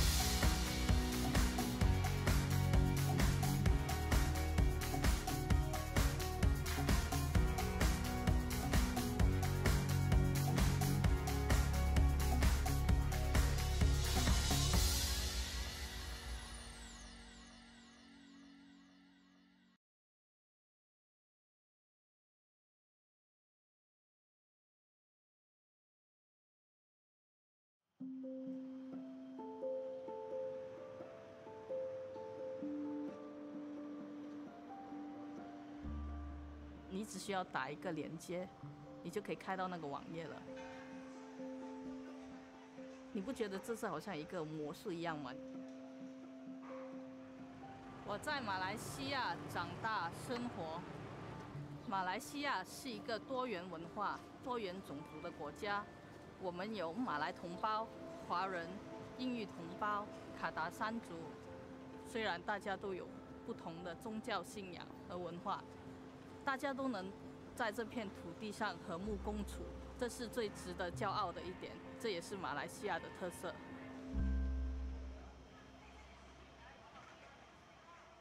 在城市地区，大多数地方都有 WiFi 连接。通常上网不是一个问题，但是可能在比较郊外的地方要上网的话，就可能比较困难，因为设施还不完整。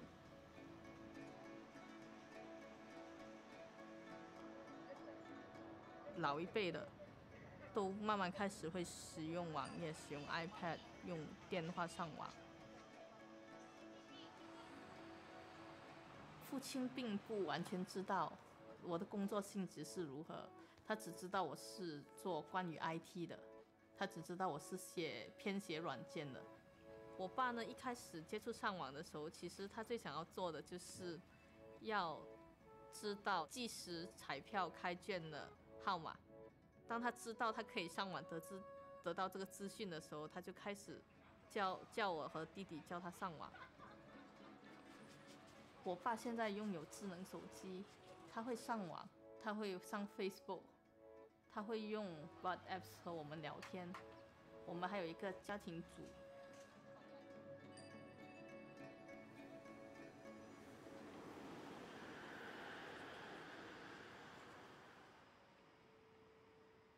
因为现在很多在嗯做 Web Development 的，都是从学校毕业出来，其中一个很大的挑战，你学到的东西并不是和你在。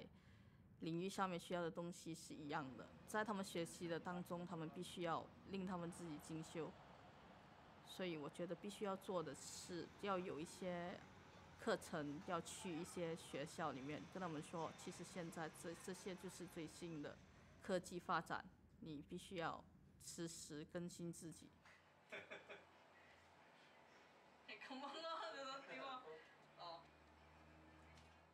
我开始找寻我第一份工作的时候，我遇到了困难，因为当时我所学的技术和当时领域需要的技术是不一样的，所以当我去第一份工作面试的时候，我失败了。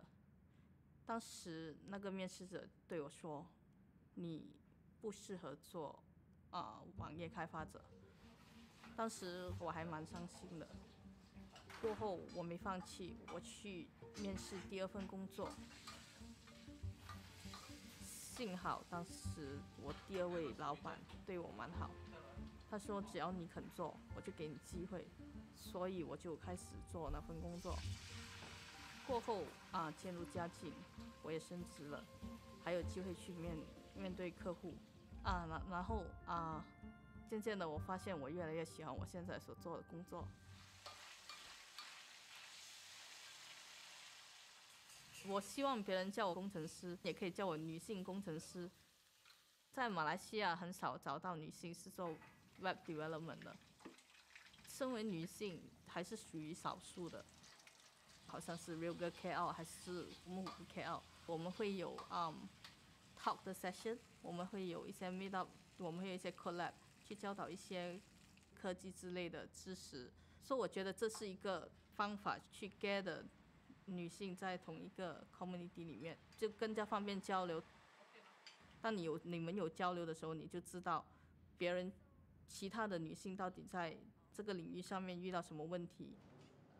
Our whole objective is to get more females to pick up coding. It's more or less the same problem in any male-dominated industry. Yeah. For the first project, you, you just can't fail. You need to prove yourself. So after that, everything will just go just fine. So I think we as a community is the place where we provide the platform for people to, yeah, to start from ground zero.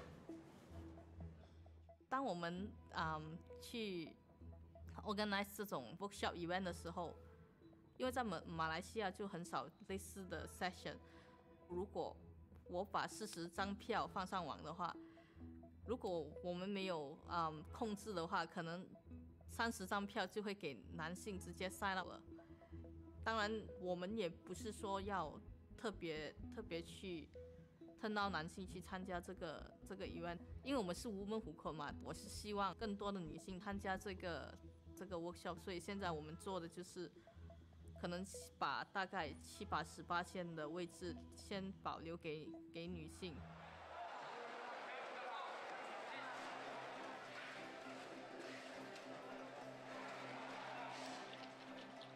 在传统华人而言呢，父亲是扮演一个比较严厉的角色。父亲通常不会说一些说你令他骄傲的话，只是从别人口中就会听到，就是从他巴萨里的朋友口中就会听得到。一开始我是觉得惊讶，因为他从来没跟我说，就惊讶比较多。惊讶过后就有点窃喜，因为他算满意我的成绩。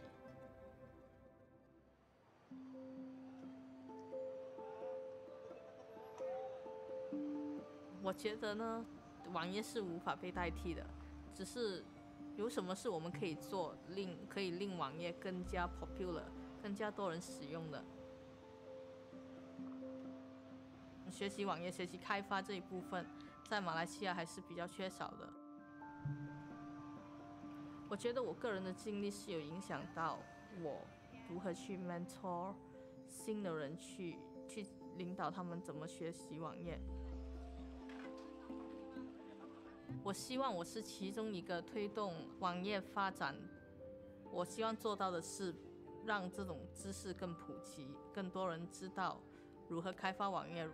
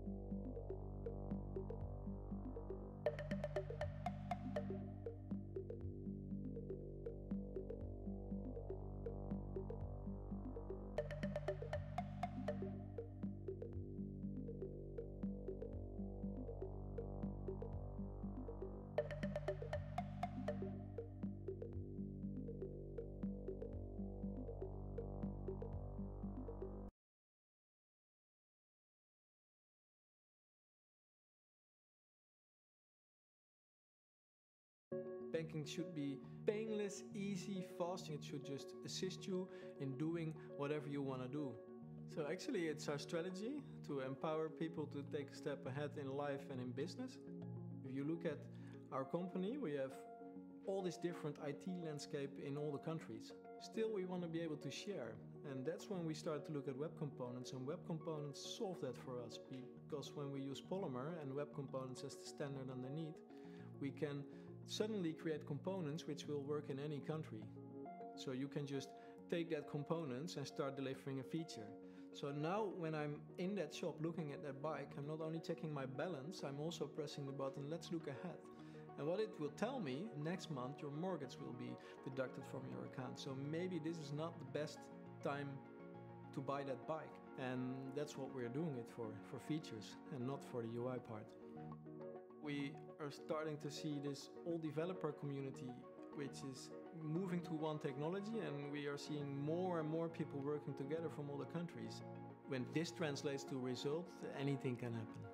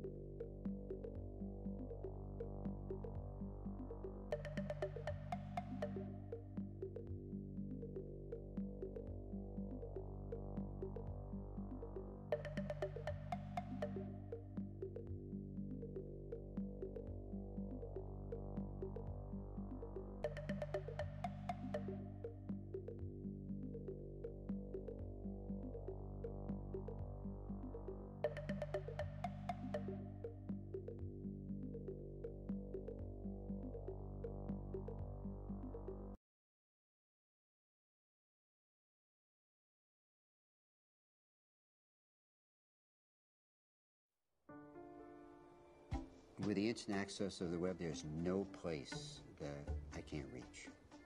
The impact of the web on the newsroom was monumental. It's now more the reader telling the newsroom, this is important to me. You really have to start to build from scratch what is a story on the phone. With a progressive web app, there's a link, tap it, install it with no friction. The PWA is on their phone. Done. And once that is installed, we are able to alert you to, hey, we got some more information for you. If you're interested in whatever areas that you are, you can install that subject, that topic, and we're going to serve you the content that you want. And that's going to change our business in a big way. The technology has enabled us to make our new PWA faster than our current mobile site. We're now able to deliver visuals faster. And if you can start to deliver visuals faster, then you can start to change the formats you do. People are willing to stay longer. If they stay longer, they see more advertising. The PWA is going to result in more personalization. Personalization will yield more engagement the web has made me realize there's an audience out there, and there's an audience that's knowledgeable, and there's an audience that needs to be understood.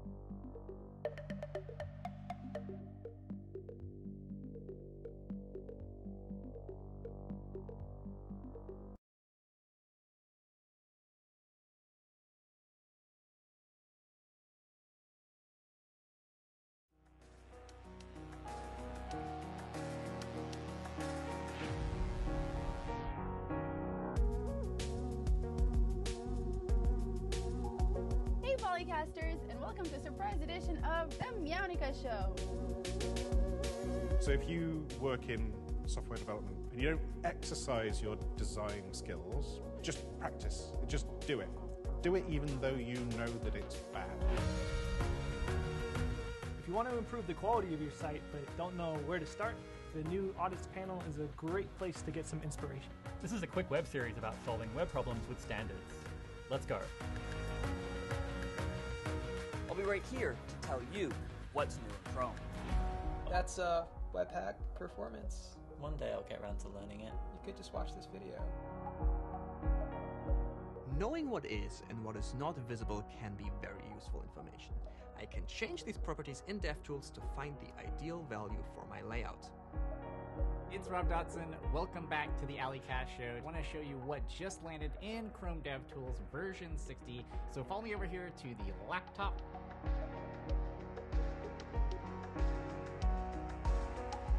If you want the latest news and ideas in web development, subscribe to the Google Chrome Developers YouTube channel.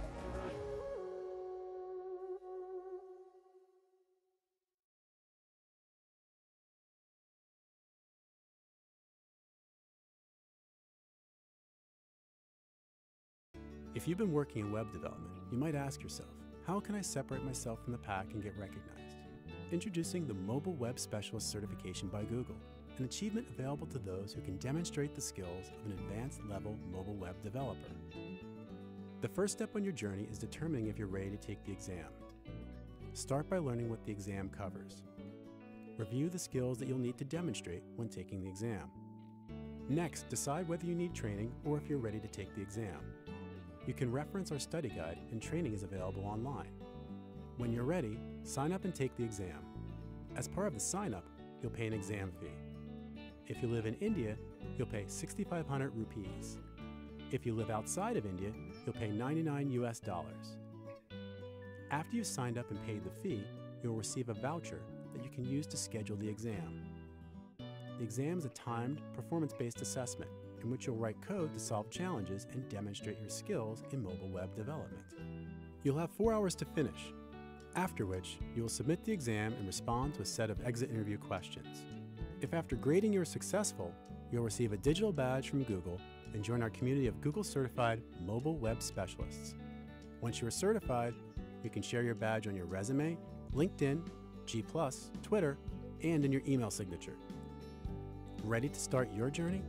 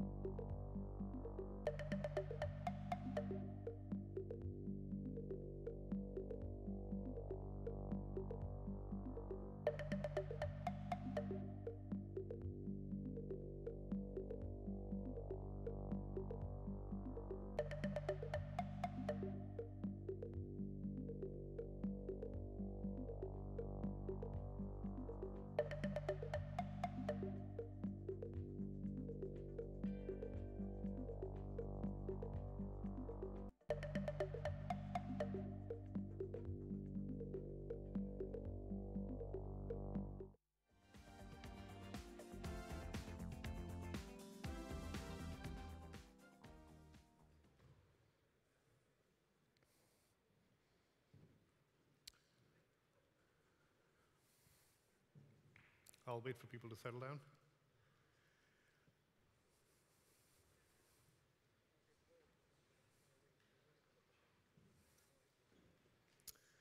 Uh, hi, everyone.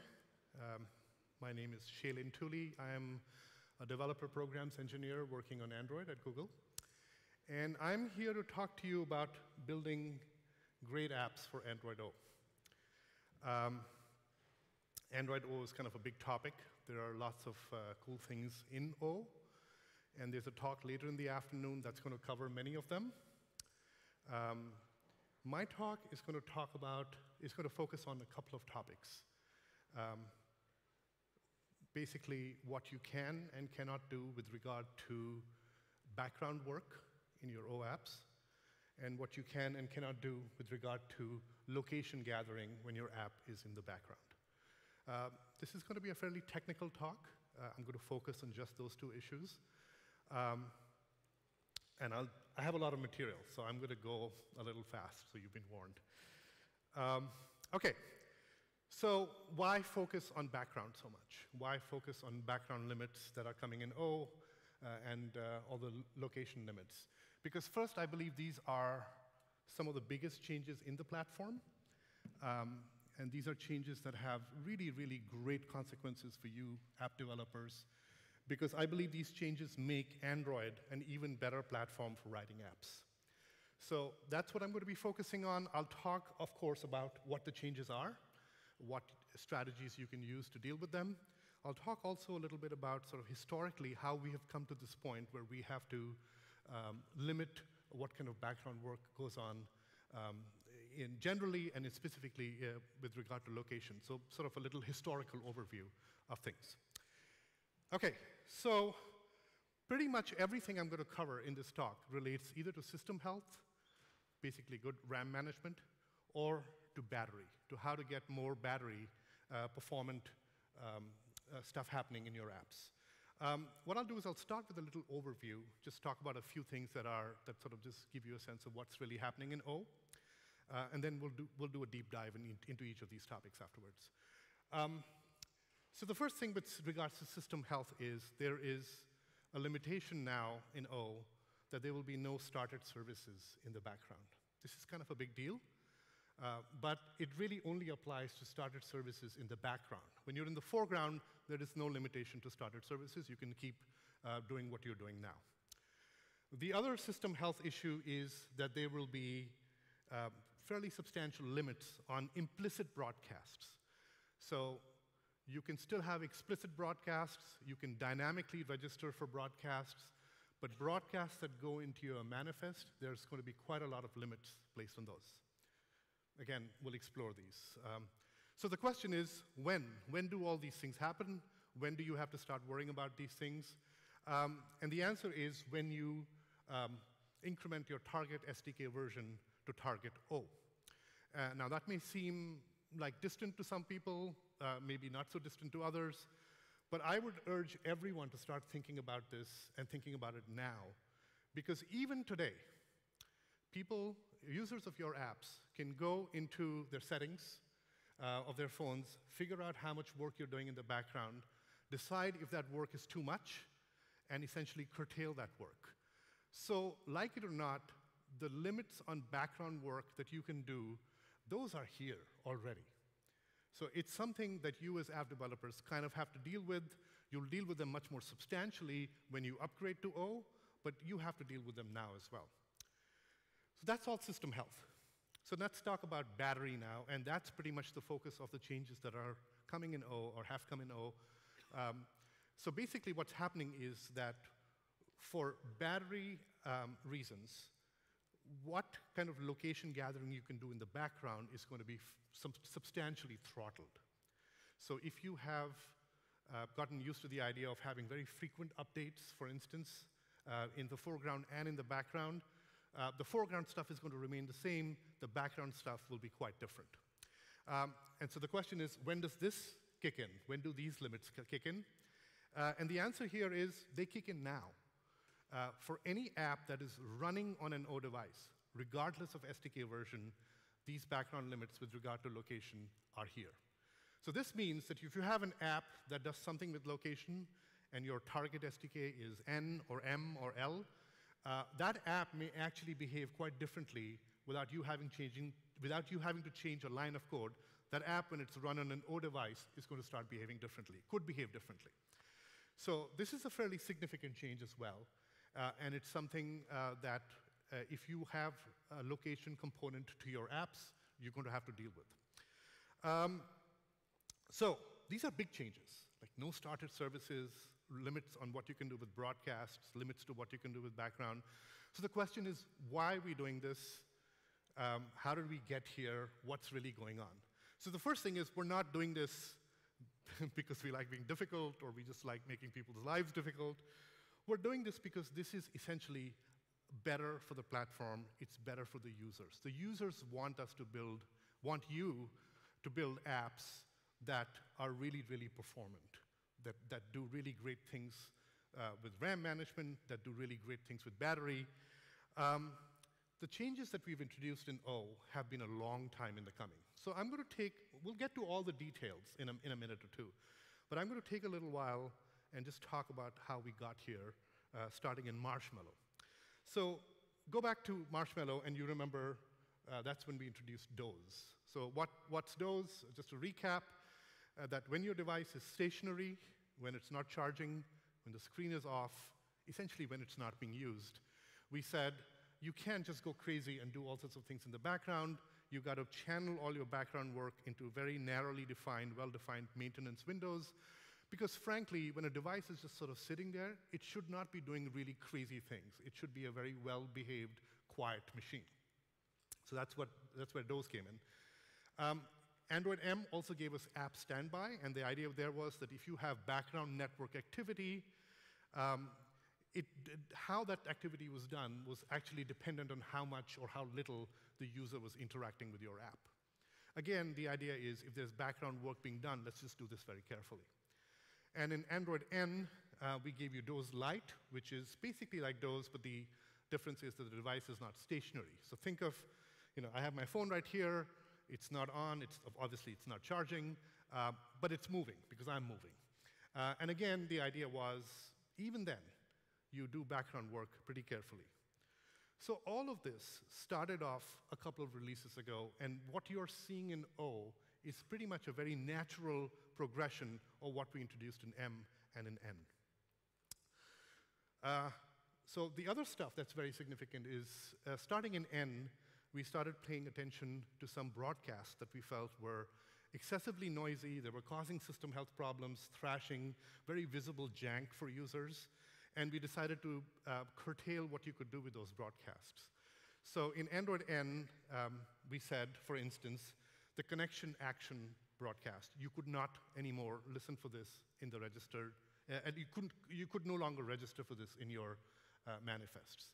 And the reason was that it was an extremely noisy broadcast. We didn't want to be waking up apps to inform uh, about connectivity changes. Uh, it was too expensive. Um, similarly, there were two other broadcasts that were targeted in N, and that's action new picture, action new video. These are fired when uh, a user takes a picture or uh, creates a little video. And so this is action new picture is actually a great example to consider when you think about what the system health implications are of allowing a broadcast like that to happen. So imagine a user takes out their phone, takes a photograph. At that point, um, there are, let's say, 20 apps on the user's device which have registered for this broadcast. The system says, all right, let's go. Let's wake you up. Off, off we go. One, two, three, four, five. And each of those apps now wants to do some really great, impressive things because who doesn't want to impress the user, right? And so they start services, they start expensive stuff. And before you know, the system is saying, hey, apps six, seven, eight, I can't really launch you before I kill off one, two, and three uh, and so on and so forth. And so, so the system is in this point in turbulence. It's, it's launching stuff, it's creating stuff, it's killing stuff, doing whatever it can. Uh, heaven forbid the user takes a second or a third picture, it goes even more crazy. So in Android N, we said, this is, this is no way for an operating system to be behaving.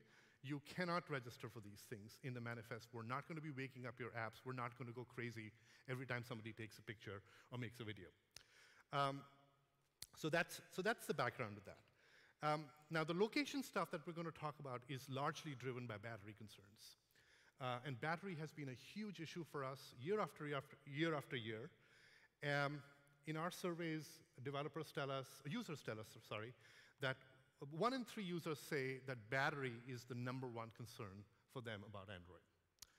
Um, and what happens is users, rightly or wrongly, associate location with battery drain. And because they do that, they go and disable location altogether, which makes all the nice apps that you guys have written either not work at all or they work in a degraded manner. This is not good for the app developer, it's not good for the user, it's not good for Android as a platform. So this time in O, um, um, Google has taken a very serious approach to battery management uh, and targeted uh, background usage of location as a primary culprit, uh, which needs to be sort of carefully managed for battery to work well. All right, so that's, that's the historical stuff.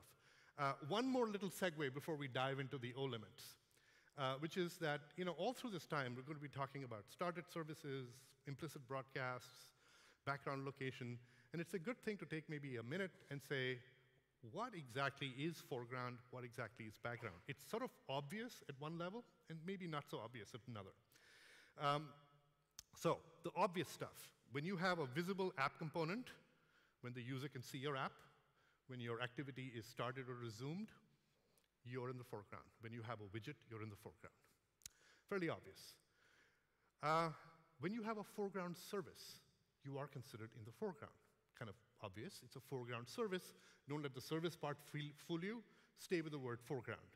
You are in the foreground with a foreground service. Um, when you have a bound service, and there is a client in the foreground binding to that service, you are then also in the foreground. When you have a content provider and there is something that is in the foreground accessing that content provider, you are then also in the foreground. Uh, and then there's a slew of sort of very specialized cases, which, if you read about these, you will understand yeah, these kind of have to be foreground. An accessibility service, for instance, has to perform all sorts of actions on behalf of the user. It has to be considered foreground. Notification listener service, abstract account authenticator, wallpaper service, you can find documentation on uh, developer.android.com explaining uh, all of this pretty carefully. The, the, good news is, in all of these cases that I mentioned, nothing that re relates to background limits in Android O applies. None of that. You can keep, if you're in the foreground, you can pretty much do whatever you could do in any release up till now. Nothing really changes for you. But when are you now not in the foreground? When are you in the background? So your no visible app component, so your activity is stopped. There's no widget. Um, you are in a started service that is not a foreground service. So that would put you in the background. You are um, in a job service. We'll be talking a lot about job scheduler and jobs um, later on. But when you're in that part of the code, you are, again, going to be in the background. And when you're uh, dealing with, the, with broadcasts inside your broadcast receiver, you also, in this time, are in the background. Um, in all of these cases, the background limits that have been introduced in O, they will apply. So it's kind of a big deal. Trivial apps can do without dealing with broadcasts and services, etc. Most people don't write trivial apps, they write mature apps. Uh, those apps will be affected by these changes. So, I'm going to dive into services and what's changing with services in Android O. Uh, lots of fun stuff. Uh, as I said, this is a pretty technical talk, so we'll go deep into this. Um, from now on, applications can no longer freely execute background services. So the idea is we want you to stop thinking about services and start thinking about jobs. Move to Job Scheduler or Firebase Job Dispatcher for the kind of work that you would currently give to services apps that are doing ongoing work with regard to broadcasts should also start thinking about jobs because um, you know, starting a service, for instance, to do something in response to a broadcast will no longer be possible. Um, the idea behind these changes is fundamentally that if expensive work or potentially expensive work is being done uh, on behalf of the user, the user should be aware of that. It should be visible to the user if you are doing things that cost the user data, battery, RAM, whatever, the user should sort of say, hey, I know you're doing this. I approve. This is making my app experience really quite good. Keep doing it. We don't want expensive work sort of happening quietly in a clandestine manner without the user's approval. So that's sort of that's the guiding principle behind, behind a lot of these changes. So now what happens if you do call start service and you're not in the foreground? You get an illegal state exception. If a pending intent is involved, then you won't get this exception, but it still won't work. You'll get a log warning. Basically, there isn't a way when you're in the background to start a service anymore. Um, so this is pretty, this is kind of a big deal. Um, it, I don't know if you think it's a big deal, but when I first found out about this, I was like, whoa, that's a big deal. Um, but there are actually some very practical ways in which this is softened up. Uh, so one of them is that there is a grace period. Um, so services continue to run on for a while uh, once you lose your foreground status. So take an example of you have an app, the app does some, you, the user is using the app, it launches a service, the service is doing fine, and then the user swipes away your app, it's gone now, it's no longer in the foreground. The service won't be killed off immediately. There will be a few minutes uh, of grace period where the service will continue to run, at which point the system will step in and say, okay, enough of that, and it will kill off that service, but it won't be immediate. And effectively, what will happen in a few minutes is uh, the service's on destroy method will be called, and it will be as if the service had called stop self. The system will just do that for you. Um, but it's nice that it's not abrupt. There is a grace period. The second is, I think, the realization that sometimes when you are in the background, your app is going to want to respond to certain events. They may be very user visible events, they may be other kind of events. And for that, there is a process to temporarily whitelist apps, to temporarily treat apps as if they were in the foreground for doing very specific things. This is probably best explained with some examples. So let's say you have a high priority cloud message coming down to your device uh, that pierces those um, restrictions, and your app now wants to do something with it. So we give you a period of a few seconds, less than a minute, whereby you can be considered foreground and you can launch services. Similarly, if you have an SMS or an MMS delivery, you may want to respond to that. So again, there is a short window where you're given temporary foreground status and you can respond to that. Um, and in Android O, notifications um, are kind of a big deal. Um, when, uh, when you are responding to a notification action of any kind, uh, and there's a pending intent involved, uh, at that point you are treated as if you are in the foreground.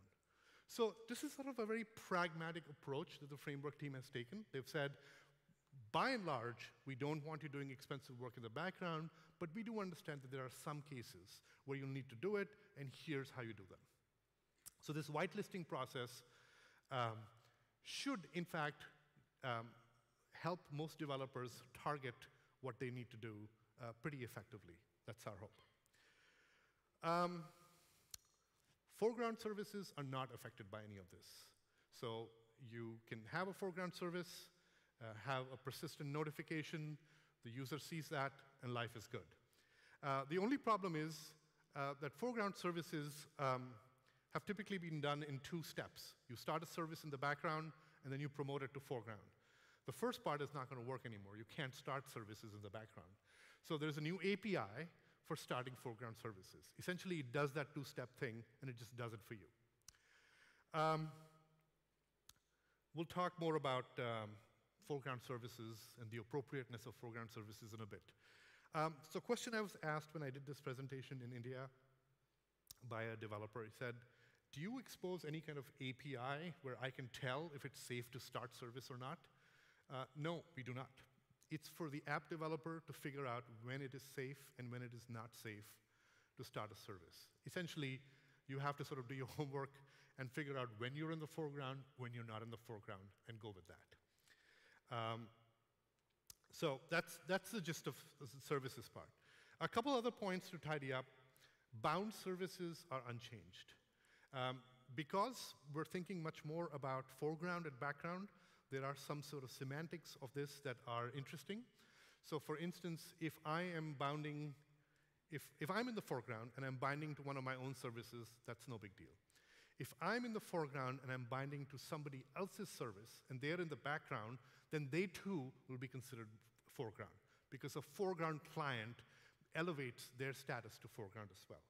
So these are sort of things that as you start thinking in, in sort of O semantics, in O terms much more, uh, will be very obvious. Uh, it's not something that I thought a lot about when I was writing code. Um, so this is, this, was, this is going to be a little bit of an adjustment as we go into O. Um, all right, here we go. Question that's asked to me, what about intent services? Uh, you've talked about started services. What about intent services? Intent services are just services. They are started services. Everything I've said about started services applies to them. Um, and in fact, um, this is kind of a big deal. So the support library now has support for the job intent service class. Uh, and that's supposed to be a replacement. It could be considered a replacement for intent service. We'll talk more about this uh, in a bit. Fundamentally, we would like to start thinking that jobs are the way you want to go about this. Services, expensive broadcasts are really have served us well, somewhat well, up till O, but from now on, job scheduler, Firebase job dispatcher, and jobs are your real, real Swiss Army knife as you go forward uh, building your apps. So that's services. A lot of stuff to take in, a um, lot of changes. Um, so I'm going to throw more stuff at you now uh, about background limits um, and broadcasts. So the limitation is on implicit broadcasts. Um, and the, the, the gist of it is that limits to implicit broadcast delivered to manifest defined receivers are not going to be honored for the most part. So um, at this point, the question comes, what is an explicit broadcast? What is an implicit broadcast? If you go to Stack Overflow, you'll see all sorts of confusing answers about that. Um, and the answer here simply is, if a broadcast is explicitly targeted at something, at someone, at some package, some app, um, then it's an explicit broadcast, and you can put it in your manifest. If it is not, if it's a general broadcast that is sort of sent out into the wild, it's an implicit broadcast, and you should not put it in your manifest. So take, for example, action package replaced. Um, action package replaced, if you register for this in Prefor O, in N and lower, uh, you will have this broadcast go off every time any package is replaced on your device. That's pretty noisy, right? Um, contrast that with action, my package replaced. In this case, the broadcast is sent only to me because my package has been replaced. So this is a kind of a big distinction. It's not always in incredibly intuitive, but I think this is something that developers will have to think about. Explicit broadcasts can still be put in the manifest, no problem. Um, now, there are some implicit broadcasts that the framework team has understood need to be allowed. And they are, um, and if you follow these, uh, there's a pretty good reason why each one of these is, is uh, permitted to still be put uh, in O world uh, in your manifest. So action boot completed. Okay, this fires once. It's required by apps to set up jobs, alarms, et cetera, et cetera. It's not hugely disruptive. It's okay. Uh, action locale changed. Well, your locale presumably doesn't change a whole lot. Uh, and when it does, it's not totally unreasonable that apps will want to respond to that. Um, action headset plug. Now, this is, you know, the user plugs in their headset. So at that point, um, there's a user action involved. It's not entirely unreasonable that some app is going to want to respond to that. Again, this is not hugely disruptive. Uh, when you have received an SMS, you'll want to respond. This is a very partial list. The whole documentation is there, or android.developer.com, um, and it uh, will explain to you why all these broadcasts, uh, while they're being while they are implicit, are still actually completely okay. Uh, the dynamic registration of, for broadcasts is completely okay. Nothing of this has changed.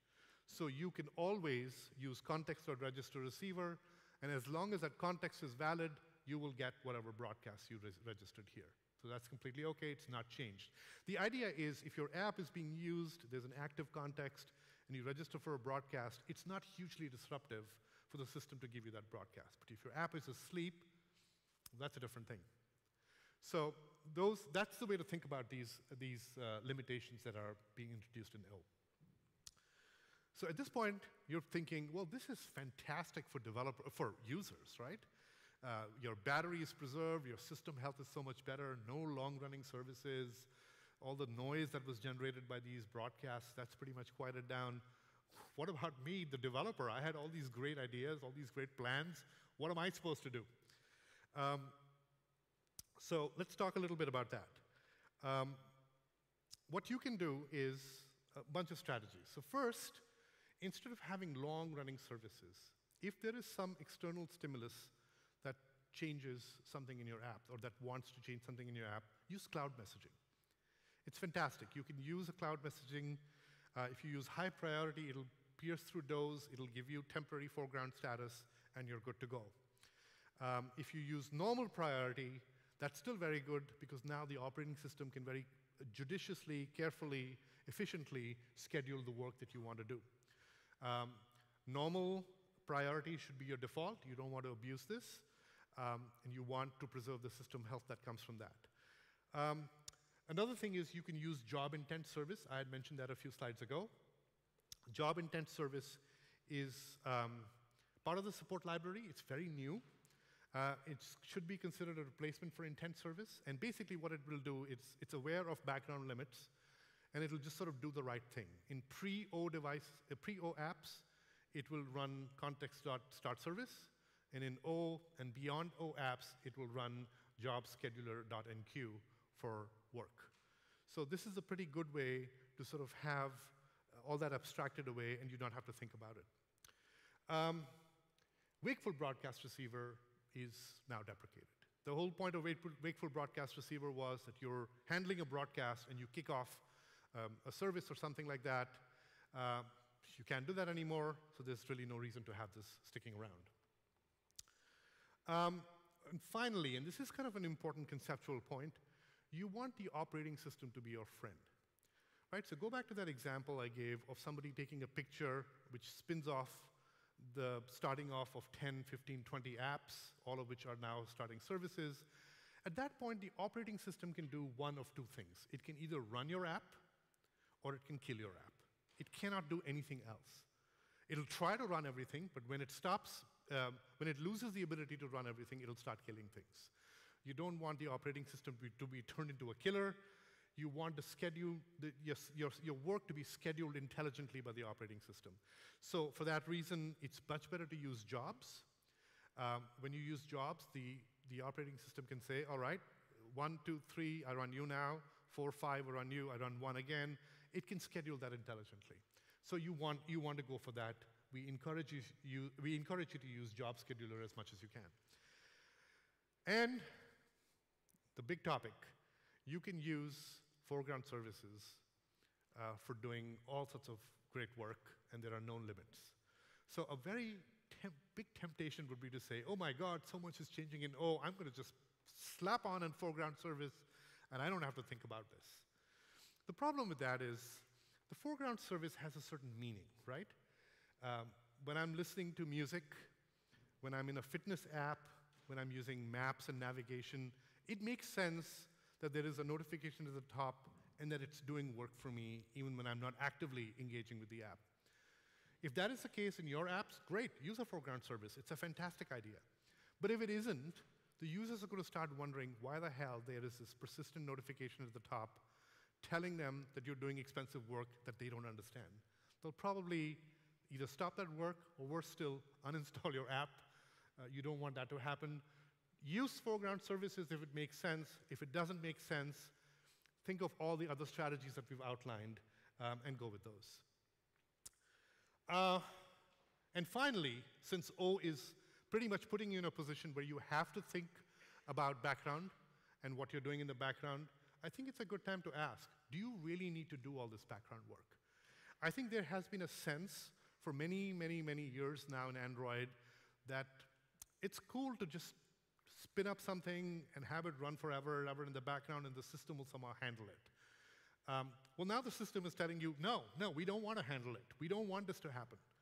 So if we are really at the point where we are questioning all this, it's a good time to ask, hey, I started doing all this background work three years, four years ago in my app. Do I really still need to do this? The answer sometimes you will find will be no, I don't really need to do this, in which case you shouldn't. All right, fast segue to location.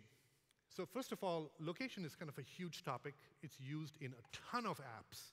In fact, when I started looking at logs to see who was using location, I was surprised, like, oh, I, I didn't think all these apps were using location, but they are.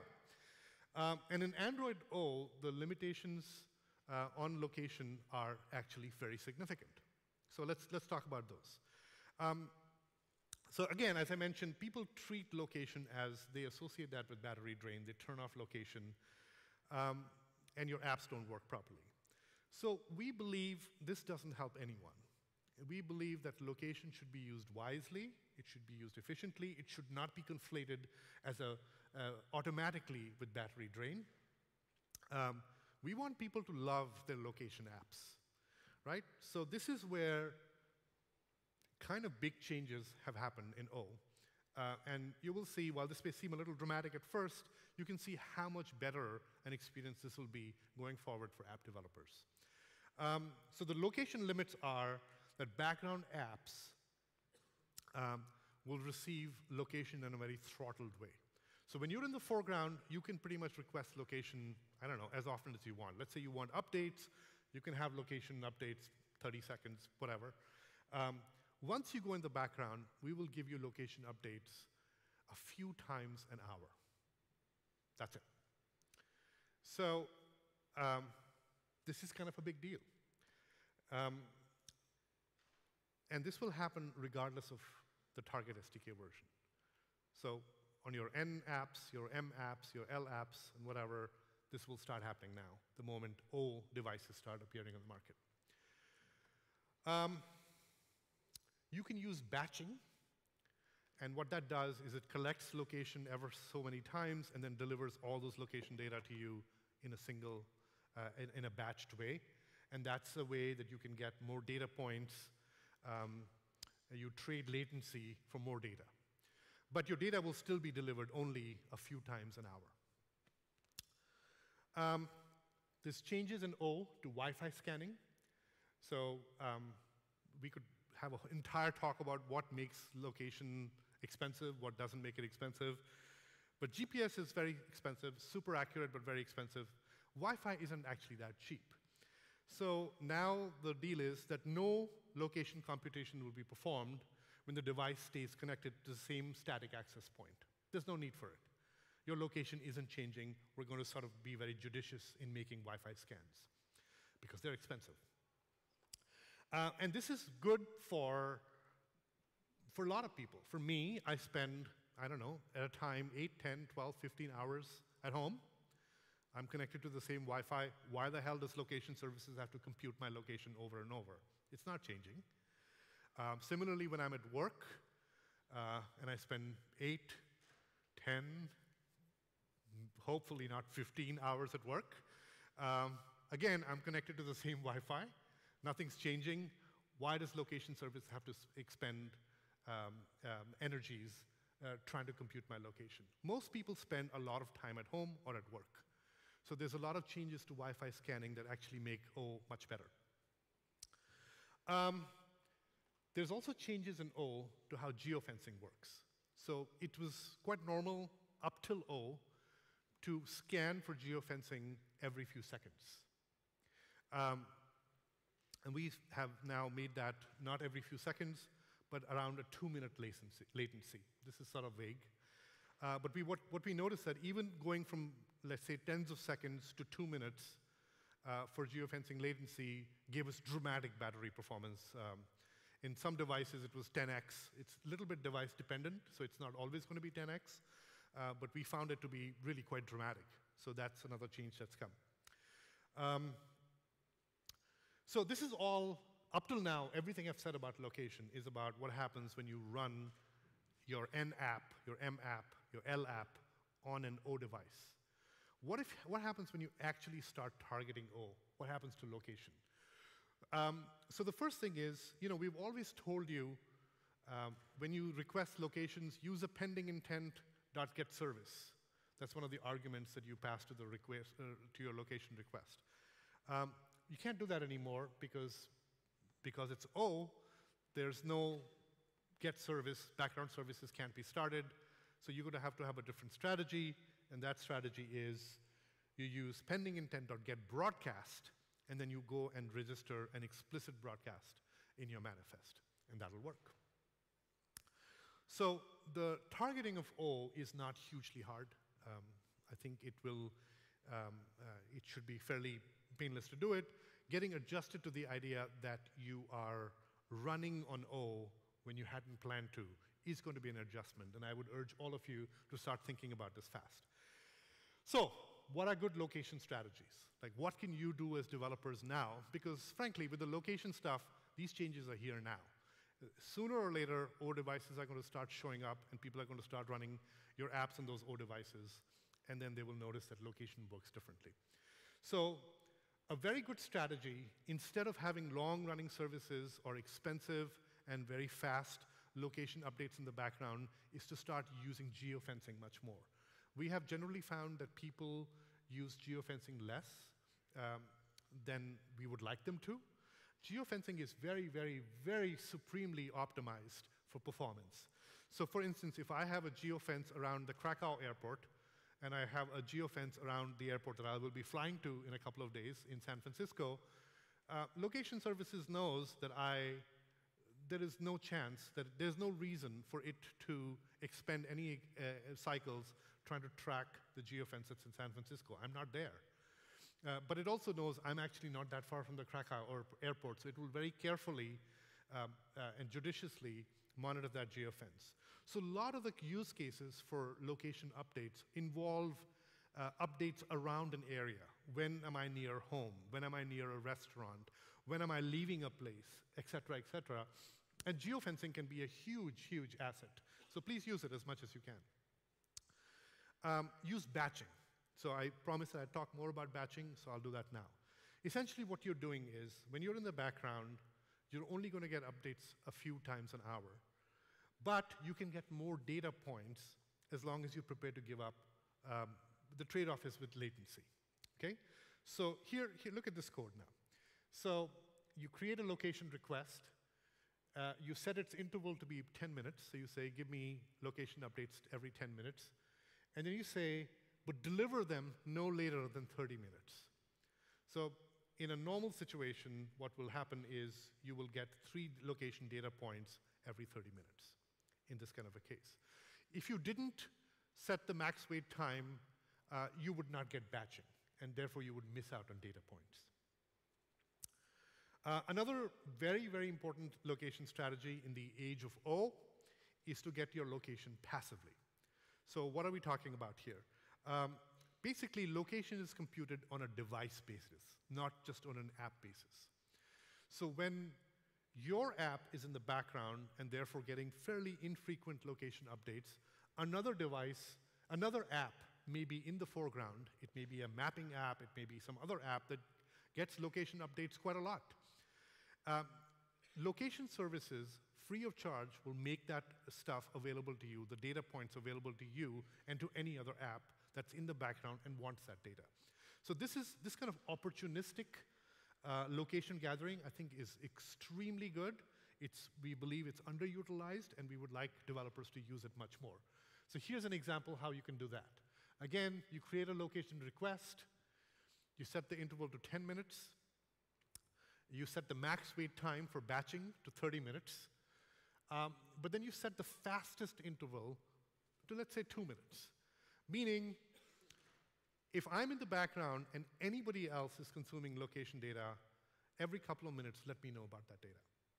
And given the sheer number of apps that use location, uh, there's a pretty good chance that when the user is using their phone for something else, they will be gathering location data, and then you can have it for free. Um, so that's, that's, that's a very important strategy. I would urge all of you to use it. Um, while you're doing all this, uh, you know, because of these changes in O, um, we're putting developers in a position where they kind of have to rethink their location strategies from scratch, right? If you're going to do that, you might as well rethink them from pre-O for pre-O apps also. If you're running an N app or an M app or an L app, that too could use from the same principles that we are putting forward in O and become more battery efficient. So why, why wait? You can start making things better now. So fundamentally, location is expensive in one of three ways, related to frequency, latency, or accuracy. So O is saying to us, um, on, on, on the frequency axis, it's saying that when you're in the background, you need to not be so frequent. You can implement that now for your N apps, for your M apps. Um, again, latency. Sometimes it's okay, sometimes you want the real-time experience, but sometimes it's actually okay to wait a few seconds uh, before you get the location data that has been computed for you. So use batching, like we just talked about. You can do that now. Um, uh, if you're using a geofence, um, you can use a responsiveness time. The more you give it, the better your battery performance will be. You can do all these things now for your apps. Uh, and when you're, when you're at it, I mean, O isn't really dealing with accuracy that much. Uh, if you're rethinking everything in regards to location, you might as well also say, do I really need high accuracy all the time? Um, maybe I can use a balanced power accuracy, maybe no power. There are a lot of options. You can read our documentation on this. Do I need the best, greatest, most expensive location updates all the time? Probably not. Um, and finally, foreground services. You can, you can go right ahead and just completely bypass all these location limits in O by running a foreground service, but you just have to make sure the user will really approve of that service. Otherwise, they will get annoyed with your app and they will probably uninstall it. Don't want that. Um, that's basically it. A uh, lot of stuff. Um, I'm around. If you have apps that you think are going to be now struggling with some of these O limits, please come and talk to me. I'd love to hear your story. Um, and uh, happy coding. Thank you.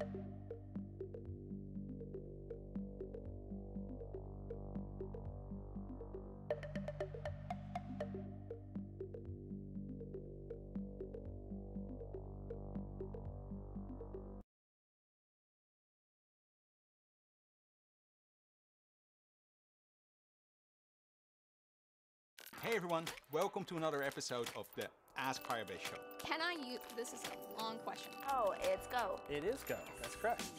Next question. we've been working hard to build the improvements and enhancements you've been asking for. I'm going to use Cloud Functions for Firebase to respond to authentication events. Magic. Firebase! Sure enough, there's that exception. Are you going to start using a helmet when you skateboard?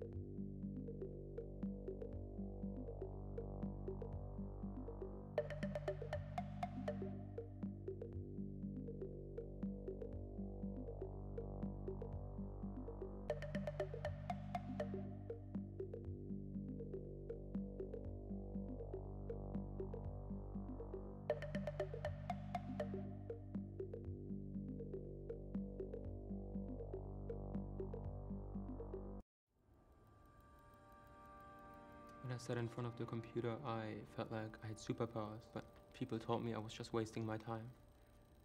When I turned seven, I got parts to build a computer with my dad. It was mind-blowing for me that, you know, something that I built came to life. When I graduated high school, my parents just told me that I need to do something that can land me a job. I didn't really know where to go, and I gave up on my dreams of pursuing computer science and eventually I got into business school. Felt like I was out of place. I felt like it wasn't a good fit, and I knew it wasn't a good fit. Dropping out felt really risky because I was afraid that I'm gonna make the same mistake again. Since my parents didn't graduate high school, they didn't know what was right for me. I found Udacity. It was a good way to learn about different areas of computer science before I start my studies again. Online learning is really good at reflecting the market's needs, and you can start with something like web development and, and work yourself up to self-driving cars. It's all in the realm of possibilities, and, and you don't need a degree, and you can do it from anywhere in the world. With Udacity and Google, you build projects which are interesting for potential employers. When I had my job interview, they looked at the app I built, and they saw what I could do for them. Once I got my certification from Google, it took three months to go from knowing some programming to landing a job. It's just really a fast track program to becoming an Android developer. My work really reflects how I approach things, and seeing people enjoy that gives me the feeling of being on the right track.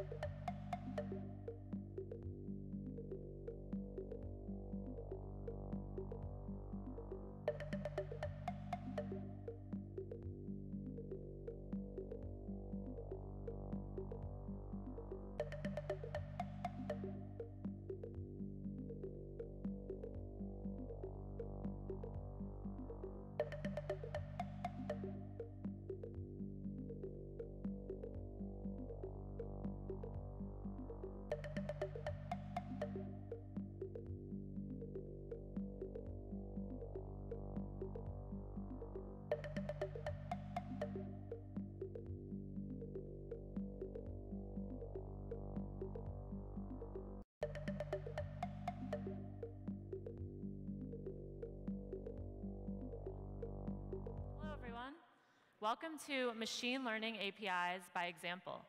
I'm going to teach you how you can use pre-trained APIs to access pre-trained models with a single REST API request. My name is Sara Robinson. You can find me on Twitter at srobtweets, and I'm a developer advocate on the Google Cloud Platform team. I focus on big data and machine learning. I'm based in New York. This is my first time in Poland. I'm super excited to be here. So before I get started, thank you. I want to talk about what machine learning is. So, at a high level, machine learning is teaching computers to recognize patterns in the same way that our brains do. So, over time, as machine learning models are given more examples and experience, they can improve, and with more data, they're able to generate better predictions. So, it's really easy for a child to differentiate between a picture of a cat or a dog, but it's much, much more difficult to teach a computer to do the same thing. So, let's pretend for a minute that we don't have any machine learning models, we don't have any deep neural networks, and let's try some human-powered image detection. So if we take these two images of an apple and an orange, and we were to write an algorithm to differentiate between these two, what are some things we might look for? You can shout it out. Color. I heard color. That's a good one. So if we looked for color, we could say, are the majority of the pixels in the image red? If so, it's an apple. Otherwise, it's an orange. And that would work pretty well in this example. But what if we had grayscale images? Then we'd have to start over again. What are some things we might look for now? Stem, texture, those are all good ones. We could look at those different qualities, and that would take into account uh, the grayscale images. But then, what if we got crazy and added a third fruit? What if we added a mango to the equation? Then we have to start all over again. So you get the idea. Uh, but these images are all pretty similar. They're all images of fruit, they're relatively circular, uh, so the image classification should be a lot easier if we have two images that look nothing alike, right? So what if we have a picture of a dog and a mop? They have pretty much nothing in common. The mop is not living or breathing. It has no eyes, nose, or ears. It's actually kind of difficult. so here we have pictures of sheepdogs and mops, four of each. And it's actually kind of hard, even for the human eye, to be able to distinguish between the two. So the point I'm trying to make here is what if we have photos of everything? We don't know exactly what photos our users in our application might upload. Uh, might not just be photos of fruit or animals. We're probably going to have photos of all sorts of things. And in addition to photos, we might have other types of unstructured data. So we might have video, audio, or text. And on Google Cloud Platform, we have two ways to help you make sense of this unstructured data. So on the left-hand side, if you want to use custom data to build and train your own machine learning models from scratch, we have TensorFlow, which is an open source library to help you do that. And if you want to run your TensorFlow models on managed Google infrastructure, you can use Cloud Machine Learning Engine. What I want to focus on today is the right-hand side, and this is what I like to call friendly machine learning. So these are APIs that give you access to pre-trained models with a single REST API request. So I'm going to cover all of these APIs in this presentation, and I'll dive right in with the Vision API. The Vision API lets you do complex image detection with a simple REST API request. And before I get started, I want to talk about some companies that are using the Vision API in production. So the first one, the example on the left is Disney, and they used the Vision API uh, for a game that promoted their movie Pete's Dragon. And what the game did was, it was a scavenger hunt type game that sent users on a quest where they had to take a picture of a certain item, maybe a couch, or a computer. And they, if they took a picture of that item, uh, the app would superimpose an image of Elliot the dragon on that photo. So they needed a way to verify did the user's image match the clue that it was given? And the Vision API was a great fit for that. Uh, Realtor.com is a real estate listing service, and they use the Vision API's optical character recognition feature to extract text from an image. So when somebody is looking for houses and they use the Realtor.com app, they can take a picture of the for sale sign and then be immediately directed to the correct listing in the app. Uh, and Realtor.com is using the Vision API to extract the text from that picture and direct them to the relevant listing. So these are the core features of the Vision API. Label detection will tell you what is this a picture of. Face detection will tell you are there faces in the image, where are the faces located, and what are the different emotions in those faces? Are they happy? Are they sad, angry, or surprised? OCR was the use case I mentioned before with Realtor.com. This can extract text from an image. It can tell you where the text is and what language that text is in. And then explicit content detection, pretty self-explanatory, will tell you, is this image appropriate or not? Um, and this is really useful for pretty much any site that has a lot of user-generated content. So you can, instead of having somebody manually review the content, is it appropriate or not, you can send it to the API, and then you only have to review a subset of those images. Landmark detection will identify common landmarks, and logo detection can find company logos in an image. So to show you uh, some of the JSON responses you get back from these endpoints, I want to look at face detection. Uh, this is a selfie I took with two of my teammates. We're actually here at this conference. Uh, we took this last year in Petra in Jordan. And face detection returns an object for each face it finds in the image. The JSON response here we see is just for my face. So we can see that headwear likelihood returned very unlikely, which is true. I'm not wearing a hat in the picture, although both of my teammates are. And then joy likelihood returned very likely. I was excited, I was on vacation, taking selfies. Uh, and it also returns data on where different features are in your face. And then if we look at landmark detection, we can take this picture of a pretty common landmark. This is the Eiffel Tower, right? It's actually not the Eiffel Tower. It is the Paris Hotel and Casino in Las Vegas. Uh, and I wanted to see if the Vision API could spot the difference. And the answer was that it could. Uh, so it correctly identified this as the Paris Hotel and Casino. And you'll notice that MID in the response. Uh, the MID is an ID that maps to Google's knowledge graph. So if you want to get more information on this entity, you can send the ID to the knowledge graph API to get more data on the Paris Hotel and Casino. Uh, we get a bounding box of where this is found in the image, and then we also get the latitude, longitude coordinates for this landmark. We've got some additional features in the Vision API. Um, one is crop hints, which will give you suggested crop dimensions for your photo. Web annotations will search the web for additional details on your image, and I'm going to get into that more on the next slide. And then document text annotations improves the OCR, OCR model uh, for the API. So it's much easier for it to identify um, text in large blocks of text. So if you have an image of a menu or a business card, um, it can break your text down into paragraphs, words, and symbols. So I want to focus a little more on the web annotations endpoint. And to do that, I have this image of a car. Uh, it's not just any car. It's a car from the Harry Potter movies. I'm a big Harry Potter fan. Uh, and it's on display in a museum. So this is a car from the second movie. And I wanted to see what, the, what entities the web annotations endpoint was able to find. So the first one it found was that it, this was a Ford Anglia, which is indeed the correct model of the car. It also returned ArtScience Museum, uh, which is a museum in Singapore where this car is currently on display. And then finally, it was able to tell me that this is from Harry Potter. So the way that it does this is it finds similar images from across the web, and based on the context of the pages where those other images are found, it's able to extract these entities. We also get, in addition to the entities, the web annotations endpoint will give us additional details on the image. So we'll get all the URLs where this image has been found on the web. So this is really useful if you have an app where users are uploading images and you want to make sure that this image is theirs, it's unique, it hasn't been seen before. You can use full matching images to guarantee that. Partial matching images, exactly what it sounds. It'll give you um, URLs of visually similar images. So this is kind of like a reverse image search. Um, so we might see images of this car in another context. And then pages with matching images will just show you the URL where all the exact image matches were found. You can all try this in the browser with your own images. If you go to cloud.google.com slash vision, um, you can try it out, see if it's right for your application before you start writing code. And in case you were wondering about our sheepdog versus mop example from before, um, this is what the API returned for this, the bottom right picture of the sheepdog. So it's 99% sure that it's a dog, and it's even 77% sure that it's a Komondor, which is the exact breed of dog that this is.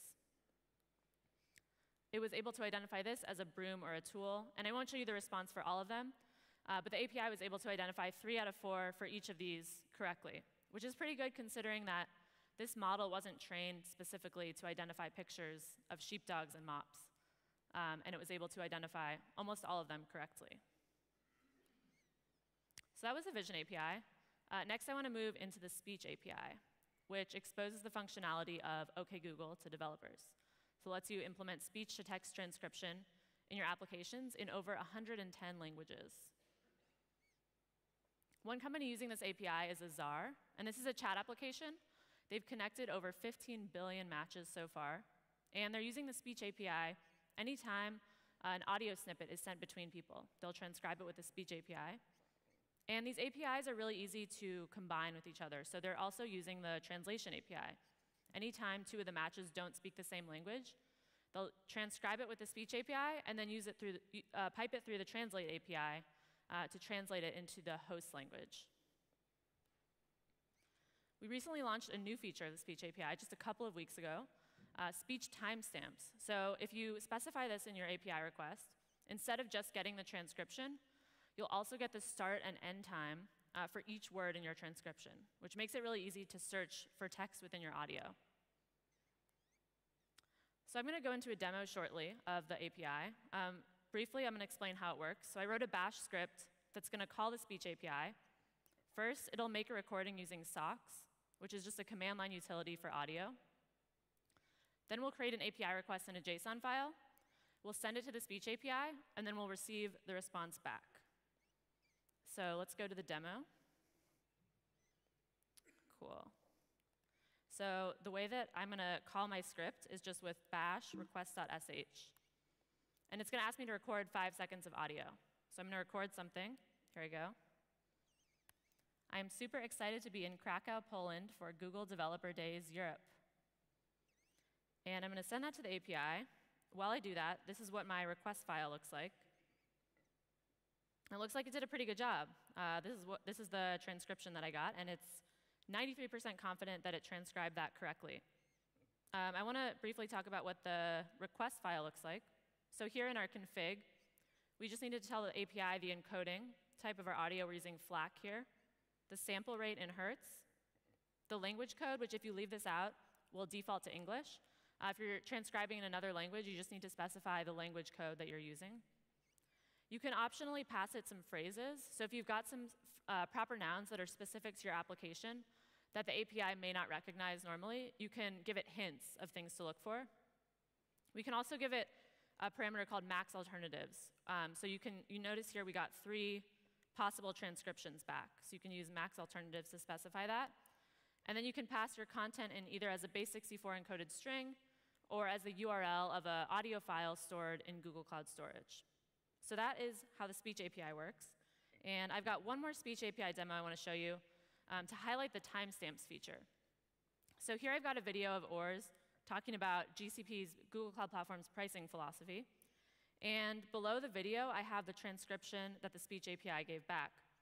Um, now, what I can do with timestamps is I built a demo that we can search through the transcript, essentially. So if I click on this, Google Cloud Platform delivers. We can skip to the exact point in our audio where this occurs. So if I go to another 70% line, you get the idea. So the timestamps feature I'm really excited about because it makes it easy to search a large library of video content um, just using the transcription. So the way that I did this is I extracted the audio from the video and then sent that audio to the speech API. So, and, and I have more than one video here. So I've got a, a bunch of videos about cloud, Firebase, um, so let's say I want to search for all my videos that mention Firebase. I can do that here, and I can actually jump to the exact moment in the video where I see Firebase. This video is a screencast tutorial about Firebase hosting, and we can see all the points Firebase hosting that mention Firebase, which is pretty cool. In this video, we've only got one mention of Firebase. So if our job was to look through the video and find all the mentions of Firebase, chances are we might miss it. Um, but with the Speech API's timestamp feature, we're able to jump right to that point in the video. Firebase real-time data. So that's an example of the timestamp feature, feature of the Speech API. Uh, and we can go back to the slides now. So with the Speech API, you can transcribe audio. Once you've got that text transcription, the next thing you might want to do is extract more data from it. And that's where the Natural Language API comes into play. So with the Natural Language API, you can extract entities, sentiment, and syntax from your text. One company that's using it is Wootric, and Wootric is a customer feedback platform. So what they enable their customers to do is if you look at that box on the top right, um, their customers place these feedback forms in various places throughout their application, and they ask them, how is your experience on this specific page from 0 to 10? So they rate their experience, and then they have this open-ended feedback. Um, and Wootric's job is to help their customers make sense of this feedback. So it's pretty easy for them to make sense of the numbered feedback. But what's much more difficult is making sense of that open-ended text. And they're using all three methods of the natural language API to do this. So they're using entity and syntax annotation to extract the subjects um, and see how people are talking about different topics. And then they're using sentiment analysis just to gauge, did the numbered score of the person line up, um, line up with the open-ended feedback that they gave. And so this enables them to do things like, say they have a high priority customer that's angry about usability. So they can route that request really fast to the right person. And with the natural language API, they're able to route and respond to customer feedback in near real time instead of having people manually go through each open-ended response. So now I want to talk about each of the three methods of the natural language API. Uh, the first one is extracting entities. Obviously, I have a Harry Potter example again. Um, so I just took a sentence about J.K. Rowling from her Wikipedia page, and I wanted to see what entities the API found in this example. We got these five entities back. Um, and then I wanted to look closely at the JSON response it gave for each one. So notice that these are three different ways of referring to J.K. Rowling. Uh, if you're wondering, the third one is a pen name she used for a different book series. That's a topic for another talk. Um, but all of these map to the same entity. So they all point to her Wikipedia page. So it's able to normalize these different mentions of the same thing. So in our JSON response, we get back the, her name, the type of entity, she's a person, and then we get some additional metadata. We get that MID, which maps to her um, knowledge graph entity. And then we get the Wikipedia URL for her. Similarly, for British, it maps to the Wikipedia page for United Kingdom. So if instead this had said United Kingdom born novelist, it would have mapped to the same entity ID. And we get a similar one for Harry Potter. Um, and if you have entities in your text that don't have a Wikipedia page associated with them, the API will also be able to identify those. It just won't return anything for metadata. So if this instead had said my name, uh, the metadata would be empty because I don't have a Wikipedia page yet, at least. The second thing we can do is analyze sentiment. So if I had, this might be something I might find on a restaurant review. The food was terrible, I will not be going back. If I was a manager of this restaurant, this is probably something I'd want to flag and maybe respond to, but chances are I don't want to go through all the reviews to do that. Um, so I can use the sentiment analysis endpoint to get some data on the sentiment of this text, and it returns two values. The first is score, and score will tell us on a scale of negative one to one, how negative or positive is this text. And then magnitude tells us, regardless of being positive or negative, how strong is the sentiment in this text. And this is a range from zero to infinity, normalized to the length of the text. So since this is pretty short, we get a small number of 0.9. And then the last method of the API is analyzing syntax. So this gives us more linguistic details on the contents of our text. Um, so here, if we have the sentence, the natural language API helps us understand text. The first thing we get is a dependency graph. Um, so this is called a dependency parse tree, which tells us essentially how do the different words in the sentence relate to each other. This is one piece of data we get back. We also get the parse label, which tells us what's the role of each word in the sentence. So in this example, helps is the root verb, API is a nominal subject. So it tells us um, the role of each word. We also get part of speech. So it tells us is it an adjective, a verb, a pronoun. And then we get lemma, which is the canonical form of the verb. So in this case, we just have one for helps. The canonical form is help. Um, and this is really useful if you're counting how many times a certain word appears in the context of your app. Um, you probably don't want to count helps and help as two separate mentions. They're really just the same word. So you would use the canonical form here to do that. And finally, we get additional morphology details on our text. Um, this is going to be a little bit different depending on which language you send to the API. So this is just a visualization of all the JSON you get back. Um, you can actually create your own if you go to the natural language product page. there's a little try it demo in the browser, so you can enter your own text. I'll share a link at the end. You can enter your own text and generate these visualizations as well. So I want to show you a demo um, specifically focused on the syntax annotation endpoint of how you could actually use that in an application. Um, so I've, I've been running some natural language processing on tweets using the hashtag GDD Europe. And what I did is I wrote a little node script that calls the Twitter streaming API. Um, and I'm just looking for tweets with that hashtag. So the streaming API won't give me all the tweets, but it'll give me a subset of tweets with GDD Europe in it. So I'm taking those tweets, and I take the text of them, and I send that through to the natural language API for processing. And then I store that in BigQuery. And BigQuery is Google Cloud Platform's big data as a service tool. So it lets you analyze really large data sets super fast. So let's switch to a demo. There we go. Um, okay, so this is the BigQuery web UI. It lets me visualize my data stored in my BigQuery table directly in the browser. And here I have um, the schema. Let me make this a little bit bigger. I've got the schema for my table. So I'm storing the ID of each tweet, the text of each tweet when it was created, um, how many followers the user has, the hashtags as a JSON string, which I get from the Twitter API, um, the tokens, which is a giant JSON string returned from the natural language API, and then the score and magnitude. So we can preview this. Looks like we've collected about 840 tweets so far, which is really, really small for BigQuery. BigQuery is meant for lots of data, but this is just a demo. Um, so we've got the text of the tweet, and we've got the hashtags, and we have this giant JSON string of the natural language API response. Um, and we write all our BigQuery queries in SQL.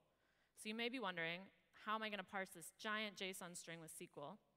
And the answer is that BigQuery has a feature called user-defined functions, which lets you write these custom JavaScript functions um, to parse different columns in your table. So here I want to find what adjectives people are using when they talk about GDD Europe. And I've written a function just to look for um, each token, and if the part of speech tag is adjective, um, I'm going to do a running count. So I'm running this query, and let's see the results. So it looks like pretty positive adjectives used about GDD Europe, which is good. Um, so these are the most, most commonly used right now. And again, what's really cool about this is this ran this on all 840 of our tweets, um, and it ran really fast, 3.1 seconds. Um, but ran this custom function on all of the tweets in our table, which is pretty cool. Um, I'll do one more query for you. I'm a big fan of emojis, so I wanted to see which emojis are people using most frequently uh, when they talk about GDD Europe. So I'm looking at the token again. Um, it looks like the laughing crying is a popular one, clapping, Firebase. Overall, not too many though, so maybe people should use more emojis in their tweets. Um, but the goal of this demo was just to show you uh, what you can do with the syntax annotation endpoint of the natural language API to do things like see how sentiment is around a particular topic. So that's the demo. We can go back to the slides now.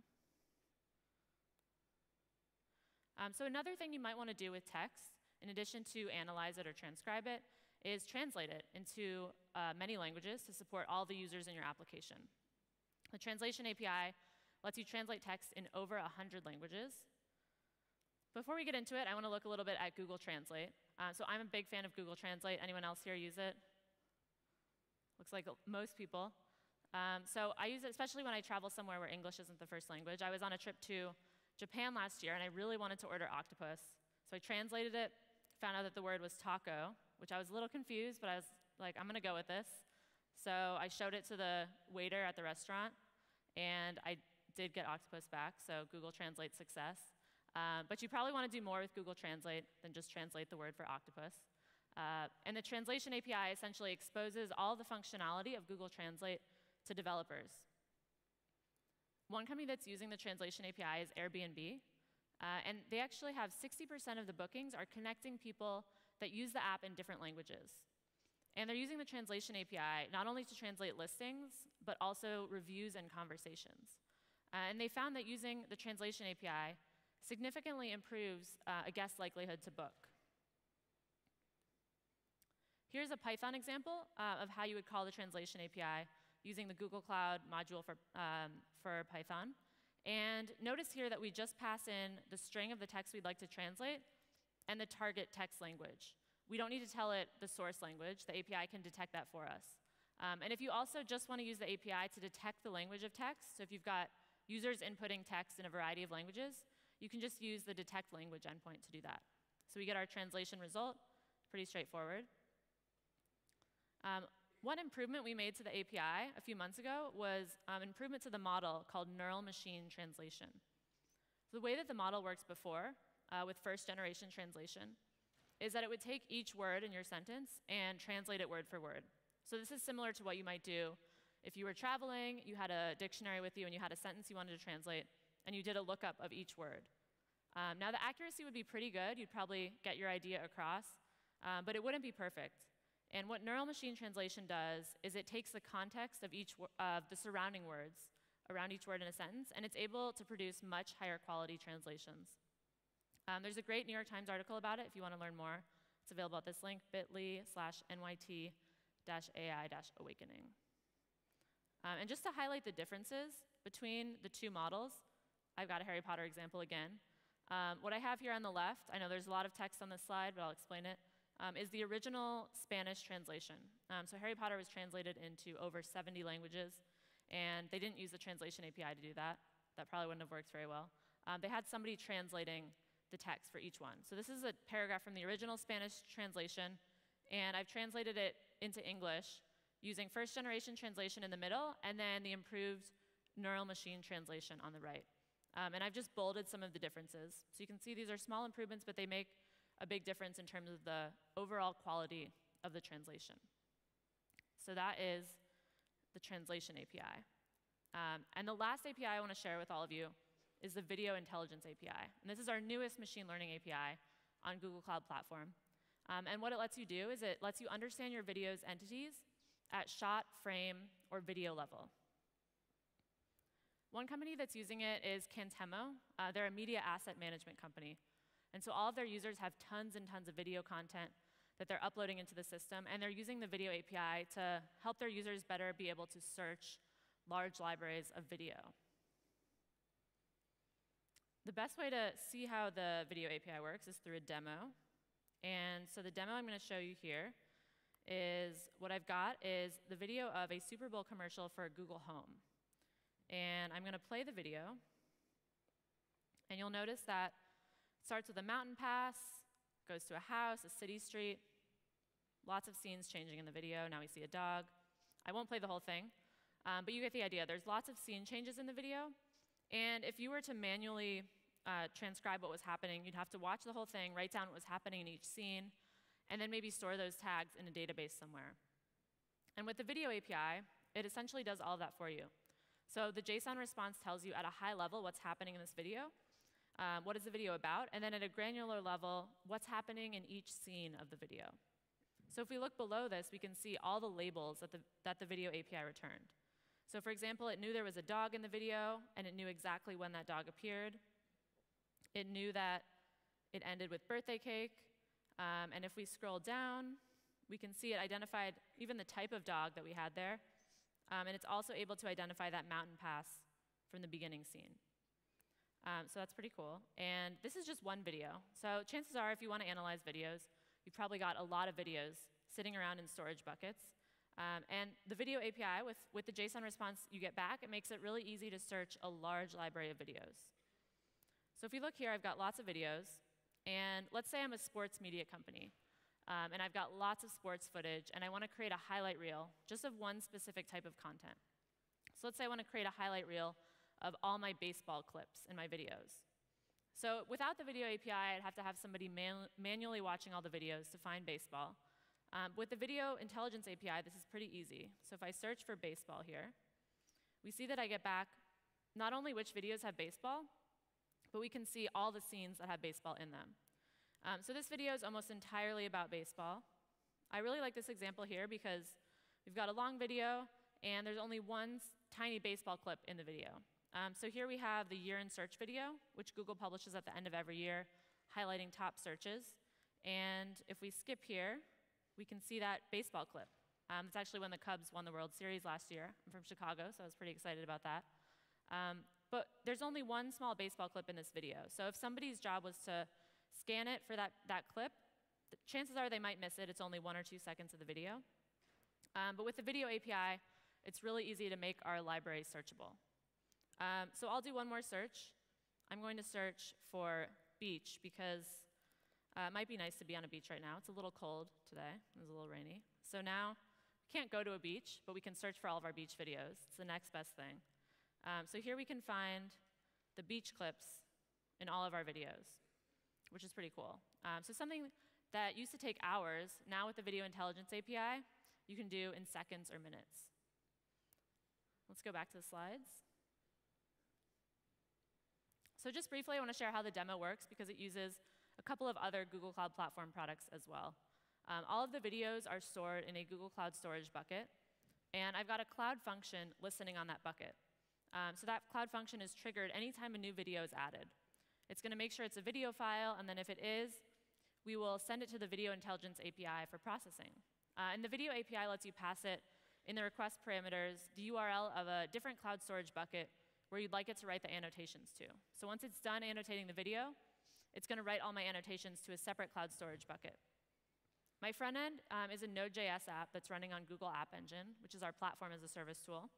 And so the front end isn't calling the video API directly. All it's doing is getting the video from one cloud storage bucket and then the associated metadata from another. This is what the response looks like for label detection. Um, so here we have a video that has a scene of bird's eye view.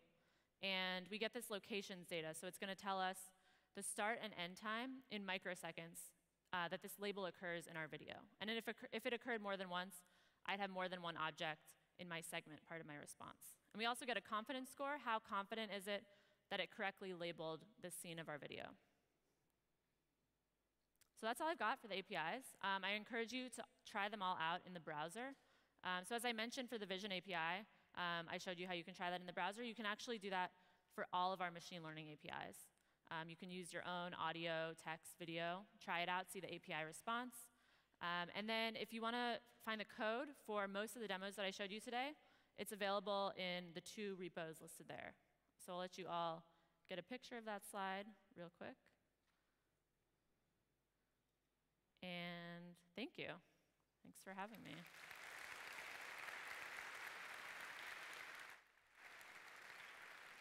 Finally, if you have if you have feedback, I'd love to hear it. So uh, just go to this link or follow the QR code to fill out a feedback form. Thank you.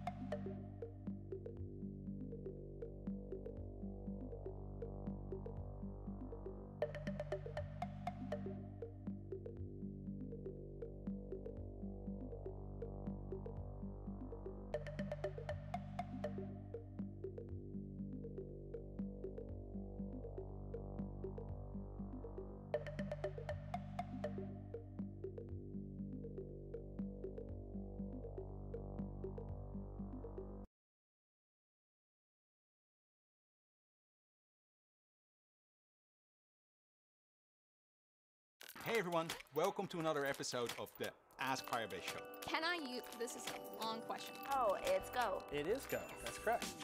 Next question. We've been working hard to build the improvements and enhancements you've been asking for. I'm going to use Cloud Functions for Firebase to respond to authentication events. Magic. Firebase! Sure enough, there's that exception. Are you going to start using a helmet when you skateboard?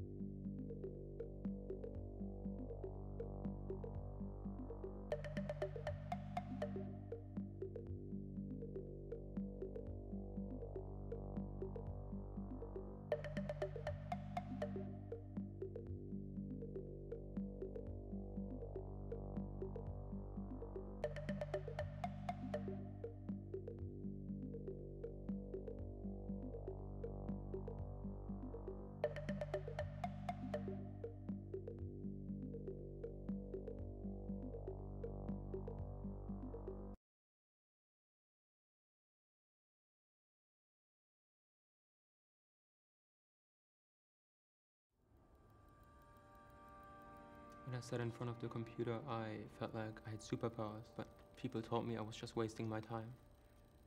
When I turned seven, I got parts to build a computer with my dad. It was mind-blowing for me that, you know, something that I built came to life.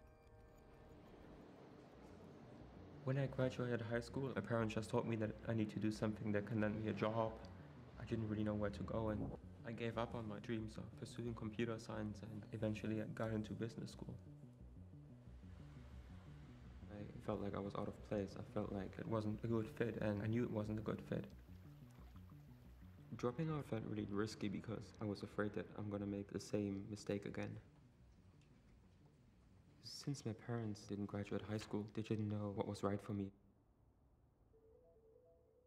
I found Udacity It was a good way to learn about different areas of computer science before I start my studies again. Online learning is really good at reflecting the market's needs, and you can start with something like web development and, and work yourself up to self-driving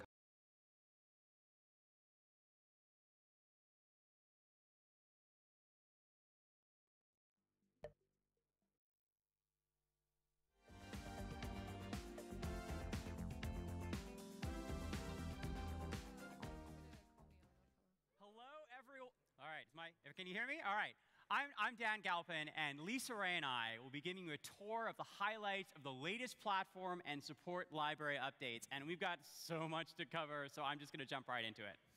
So, one of the biggest changes to know is we added adaptive launcher icons. And this is a big deal because if you have any of these phones from these lovely OEMs, you saw they were using their own custom launchers with custom icon shapes, and you know, Android icons, shapes and sizes are all random. And so what they would do, like with Chrome in the Play Store here, is they would shrink the icon and stamp on it a random color or shape that they choose. And we thought, you know, we can do something better for this. So um, what we did is we created adaptive icons. And to enable this kind of customization, your app provides icons in two layers, background and foreground. So if the OEM defines a rounded rectangle mask shape, the user will see this. And if they define a circular shape, it's going to look like this.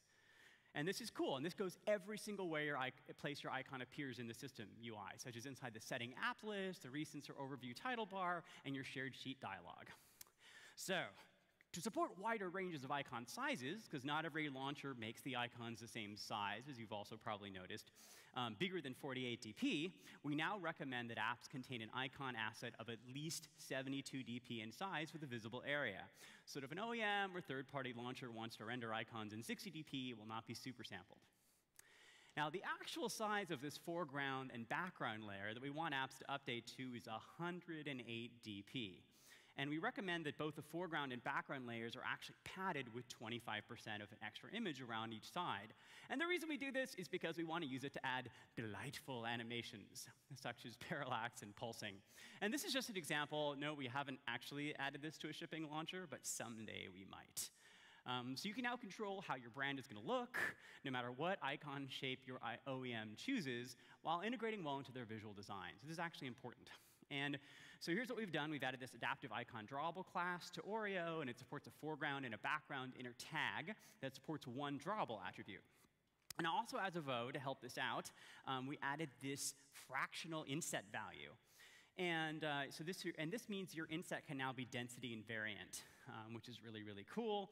Um, so as it turns out, 18 over 8 is uh, 16%. So if you use this value to pad your 72dp launcher icon, there will be no APK size increase from a non-adaptive icon that's big enough. Um, but better yet, the really cool thing is that because these are only used in O, in Android N, the vector drawable became expressive enough to support most of the SVG format. So you can actually now make vector icons, which is really cool. Um, so once again, O made a bunch of critical changes to other areas too, not just adaptive icons, we made critical changes to notifications. Now, in previous releases of Android, the user could only block all of the notifications for an app for sending a spammy notification. But in Android O, of course, we introduced notification channels, which are named categories of notifications that share the same behavior so users can control them. And the user can also click here to see all the categories, and clicking on a category reverse, reveals per category things like vibration and sound, etc. And of course, we also added these dots in the launcher, which are a low stress way to see if apps have notifications. I don't have to look how many numbers there are. All, long pressing the icon also reveals the notification. And widgets can also really be installed easily in this way, which is so cool because people don't have to like stress and figure out how to install them. Um, all right, and all the stuff you use to customize per notifications now applies to the whole channel. This is pretty cool. You can set all this stuff on a channel. Um, okay, I do have a bullet point slide here. I'm sorry. But seriously, um, don't overwhelm your users with channels. Uh, you know, make the distinctions between them make sense, give them reasonable defaults, and of course, you can use notification compat to set channel information. And remember that if you don't use channels and you're targeting Oreo, um, your notifications aren't going to show up. All right, let's talk about shortcuts and app widgets. So way back in Android 7.1, um, we added these nifty launcher shortcuts. And users can drag them and pin them to the launcher, and apps can request that the shortcut gets pinned. But there was no indication to the app that it actually worked, and the user wasn't notified that it was happening, which wasn't really great for users or developers. And it doesn't work anymore if you're targeting O. Uh, so we now have the new way with Shortcut Manager, and it, it has an API, and it takes the same shortcut info as we use in Android 7.1, but the launcher will now ask the user whether to add the shortcut and where to place it. So the app can now it, and the app also has the ability to actually update the shortcut, uh, shortcut icon later as well with this. And uh, custom shortcuts were also in 7.1. Um, it allowed shortcuts to be added from the widget tray with an optional configuration screen. And the Oreo API is an improvement there as well. Um, as before, you, add the, you, you register the custom shortcut activity with the create shortcut intent filter. And in 7.1, it would return the shortcut as intent extras directly to the activity return, which is okay, but now we wrap all of that functionality, which also allows the app to update the shortcut. So again, just making the launcher better. And this has been a really long time coming. but we actually have a way for you to surface your app widgets in your app. Like, like, you don't no longer have to beg the user to find it in the launcher. You can say, hey, I've got an app widget, please install it on your behalf, and they get prompted and they get added to the home screen. It's just awesome. I can't believe it took us this long. All right, let's talk about autofill. All right, so apps that use standard views automatically work with autofill, but you can help it do a better job by providing hints like postal address. Um, you can also mark fields that autofill should ignore. Um, you can also request, uh, you can integrate it more deeply. So you can actually request autofill in your, in your app. And uh, you can use autofill on completely custom views, such as those are drawn that are with OpenGL or Vulkan, um, by providing a, an autofill virtual structure. And no matter how you build your apps, you should really consider doing this. Um, and this is kind of cool. Um, if you have a website, the Google autofill provider can actually share um, credential information between your web and your app if you create a digital asset link. And this is pretty straightforward. Um, you've got to put something on your, on your server, some JSON here, um, which allows you to define that you want to share your login credentials between your website and your app. And then you go and modify your manifest, and you got to, which with this string that points to a similar JSON resource that contains a list of web targets and permissions, just like what you've hosted on your website. And that's it. With these two steps, you can share credentials between your website, and this works for autofill, and it's also the first step in uh, implementing smart lock. So you might want to do that also, which just lets your users automatically sign in. But if you don't want to go all the way to smart lock, this is a really cool way of leveraging that credential information between your mobile app and your website. So in other st O stuff, we added a whole bunch more cool strict mode behavior, which is great. We now actually, uh, and this is great for finding bad app behaviors. Um, we can detect unbuffered I.O. Uh, with thread policy, and VM policy allows you to detect untagged sockets, as well as when a content URI is sent that doesn't grant the calling app read or write permission, because it's not very useful to have a call. Yeah, and we've also added seekable file descriptors from document providers, so you can use this for large remote sources, such as big audio and video files. Okay, another thing we did is we actually added proper support for caching. So the quota here can change depending on how frequently the user actually interacts with your app. Uh, and the amount used um, uh, and the amount used. While the allocate actually takes, you know, deletable cache into account. So pretty slick. And there's tons of more stuff in O. I'm not going to go through it all here. Most of you have seen a lot of this stuff. But we have enhancements to accessibility, including the ability for users to add an accessibility button on devices that have soft navigation, something else for that bar.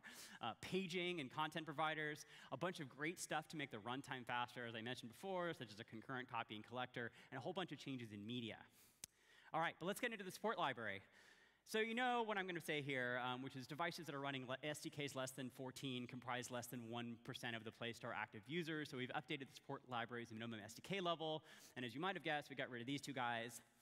We'll be fo focusing on the SDK versions that most developers are actually targeting. So the minimum version is now 14. And Google Play Services also recently dropped that support in version 10.2. However, you can still use an older version of the support library if you really, really, really want to still target Gingerbread and Honeycomb. Uh, and dropping API 14 gives us a bunch of benefits. Uh, we removed over 1,400 methods, and remember, we still have a 65K method dex limit on APIs less than 21. And there's more to go in later versions. Um, our public AC API surface reduced by 30 classes and 400 methods. And what you need to do now is you can, you know, you can still use a lot of these things as they are, but you should start actually getting rid of the deprecated stuff because we're actually going to get rid of it to even uh, make things smaller. And of course, we're using the Google Maven repository for this, which you can specify in your build Gradle. This is on uh, Android Studio 2.3. and if you're using uh, 3.0 plugins, you can actually just say Google, which is kind of sweet. All right, text and fonts, um, which is one of my favorite things. I love fonts. Um, in the old world, how many people actually did custom fonts on, on their Android app? Yeah, a lot of you. You know how much it, how, how it kind of sucked. You had to load typeface into constructor, and then you could go and use this custom text view everywhere, and you know, yeah. So, but now we have a new resource type with which both accepts single font files as well as families. And font files get a resource ID, and you can also make these families, which are groups of fonts that are together. So you can define them and say, like, I want normal to be this font, and I want bold to be this font, and, and you know, et cetera. Very, very sweet. And this one generates r.font.myfont. And this is super easy to use in XML. The text view font family attribute is, is used and it can handle families, which is even better. So you just get to use the same thing you've been using all the time. Um, both textStyle um, attribute as well as style spans are supported, which is really great.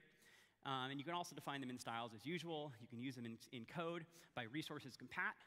And most importantly, it's supported on API 14 and above with the support library. So go out there and make and use more fonts. And uh, the only problem, of course, is that fonts actually bloat the size of your app. So we had to think about this.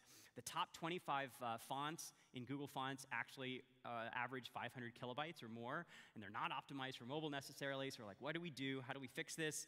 So of course we added downloadable fonts. And this and the font provider fetches and service fonts to your app, so most importantly, you don't have to bundle them anymore. And this is really cool too, because this font provider is actually shared between apps. So it gives you memory, it gives you network, it gives you space savings, and with Google Play Services and Google Fonts, you get 800, over 800 fonts. So it's, it's really nice. Um, and in code, you can request these fonts using a font request, which, which contains things like authority and package and certs for security, and callbacks for success or failure now exist. Um, uh, and then you, and of course, you, you just use uh, fonts contract compat, and, uh, and you do control what thread this runs on, so don't run it on a UI thread. Um, and, uh, and this, you can also throw it in XML. So it's just really easy to use. The certs is actually a string, a string array, and um, it actually is pretty cool. So we've also done full integration into Android Studio. It looks like this. We have some boring text in the layout and we go and select more fonts. You see we've got Google Fonts here. We've got this beautiful selection of fonts, but it's so many, I'm just going to search for one. Um, there we are, yesteryear. We say downloadable font, and it's going to it's gonna show up in the layout editor, and then it's going to add this beautiful file, actually two files to the project. So pretty sweet. So check out the sample app, the Google Fonts docs, and the guide on developer.android.com for all the info. And best of all, downloadable fonts are also supported in API 14+. All right, so there's nothing worse than when someone sends you a message and you get a box which provides no information. We call this tofu because it's box. So it's time to get rid of this because, you know, because, and this is there because the system has always bundled the emoji font, and Unicode keeps adding new emoji, and it's impossible for us to keep up unless we can make it show up in older versions. So the support library has access to this new font, and it checks per glyph if it can be rendered, or, or replaces this with these emoji spans if it can't, which is great. Um, there are two ways for you to use it in your app. Um, the download configuration just happens to integrate with downloadable fonts. So you just add your dependencies, um, you make your font request, and you initialize it in your application on Create. Very simple. It means you don't have to actually bundle the emoji font with your app. Um, but you can, uh, if, you're, if you're targeting non-GMS devices, you can, you can do that. It's, it'll add a, about seven megabytes. And you configure it in a similar way, again, with uh, just bundled emoji compat config. So very straightforward. Um, again, you can just, uh, you, you have to use these emoji text views uh, instead of text view, and you can use emoji edit text and emoji button instead of edit text and button. And you don't, and you don't have to use these, but you, if you don't use them, you have to integrate it into your own custom views yourself. So we do supply these uh, to help you out. And so now, tacos and unicorns both exist. Uh, important things for us to get across. So check out the sample uh, and, and on DAC. There's more information. Now, one caveat here we didn't actually backport this all the way to KitKat. This does require API 19 plus. So that's the, the, one, the one minor caveat here. But again, so you'll get tofu on some older devices um, if, if you try to set this up to use it both ways. Um, text view auto sizing. This is a feature I've wanted add. How many people have built their own text view auto sizer? Yes. I've been wanting this feature forever. So I'm so happy that it's finally here in the platform. Um, it text actually resizes to fill in its container. I, I, can't tell you how excited I was when we built this thing. Um, um, so you use the auto text size type, uh, auto size text type uniform. And uh, you can use, use an array of preset sizes or an array of values, or set a min and max size with a step. So it's really easy. And once again, we've brought this to API 14 plus. Uh, we, bring, we bring improvements to vector drawable, and this gives it uh, feature parity with support for fill types. So if, if it looks like this in Android Studio, uh, and, and you'd, you'd shove this in, this might be what you get before because you get these weird artifacts because uh, we're using these even odd fill rules, and, um, and we didn't support that. There was a big TBD in the source code if you went and looked. Um, uh, so fill rule defines how this renderer designs which of the regions are inside and which are outside, and we added support for this in uh, and we, uh, which, which we actually fixed finally in SDK 24, and we've backported it to 14 plus. So this is really cool. It means your vectors are more likely to work, which if you've ever had to deal with, you know how, you know how awesome this is that we finally fixed it. Um, we also did uh, uh ported uh, the stuff from uh, animated drawable compat for path data morphing and this is really cool. This is an example of using Shapeshifter, Alex Lockwood's tool, to generate compatible images with matching path formats. And so let's look at what's going on here at the XML level. We start with our vector, defining our, starting image, a buffalo. We've extracted the path data. And uh, for the buffalo, hippo, and elephant, to string resources. And then we use an object animator. Pretty sweet. So again, uh, we're specifying the path values to, to morph a buffalo to a hippo. And once again, we tie it all together in an animated vector XML. Now, we can actually do stuff with bundle XML formats to make this even cleaner. So again, um, we can actually use an attr element here that inlines the XML from the Buffalo drawable. And then we can do the same with the animation attribute. And so we have a bundle package that actually includes the entire vector drawable animation, which is really cool. Um, we also have a path interpolator once again as parity.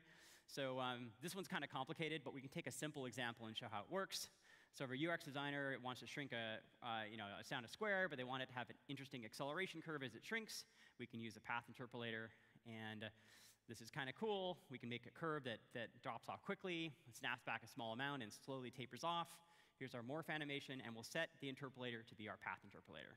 So once again, we can bundle it in a single file using these attrs, and this results in this cool, slightly more cool animation, um, still just a rectangle. Okay, Final thing I'm going to talk about is transition support library. Um, so if, you, if, you've, if you've noticed that we actually added some additional transition type in Lollipop and above, uh, things like path motion and propagation, and all of this is available in the transition library. So when you use the transition XML with the support library, you have to specify this dash dash no dash version transitions as an AAPT option. And after that, uh, you can use all the same transition XMLs that you use for platform transition API on API 14 and above. And the reason I'm talking so fast is because I want to get my amazing collaborator on here, who is really the star of the show. I'm just the opening act. Uh, I'd like you to welcome uh, Lisa Wray, who's going to talk about some amazing animation features. Here you go.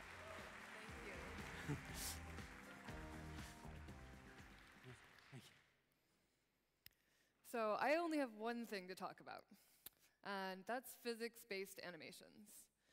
So we've known for a long time that motion is important in material design.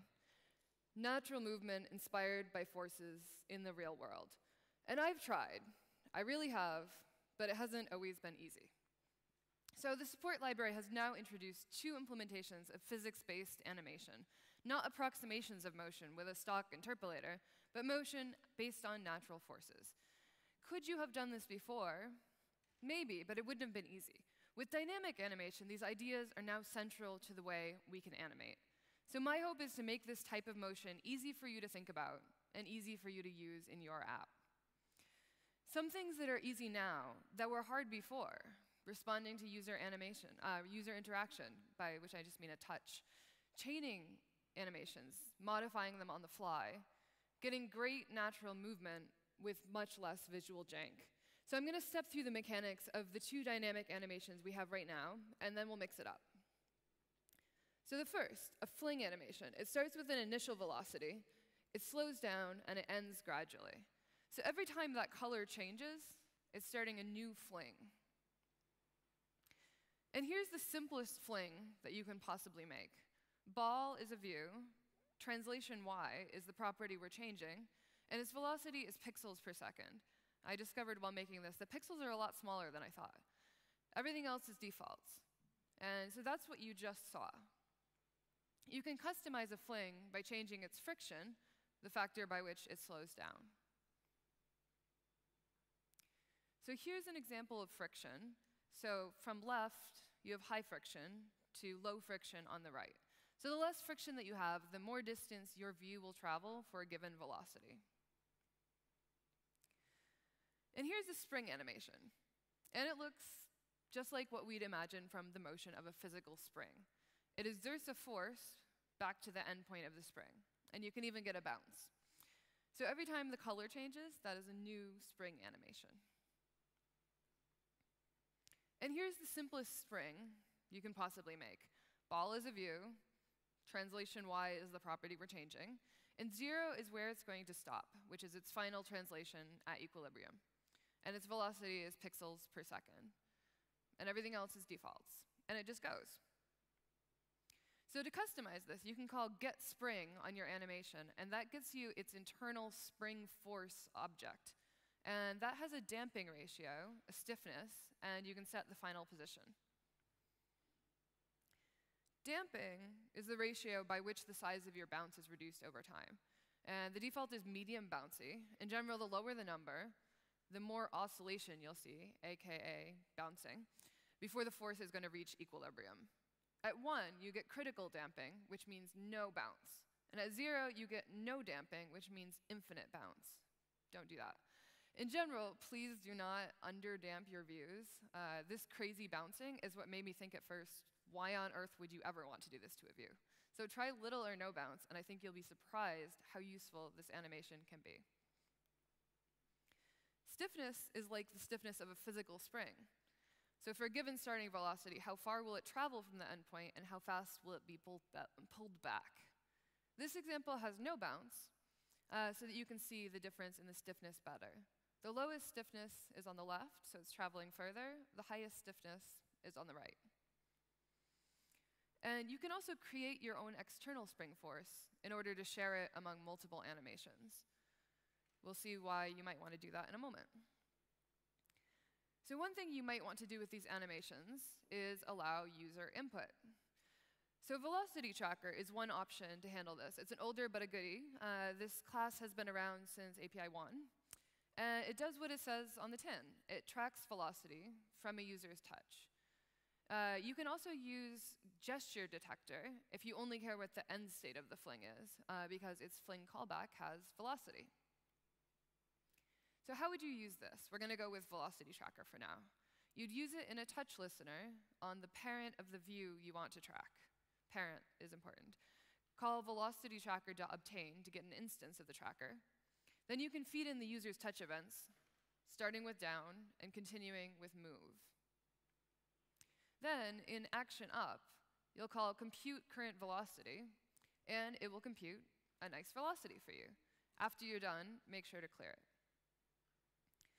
That velocity is going to come in two components, x and y. Then you're going to start two dynamic animations at the same time, one for the x velocity and one for the y velocity. This would be a good reason to share a spring force. They're going to run simultaneously, and as you can see, this is enough. This gives you a smoothly moving, interactive, two-dimensional animation. As you can see, it works pretty well. Just be careful when you fling because they do not automatically stay on the screen, and when they're gone, they do not come back. Just like other animations you're familiar with, dynamic animation also has end and update listeners. So that's how I was chaining them in my earlier demonstration and changing the ball colors to repeat over and over again. So let's chain two fling animations. We're going to fling just as we did before, using the velocity from our drag listener and velocity tracker. And we're going to create two fling animations at the same time, one for x and one for y, to get natural movement. Then we're going to stop the first animation at the edge and create a new one in a different direction, giving the impression the ball has bounced. This time, we'll add an update listener and an end listener to each of our flings. On each update, we'll check to see if the ball has slipped outside the bounds of its parent. There's probably a better way to do this, but that's an exercise for the reader. if it did go outside, we'll cancel the animation. That means we'll get a call back to on animation end. If we canceled it, meaning it hit the edge, then fling it back. As you can see, I made an extension function on view here because I got tired of typing.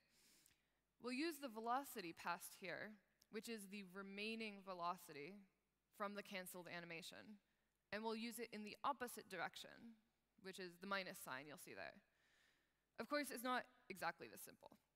What this does is it flings the ball straight back at you because it reverses both of its velocities, x and y. So what we really want is natural reflection. We want it to only reverse its velocity on one axis but continue on the other, and that's what will give us this 90 degree bounce angle. So it's not too hard. It looks like this. If it's hitting the horizontal edge, reverse x. Otherwise, reverse y. And we get a nice reflection or bounce. And it also works with different animations. Um, ever seen something like this? There's an app that keeps trying to do this on my home screen. I don't know why I'm encouraging you to do this, but uh, it's interesting because it's quite simple, and it's sort of a sticky effect where if you fling it to the edge, it sticks there and absorbs extra mo momentum with a spring bounce. So to do this, it's going to look something like this. The thing to note here is that we're using the ball's current translation value as its end value for the spring. So we're going to fling, as before, put an end listener, and then when we get the callback, go ahead and oscillate until you reach equilibrium, dissipating the remaining velocity. Chaining springs.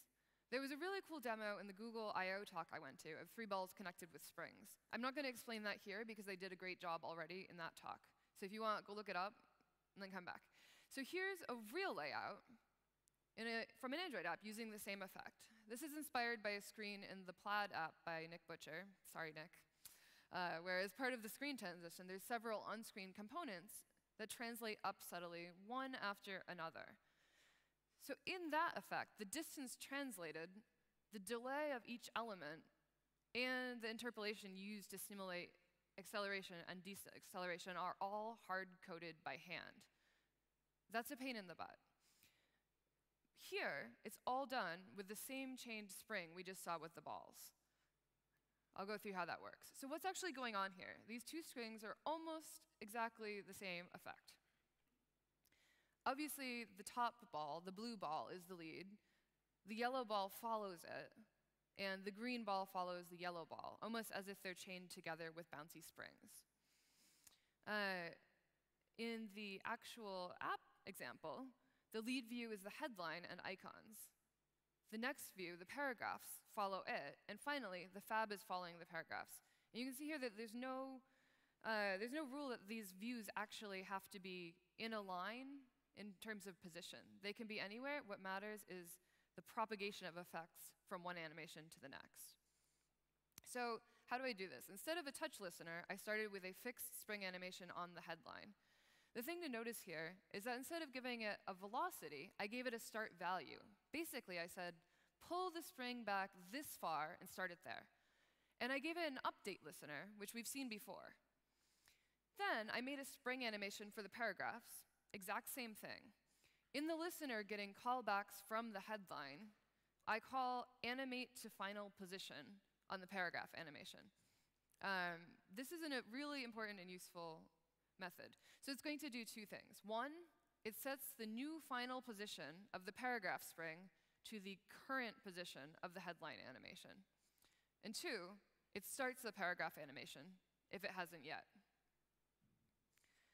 And then finally, we'll do the same thing for the fab. We'll set an update listener on the paragraphs and chain a spring animation to that. And that's how chaining works. The difference here from what we were doing before with flings is that those animations were subsequent, one after another, and these are actually happening simultaneously. You might also notice, if you're looking very closely, that I also used a spring on the alphas of the views and on the scale of the fab. So what else can you animate? And you can animate a lot of built-in properties.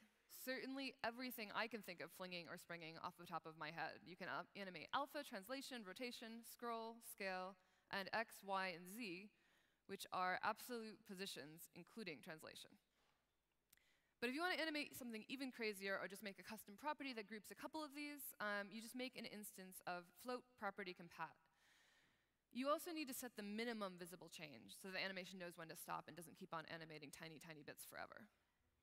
You can also start every dynamic animation at a particular start value, give them a minimum and maximum, and finally, cancel your animations because if your user quits the activity while they're running, your app will crash. So cancel them.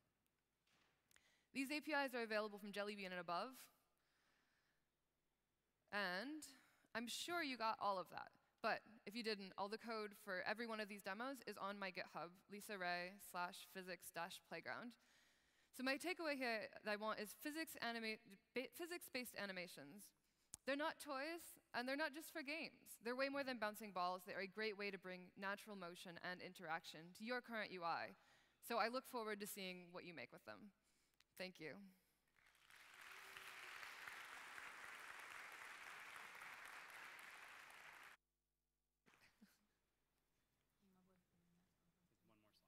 Perfect. Thanks, everyone. Thank you so much.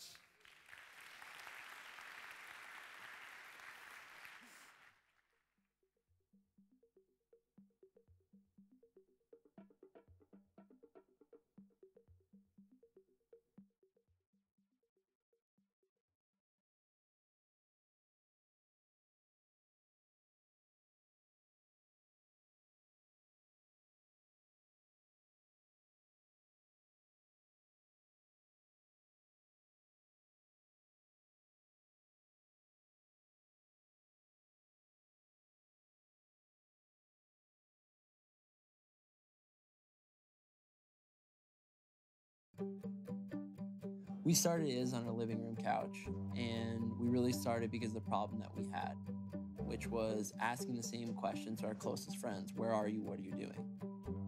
We were baffled by the fact that there wasn't a solution that solved this problem, and we felt like we could build one that was better. The value that IS drives for all users is knowing which of your friends are nearby. So if you look around where we are right now, an arena, how many times have people gone to a basketball game, hockey game, or a concert and found out the next day that they had friends were at the same event?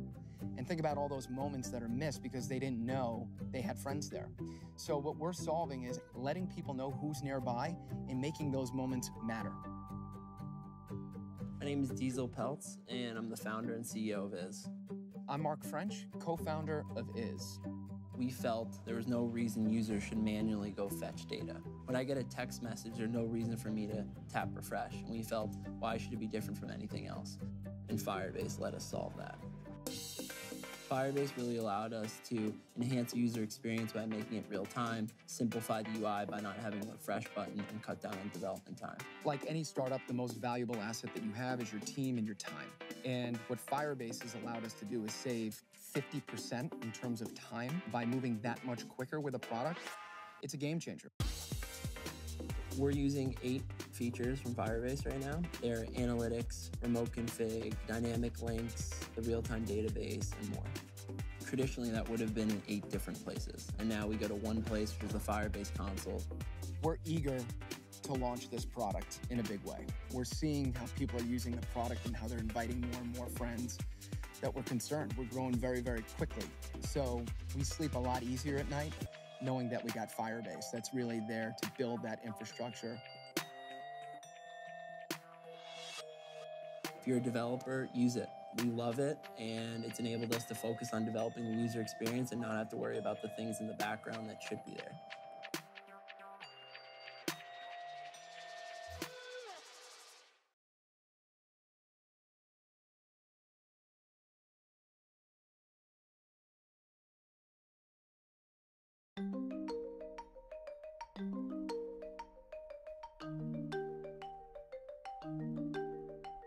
Raizlabs is a company that is focused on building excellence in software, technology, and design. We do that through our work on mobile applications and websites and technologies in general. My name is Gregory Raiz. I'm the CEO and founder of Raizlabs. We really want to understand the human problem, and oftentimes the hard problems in software aren't just the technology problems, the API, the how do you connect these things, but really getting at the heart of what people are trying to accomplish and do in their day-to-day. My name is Ben Johnson. I'm the managing director at Raizlabs in Boston. We decided to put our hat in the ring for the Google Certified Agency Program. The first leg is just having access to a lot of what Google is doing today. So there's uh, access to design reviews, invitations to events, and that's sort of the base level. And I think that's hugely rewarding even in and of itself. Having Google review your app from a design perspective is amazingly helpful. So that's sort of the first tier. The second tier comes with certified status. Uh, you know, there's a long application process for that. And once you have it, it's something that you can really say to your clients uh, that gives them comfort that we're a reputable firm, that we're building great software in a way that Google believes in. The certification is a higher bar for us to really differentiate ourselves from many of the other companies out there. It required us to really dig into what that means to be truly world class, and we wanted to set that bar for ourselves as well. My name is John Green. I'm a VP Creative at Raizlabs. The Google Developer Agency Program allowed us to have access to uh, engineers for the map team, the design team to figure out, oh, how can we actually do some of these things? And we could reach out to them when we needed. And also it allowed us to set up and say, we can make this a success. They might look closer at this app because we're part of this program, which has actually been uh, super helpful. Some of the challenges in building the Six Flags app, and we touched on some of these, are certainly mapping technology and payment technology, material design, or the APIs. Uh, having access to the Google team to really ascertain how we're approaching certain software and ensuring that we're building technologies the right way makes for a smooth development process. We set off to build the Six Flags app with a pretty lofty ambition, and it was to bring in-park navigation and commerce to the app the comfort of knowing that Google is there to help us understand where they are heading as an organization and that we are along for that ride is a really uh, helpful thing to know. And as a business, we know that uh, going forward, we're going to be at the cutting edge of whatever Google is doing through access to programs, through uh, you know collaboration with their teams. It's really helpful for us to know that six months, nine months down the road, we'll still be a part of that uh, process and we'll still be working with them to figure out what's next.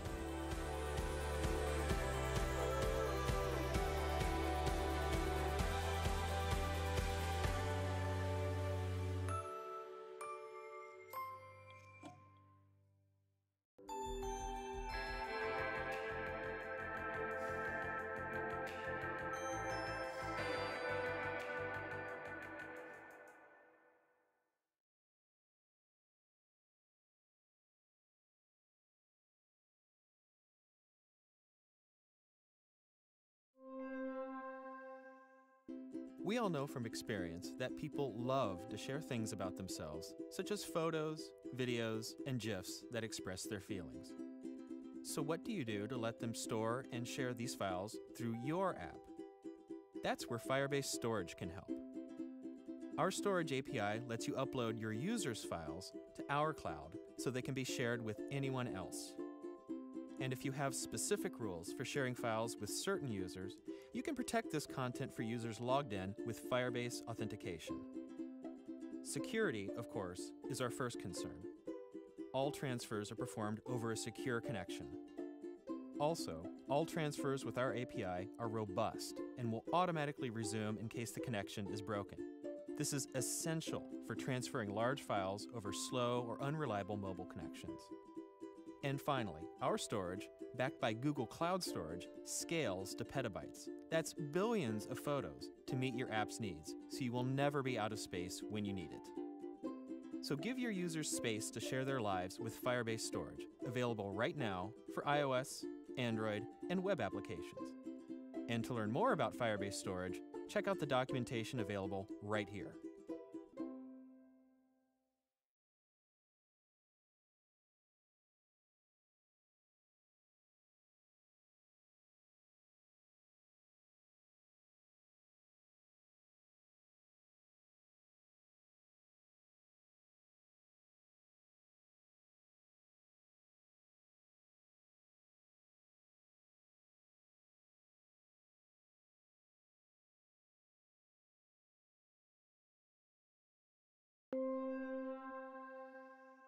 Consider the simple URL. A few years ago, these were pretty straightforward. You clicked on one, and 9 times out of 10, you went to a web page. Then things changed. People started using their mobile devices for, well, everything. And these devices in turn started supporting the idea of deep links. Click on one of these deep links, and it could take you not just anywhere on the web, but anywhere in an app as well. So you could use a deep link to point directly to a specific restaurant inside a reservation app, or give your new customers a personalized welcome based on the link that brought them to your app in the first place. At least, that's how they worked in theory. In practice, deep linking had issues. The same link wouldn't necessarily work on an iOS or Android device, and they behaved very differently, or didn't work at all, for users who didn't have your app installed. And for people who did install your app through a deep link, all of that great link info was typically lost during the installation process, leaving your personalized warm welcome out in the cold. So while deep links were great in theory, their uses were a little more limited in practice. Enter Firebase Dynamic Links. Firebase Dynamic Links are deep links that work the way you want them to. So you can create one single link that behaves one way on iOS, another on Android, and even a third on a desktop browser, and it will take you to a place that's appropriate to that platform. You can also set up dynamic links to change their behavior depending on whether or not your user has your app installed. For users who don't have your app installed, maybe you send them to your website, maybe you take them to the Play Store, or maybe you show them an interstitial describing the benefits of your app before you take them to the App Store for a smoother transition. More importantly, these links can survive the App Store installation process. So if your user installs your app when clicking on a dynamic link, all of that information is still available to you when your user opens up your app for the first time. So what does this mean? It means you can use dynamic links the way you've always wanted to use deep links. You can use them in marketing campaigns, from email to social media to banner ads to, heck, even QR codes. And in addition to install attribution tracking, you know, the kind that lets you know which campaigns are getting you the highest quality users, you can also give your users a customized first time experience based on the campaign that brought them there. So if a user installs your music app because you showed them an ad for classical music, you can make sure your app takes them right to Chopin's latest hits when they first open it up. Dynamic links are great for sharing too.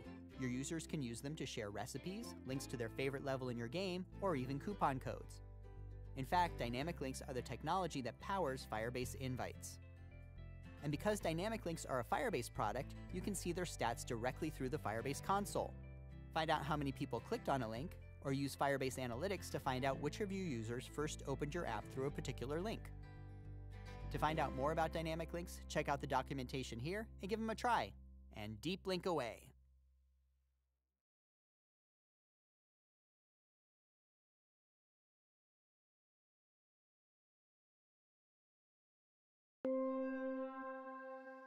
Does this symbol look familiar to you?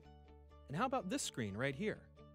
Waiting for things to load is part of everyone's mobile app experience, but it's never a good experience for your users. And how would you even know what that experience is? Your users are on a wide variety of devices, on a wide variety of networks, in a wide variety of locations all over the world. If you want to optimize the performance of your app, you need metrics that tell you exactly what's happening during the critical moments of your app's use. And you need that information to come directly from your users.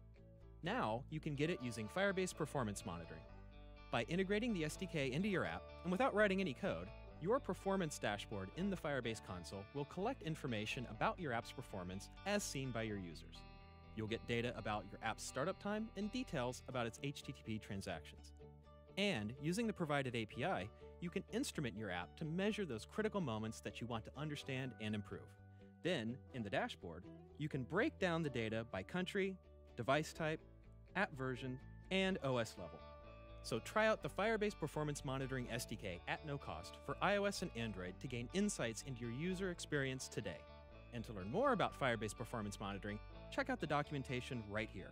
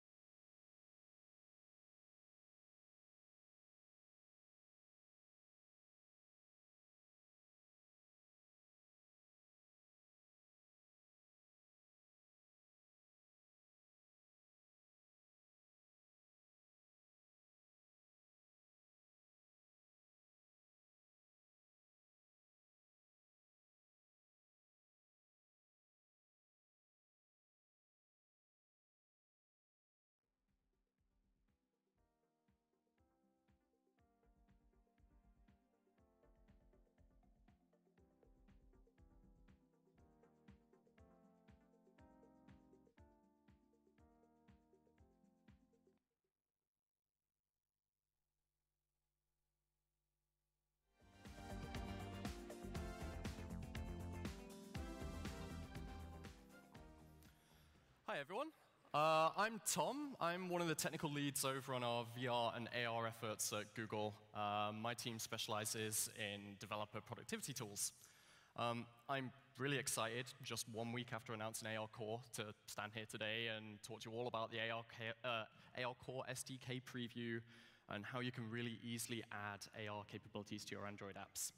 Um, so just a quick run through of what we're going to talk about today. So we're going to talk about AR and its really closely related cousin VR. We're going to talk about the concepts that underpin AR Core. We're going to have a walk through the API. We're going to talk through all the options that we have to build our AR content. And we're going to talk about all the options for building your code as well. So before we get into the technical details, uh, I really want to start with what immersive computing means, uh, where we've come from, and what can it do for you. So I'm always asked, like, you know, why AR and VR? You know, we have these mobile devices and it's all great. Why should we go and do these other things? So with Cardboard, Daydream, and Tango, we've been investing in this space for quite some time. And we really believe that interacting with your data in a more natural way is the future. Immersive computing removes a lot of those abstractions between you and your computing. So I want to take a minute just discussing these technologies before we jump into some code. So we think of AR and VR as being points on a spectrum of immersive computing. On the far left, you have reality, which is the world as we know it and we're sat in today. If we start to add digital content into our reality, then we start to augment it, and that is hence augmented reality. And if we completely replace that reality uh, with the virtual, we have virtual reality. And so AR can bring any of your digital content to you and in your world, such as this guy posing with the dog. Um, so some of the benefits of AR, you can see objects at real size and scale in your world. Imagine being able to buy furniture and being able to see if it actually fits in your house before you buy it. You can also see things in context. Again, imagine buying that furniture and making sure that it matches with all of your other decor in your house. And being able to, imagine being able to like annotate the real world with like post-it notes without actually causing a real physical mess. And it also adds the ability for uh, natural input for 3D scenes. So if ever you've used digital content creation and modeling tools, it's actually really hard to control that camera uh, in your scene. With augmented reality, you just hold your phone and you just look at it, and anyone can do it. And then if you replace everything in your world with the virtual, uh, with digital content, you've got virtual reality. It allows you to go to places and uh, visit worlds in an instant. And some benefits of this are you get complete immersion. You really feel like you've been transported to another place. And there's some really, really huge innovations in input uh, that really lets you work naturally in your world both VR and AR enable us to us experience computing more like we experience the real world. And both take advantage of a lot of the same technologies. So back in 2014, we started with the idea that your devices should be able to understand more of the world. So with dedicated hardware, Tango allowed us to understand the depth and allowed us to build some really great applications from being able to measure your world, being able to map and share your house, and to be able to play some games on your tabletop with your friends. We built two consumer devices with Asus and Lenovo, and developers created more than 100 applications for Tango. We learned a lot, and now we can do more with software than we could three years ago, and we don't have to rely on custom sensors, which leads us today and last week's announcement with AR Core. So last week we announced AR Core, it's a preview SDK that allows you to get up and running with building AR applications right now. AR Core takes everything we learned from Tango, and it makes AR available on the phone you have today. No depth cameras or custom special sensors required. AR Core is currently in preview, and we're looking to developers like you to give us feedback on how to make this SDK work for you. And with 2 billion devices out there, we have a huge potential audience for this technology with AR Core so far running on the Pixel, Pixel XL, and the Galaxy S8. We currently run on millions of devices already. And we're working with manufacturers like Samsung, Huawei, LG, Asus, and others, so that at the end of the preview, we anticipate that we're going to run on 100 million devices. And we're working with these hardware vendors to make this possible with a really consistent bar uh, for quality and high performance in the same way that we did with Daydream. And so before we get into the code, I think it's really, really helpful to understand some of the fundamental concepts behind AR, just so you know how AR Core is working under the hood. So there are three main concepts to think about. One is motion tracking. Two is environmental understanding. And three is light estimation. So let's go through them in a little bit of detail now. So to render AR content, you need a virtual camera that matches your physical camera. You render the virtual scene, you composite it with your camera, and you're done. This sounds simple. It's actually really, really hard. Whilst your phone gyroscope is really, really great for rotation, it can drift over time. And whilst your accelerometer is great for those instantaneous inputs, it's not so great to figure out an actual position. So the really hard part of getting AR right is to figure out this translation and rotation of your device in real time so that you can render digital objects with the same virtual camera as your physical camera. If you get this wrong, objects in the world will be misaligned with their virtual equivalents. They will swim and jump, and they won't appear properly rooted in the world. And you can see how effective we've done this with AR Core because of this scarecrow who looks just like everyone else queuing for tacos. So to do this, AR Core uses the device's camera and inertial measuring unit uh, to track exactly where your device is in the world using a process called concurrent odometry and mapping, also known as COM. It looks for visually distinct features that can track over successive frames and builds up a point cloud so it can uh, localize against that point cloud. This, combined with that high-frequency IMU data, gives you rotation and translation in the world so you can render your virtual content in exactly the right place. This is over and above other AR experiences you may have tried, which only uses the gyroscope to get a rotation, which has the problem of content sliding around your world and you can't move in closer for a better look. Uh, this is really, really key for anchoring your digital content over the real world. So this illustration is an example of the device tracking feature points in your world and creating a point cloud. But when it does it for real, there's actually a lot more points than just four. So on top of motion tracking, which is really important, uh, environment understanding is also super important. Uh, rendering content isn't actually that interesting by itself. Uh, you need to be able to interact with your world as well. So AR Core is looking for clusters of those feature points that appear to lie on common horizontal surfaces, uh, and it makes these surfaces available to your app as planes. Since planes are mathematically infinite, uh, AR Core also provides the bounds of these surfaces as a polygon, and you can use this information to place objects in your world like this uh, Android guy here. So planes are detected on horizontal surfaces, such as the floor, tables, kitchen countertops, benches, chairs, you name it. However, because AR Core uses feature points to detect these surfaces, flat surfaces without any texture or highly reflective surfaces might not be detected properly. And then finally, light estimation. So AR Core is able to detect information about the current environment, its lighting, and gives you a value representing that average intensity of a given camera image. Uh, this information lets you light your scene and your virtual objects under the same conditions as the environment, which increases that sense of realism. If you don't do this, your digital objects will stand out and not appear to be a part of that world, which is really, really key to realistic rendering. And it lets you some really fun effects, like have this lion who gets scared when you turn out the lights. And it might seem frivolous, uh, but it's actually really important. If you've ever taken your camera and just looked at a light source or pointed it out the window, the auto exposure of your camera actually changes that range pretty hugely. So it can be really um, not so great if you don't take this into account. So now we've gone through the main concepts of AR Core, let's jump into some code and see what it takes to build a, an AR application in Java. So this is how I think of the API. You create a session, which represents the AR session that you're running. Once you've got this, you update the session, and it gives you a frame.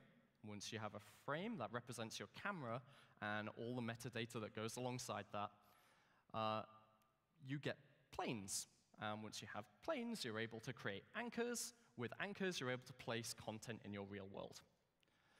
And our Hello AR app exercises all of those parts on the, uh, the API and is on GitHub and is great to get up and running with this. So going through the code, it's really, really easy to start an AR core session. You just start a session. Uh, we provide a default configuration file, which basically turns on every part of the API, motion tracking, plane finding, light estimation.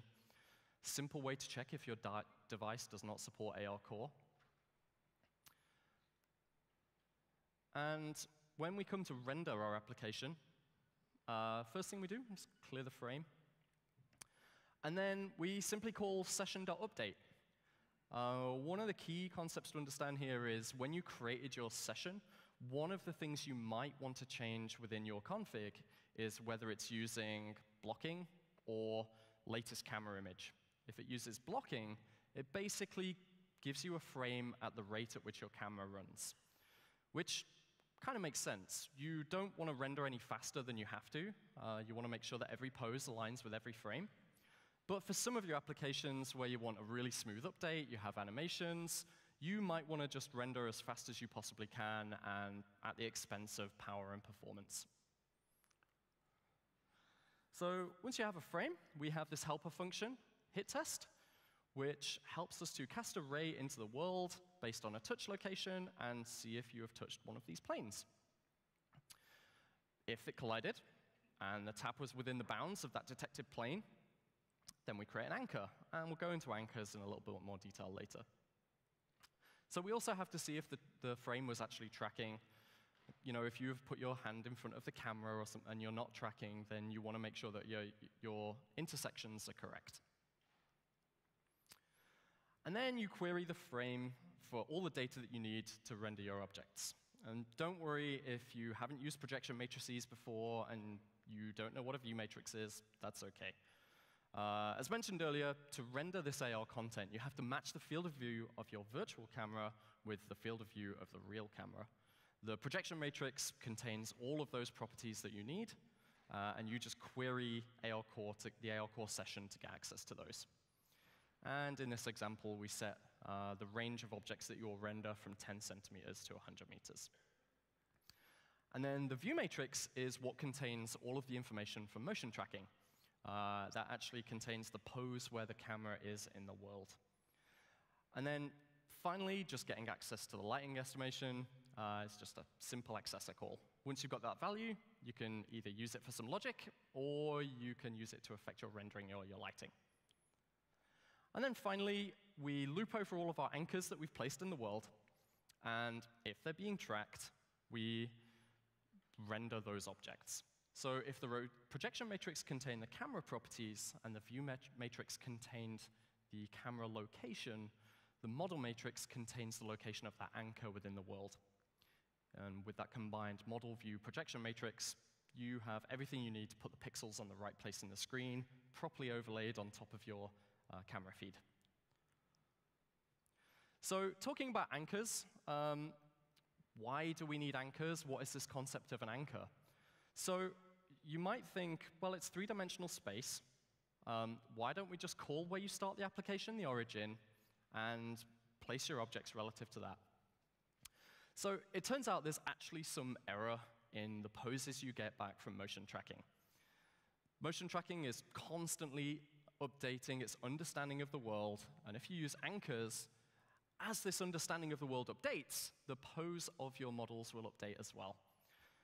A good example where you want to use anchors is imagine walking around a building in a loop. When you get back to where you started, that drift will have accumulated over time, and you really want to use anchors to make sure that that all stays correct. And so, if you place an anchor in the world, you should also make sure that you place the digital object on top of that anchor as well.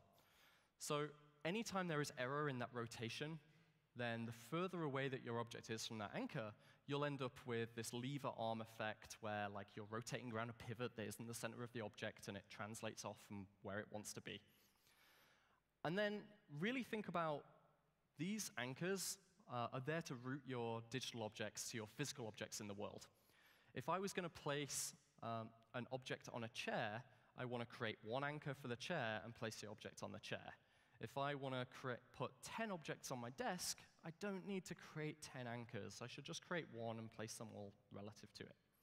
And then, just again, avoid using those global coordinate systems. You'll, you'll have a bad time if you uh, use those. So we kind of skipped over this. Um, apart from clearing the screen, we didn't really talk about rendering 3D. Uh, rendering 3D is actually a really big topic that I couldn't possibly cover in a 30-minute talk here today. But to give you something to um, look at, there are a few options. You can use OpenGLES directly, and we actually have some great tutorials on how to get started with this on our uh, developer.android.com. Or you can use frameworks such as Rajawali, which does a lot of that heavy lifting for you. Or you can take a look at our Hello AR sample, which actually uh, contains some model loading code and model rendering code as well, if you just want to place some objects in your world. So not only does AR Core work with Java, it also works with Unity and Unreal, and we've done a lot of work uh, to make sure that it integrates really well. Common game engines like these, they remove a lot of the complexity from managing a complex 3D scene so that you can focus on actually building your application. So we've ported Hello AR into Unity. You can see it there. It exercises all of those same APIs. And we've designed it so that you can easily get up to speed, use those scripts and prefabs in your own application, and it comes as part of the SDK when you download it. And similarly, we have the same for Unreal as well. We've done everything to make building your AR applications really easy using the tools that you're most familiar with. So another option is WebXR. So real web standards for AR don't exist yet. But these prototypes allow web developers to start building augmented reality web experiences today. The experiments will teach us all what AR on the web could look like, which will hopefully make the real web standards arrive faster and be better designed. These capabilities are built on top of WebVR, so if you're familiar with that, it's really easy to get up and running with WebXR. And this demo that you can see here also works in uh, experimental versions of Chrome for uh, ARKit as well on iOS. And so we've talked a lot about building AR applications, but the really hard part is how do I get content? We all know how to create content for 2D. We know how to get images, we know how to get text, fonts, videos, we know how to create them, and we know how to use them in our applications.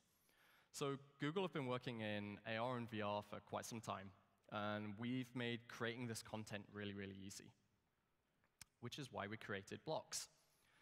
So Blocks lets you build 3D content in VR really quickly, and even if you don't have a VR headset, take a look at our library. Any content tagged as remixable is available for download. So let's take a quick look at some of the content that our creators have built for blocks. So if you want this guy, a ramen chef in your kitchen, that power is now open to you. And if you want this guy to watch over you at night on your bedside table, you can live that dream.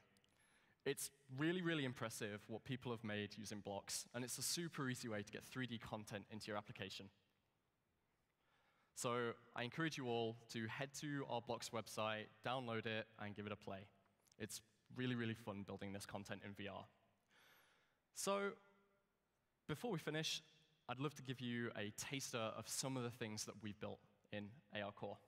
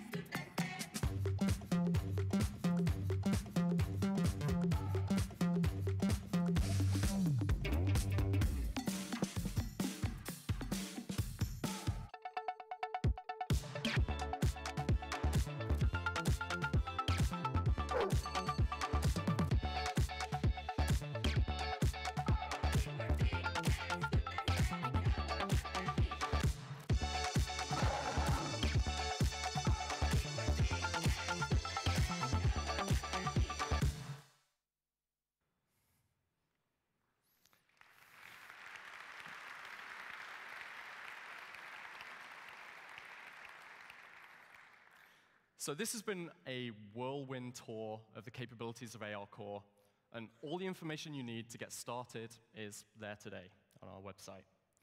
So we've talked about the fundamentals of AR, we've talked about the options you have to build your AR applications, and we've talked about how to build content for those applications. We're actively seeking feedback from developers such as yourselves through this preview phase and we'll be monitoring our GitHub, GitHub issues and our other channels closely so that we're building a platform that works for what you want to build. So you can see that AR marks the next big shift in what's possible with mobile devices. Get started with the ARCore preview today. We really can't wait to see what you build. Thank you.